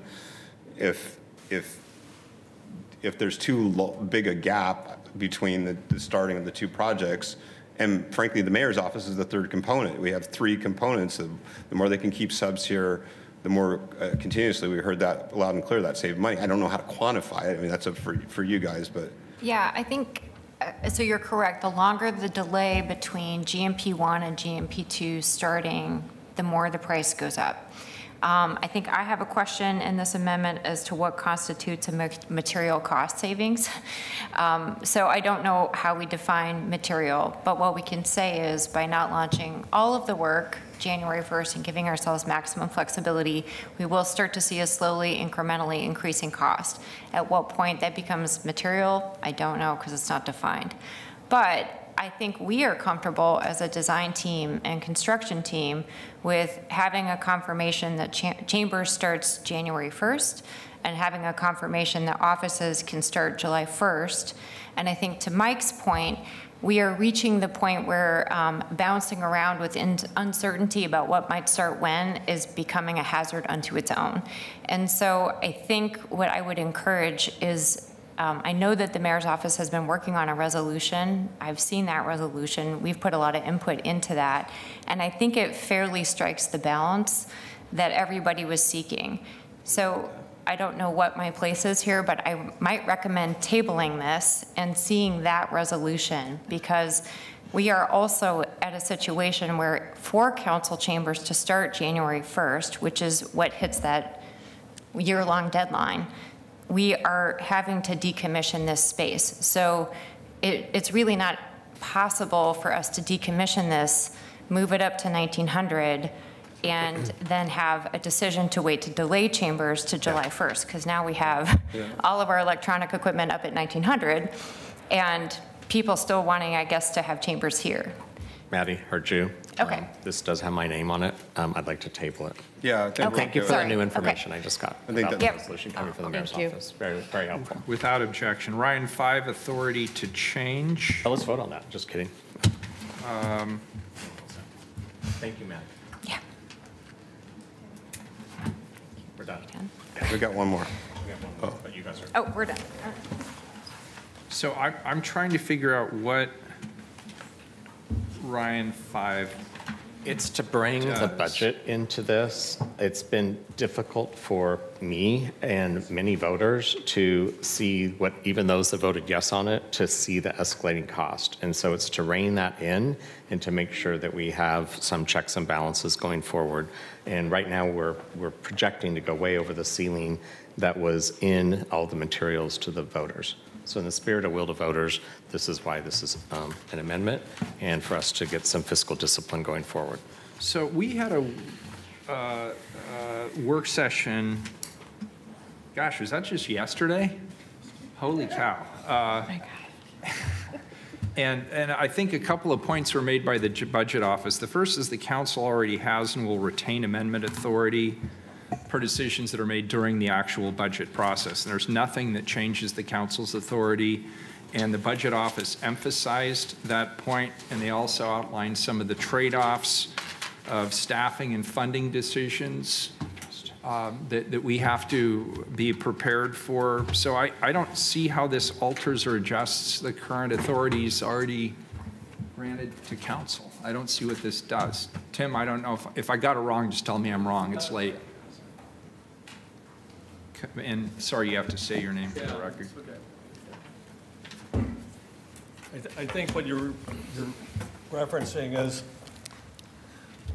what I- what I came to you yesterday to say is you will have the authority you've always had as we price the, the components of the charter change. You'll have the ability to change things as we go through. I'm, I'm assuming that the first time you will see a plan, and I'm also assuming that the mayor will be consulting with you, will be in the proposed budget. That proposed budget will come to you as the city budget council, and you'll be able to amend that. So if there's things in there that you want to change, you'll have the, uh, the option for doing that.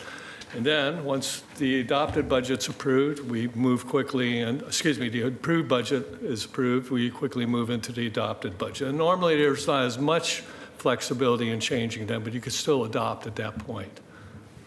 So I guess what I'm telling you is you'll have the opportunity for weighing in on the fiscal aspects of what we're paying for in this charter amendment as we flow through the budget process. I appreciate that, Tim, and I did hear you, and having this in the public record again is great. I just want to make sure we're memorializing that, so Right. that we actually did have that authority. Nothing changes in terms of the budget committee's And there is quite a big delta at the moment, and I just want to make sure we're all aware of that. And- And I, for one, appreciated Commissioner Ryan's point on this, that we at least spend some time in the budget process talking about a a scenario under which the contours of transition are as what the voters were told, right? So we may move well beyond that, recognizing the realities, but Yeah. voters were told something. Well, The the vo- the voters were given a document that had, and if you go back and review, it had numerous points where it said, these are estimates. And they talked about all the risk of the estimates because it was done very quickly. And now we're in a situation where we have things like inflation and things that are happening that are just frankly going to increase the cost of what we told to the voters. Tim, I, I understand that to a point, right? But the low end of the estimate was 900,000, and we're talking 223 million, right? And 13 million of which is new. This isn't a small, Well, you we know, don't start of with the 900,000, we gave them a range. eh, well, I wasn't here at the time. No, the ceiling- We the gave them a fairly the- large range on the costs. The ceiling was 18.7. So I understand what you're saying. 8.7. We, we, we will need to explain, we will need to explain the types of, of ex- um, expenditure increases that occurred um, based upon that, that um, original estimate to make sure they understand why we had things. For example, you're just talking about the, the, the um, construction things here. Not all that was included in the way it was included in the original estimate. I think the construction is completely out of it, right? 900,000, 8.7 was Right. ongoing. So just to be, so Well, again, that's it- why It did I, have provision for regional offices and things like that in the estimate. outside of the, the fall. Uh, Tim, Tim, just before you go, uh, j- just so I'm clear here, it's your um, analysis that this amendment is largely redundant with authorities that we already have? Right. Okay, thank you. Well, can I follow Yeah, follow up to that question? How come So- nobody believed it when I said it? Uh, How, how, how do, then how will we present in the budget process the deltas between what voters were told and what is in the mayor's proposed? We, once we have a proposal, we can work backwards and say, here's what's different than what we were in those estimates at the time. And that'll be up to you as you go through the budget process if you want to create different scenarios in terms of what we're actually going to fund. And The, yeah, I mean, I, I think the struggle for me, Commissioner Mapps, and I'm sorry we're here so late, is that the, the budget that we've seen so far was built from an org chart. It was kind of top, right? And we, and yet, I feel we have a responsibility as stewards. Voters were told this, and what is the level of government you get with that? It may be insufficient. We may all sit around and conclude 900,000, 8.7 is not going to work, right? I mean, it's, but that, that we automatically go with the larger number with just sort of skipping over, and I, I don't mean to be flipped there, right? But it's, but we just move past the original estimates as though those weren't real constraints in our analytical process. And I, that's where I take some exception. That's why I liked, I like Ryan's amendment here. And I don't think it's superfluous from that perspective, but. Well, how we're going to prepare our budget, because budgets, you, you think we have a lot of time to do a budget process, but we really don't. It's a fairly automated type of system. We're going to be doing whatever you agree to on the charter, organizational chart, and that's how we will create our budgeting. Now, it's up to you if you want us to develop other scenarios as we go through that budget process. And just to reiterate, let, let's say the org chart has a certain number of positions. If those positions aren't funded during the budget process, they don't happen.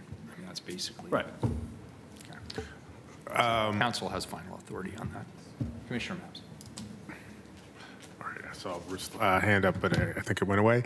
Um, uh, Just uh, before we uh, uh, call the roll here, um, Commissioner Ryan, can you remind me what the intent of this amendment was again? What are you trying to accomplish here? I was accomplishing what I said earlier, and it's in writing, which is that we uh, promised in the voters pamphlet and all the materials what the ceiling was, and we're dramatically over that ceiling right now. So I wanted to call that out so that we could be fiscally responsible as we continue to move forward. I have been listening, just like you, that we actually have that authority, of course, in the budget process. I still felt it was necessary to call it out. I was in agreement with the testimony that said we have a top-heavy org chart that we're putting forward, and so we're going to have to make some tough decisions going forward. So it's a way to just memorialize that and remind people the will of the voters read into this that the ceiling was 8.7, and we're looking at right now um, being 13 million over that. That's not, that's, that takes inflation to a whole nother level. So, But no, Yeah. But I do think, I I understand what you're saying, Commissioner. I think we do, as we go through the budget process, need to, to have clear information for you on what changed from that original estimation. And then you can make decisions on whether or not those things should continue. And I was just trying to like take that, those instructions throughout our, our many conversations while I was looking at the council offices saying, man, they look pretty good to me, so I don't know why we have to spend this much money. So throughout this journey, I've just been doing the best I can, like all of us, to be fiscally responsible. Um, Colleagues, I, I I noticed that Ruth Levine has her hand up. Is that someone we want to call on?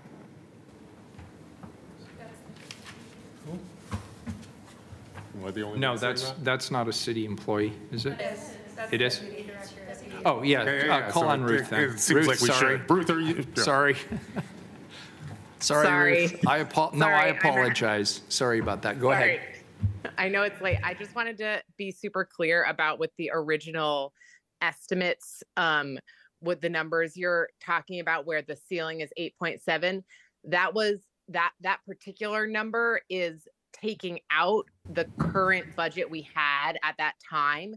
So it was making assumptions in some cases about how things would be funded that council has not yet made decisions on, if that makes sense. So I, I, I'm not, I, I just, I'm, it, just wanted to flag that it may not be entirely apples to apples. It doesn't change the like underlying sentiment. I just wanted to correct for the record that I, I want to be clear, first of all, that it's, it's assuming certain current costs that would go away in the new structure. And so I just don't want, um, so yeah, it, it, it's not entirely at this point an apples to apples comparison because we just haven't made all the decisions. You, you haven't made all the decisions about how things would be funded. Does that make sense?